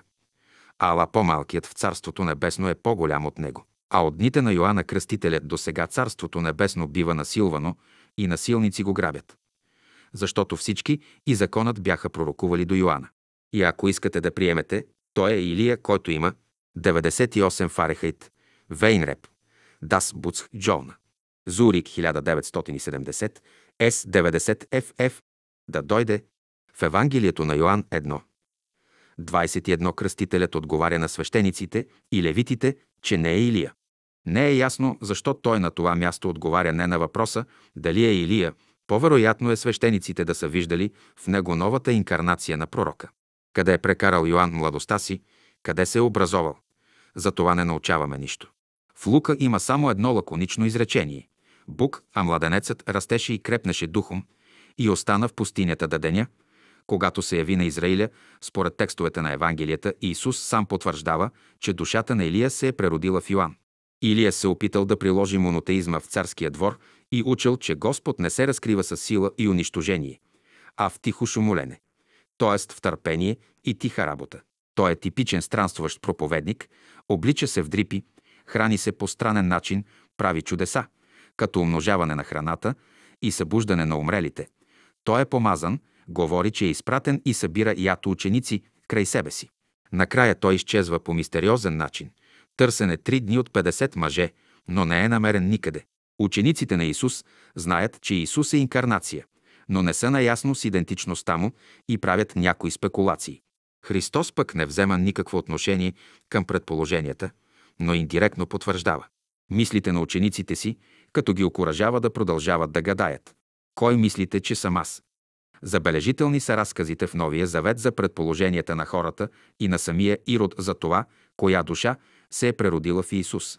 Тези места показват, че реинкарнацията по това време е била разпространена вяра. Според Йосиф, фарисеите вярвали в силата на връщащите се към живота 99 и в това, че душите на добрите преминават в друго тяло. В разказа за родения слепец, който Исус трябвало да излекува учениците, питат направо.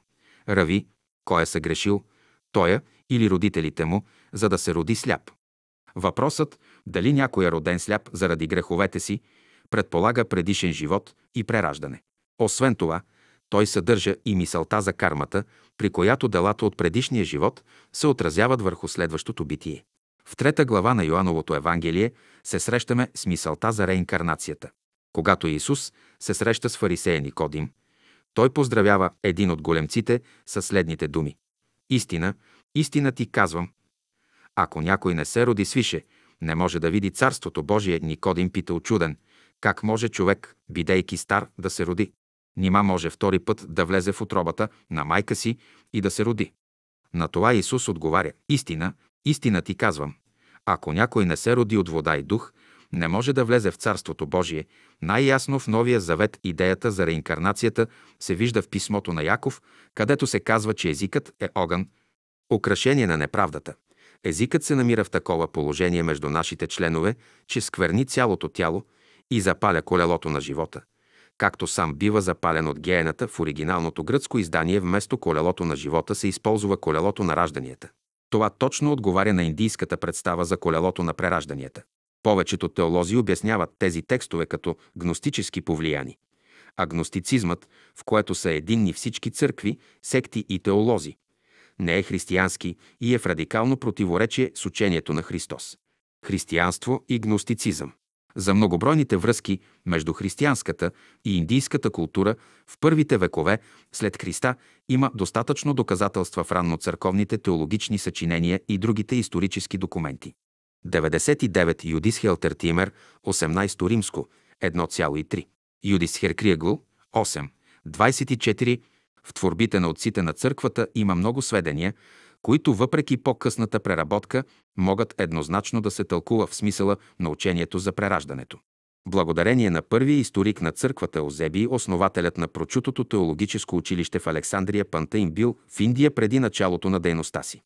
Сто в първия век след Христа търговията между Римската империя и Индия процъфтявала, а центърът на тази търговия бил град Александрия. С стоките идвала и индийската култура, и тя проникнала в религиите и възгледите за света. Християнството по това време още не било единна организирана църква, а се състояло от много отделни комуни, които били близко до различни философски школи, особено онези, които в голямата си част по-късно били наречени в общото име гностици. Повечето гностични философии били осъдени на съборите като лъжовни, но просъществували до средновековието, когато последните им привърженици били унищожени с кръв от римската църква. За всички гностици общото било, че те вярвали както в Исус, така и в реинкарнацията, а тезата на много учени, че протохристиянството и гностицизмът са били единно движение и че мнимата разлика между двете групи е по късна фалшификация на църквата 101 и до днес не е убедително отхвърлена. Някои изследователи даже предполагат, че в Александрия по това време е имало будистка колония. Във всеки случай неоспорим факт е, че през II век Сеелна е група будистки монаси от Египет взема участие на голяма теологична конференция в Цейлон. Ако в първите десетилетия след Христа в Александрия наистина е имало привърженици на Буда, то те не наричали будисти, а може би, както братята им в Индия по това време, привърженици на Дхарма. На гръцки Дхарма най-близко е до Логос и представителите на това учение се наричат логистици. Наистина една част от гностиците се наричат логистици. Прочутото въведение към Евангелието на Йоанн в началото беше словото, може да се преведе като цитат от индуските книги. В основата е Дхарма, защото гръцката дума архе има много повече значения от начало, тя означава и происход, принцип и власт, а миналата форма беше съдържа продължение на действието до момента на говорене. Най-свещеното съдържание на будизма е триединството Буда, Дхарма Сангха. Християнската теология познава триединството Отец, Син и Стоеосебиус, Хист. Ецъл, Пето Римско, 9. 101 виш е Пагелс. Версуцхунг дурцх еркирмтинис. Дайгностистхен Евангелиен. Свети Дух, като синът, втората съставка, съвпада с Логоса, т.е. Дхармата, а третата съставка, Светият Дух, действа в обността на вярващите. Представата за Светата Троица, Божественото в три форми на проявление, съществува от най-стари времена в религиите от Египет до Далечния изток. Така в Древен Египет е било известно триединството от Бога Слънце, Майката Земя и Сина Слънце. Китайският аналог е триединството на небе, Земя и съвършен човек. Хиндуисткият тримурти във версията Брама Вишну Шива е развит едва през средновековието, но корените му са в много по-стари идеи за триединство.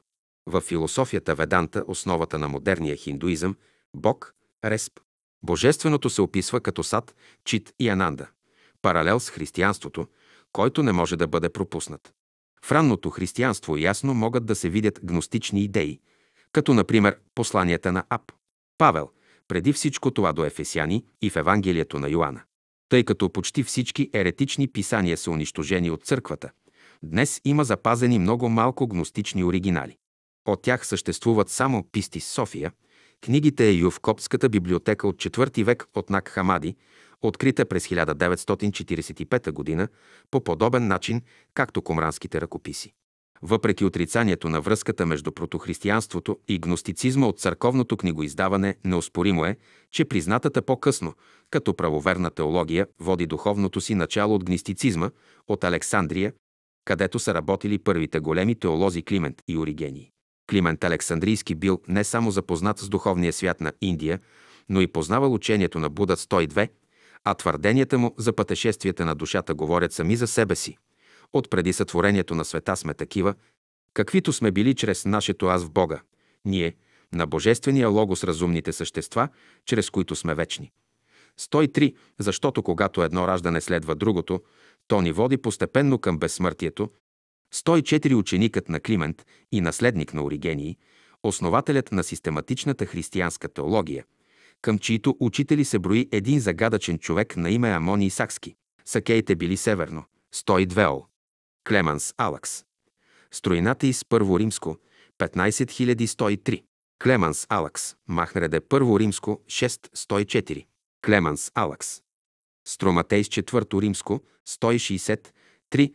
Индийско племе и индийското потекло на Амони е неоспоримо, но много учени са на мнение, че наименованието Сакски не означава Сакей, а Сакия или Сакия Муни и свидетелства за това, че Амони бил будистки монах 105 следователно най- Важният след Августин раннохристиянски теолог бил ученик на будистки монаси от Индия и много от използваните от него в теологическата му творба картини и метафори могат да бъдат разбирани само като директна заемка от будизма. От написаното на Оригений са запазени само малка част. Поради голямата му толерантност към инакомислещите и преди всичко заради вярата му в прераждането повечето от творбите му са унищожени.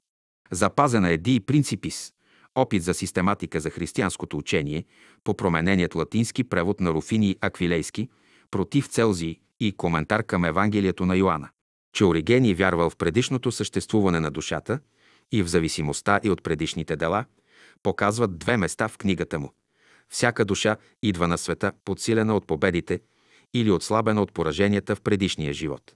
Мястото и в този свят се определя от заслугите или пропуските в предишния живот. 106. Не е ли в съгласие с разума, че всяка душа може да влезе в едно тяло в зависимост от предишните й дела? Душата известно време ползва тялото, което променено обаче вече не е адекватно и тя го разменя с друго. 107 подобни изказвания имат и други теолози от времето на загадъчния събор през 553 г, като например Григорий Нисейски – защото душата трябва с лечение да се изчиства от греховните петна в новия живот, тя се обръща към добродетелта, за да лекува раните си. Ако те не се излекуват, то лечението може да се извърши в следващия живот. 108.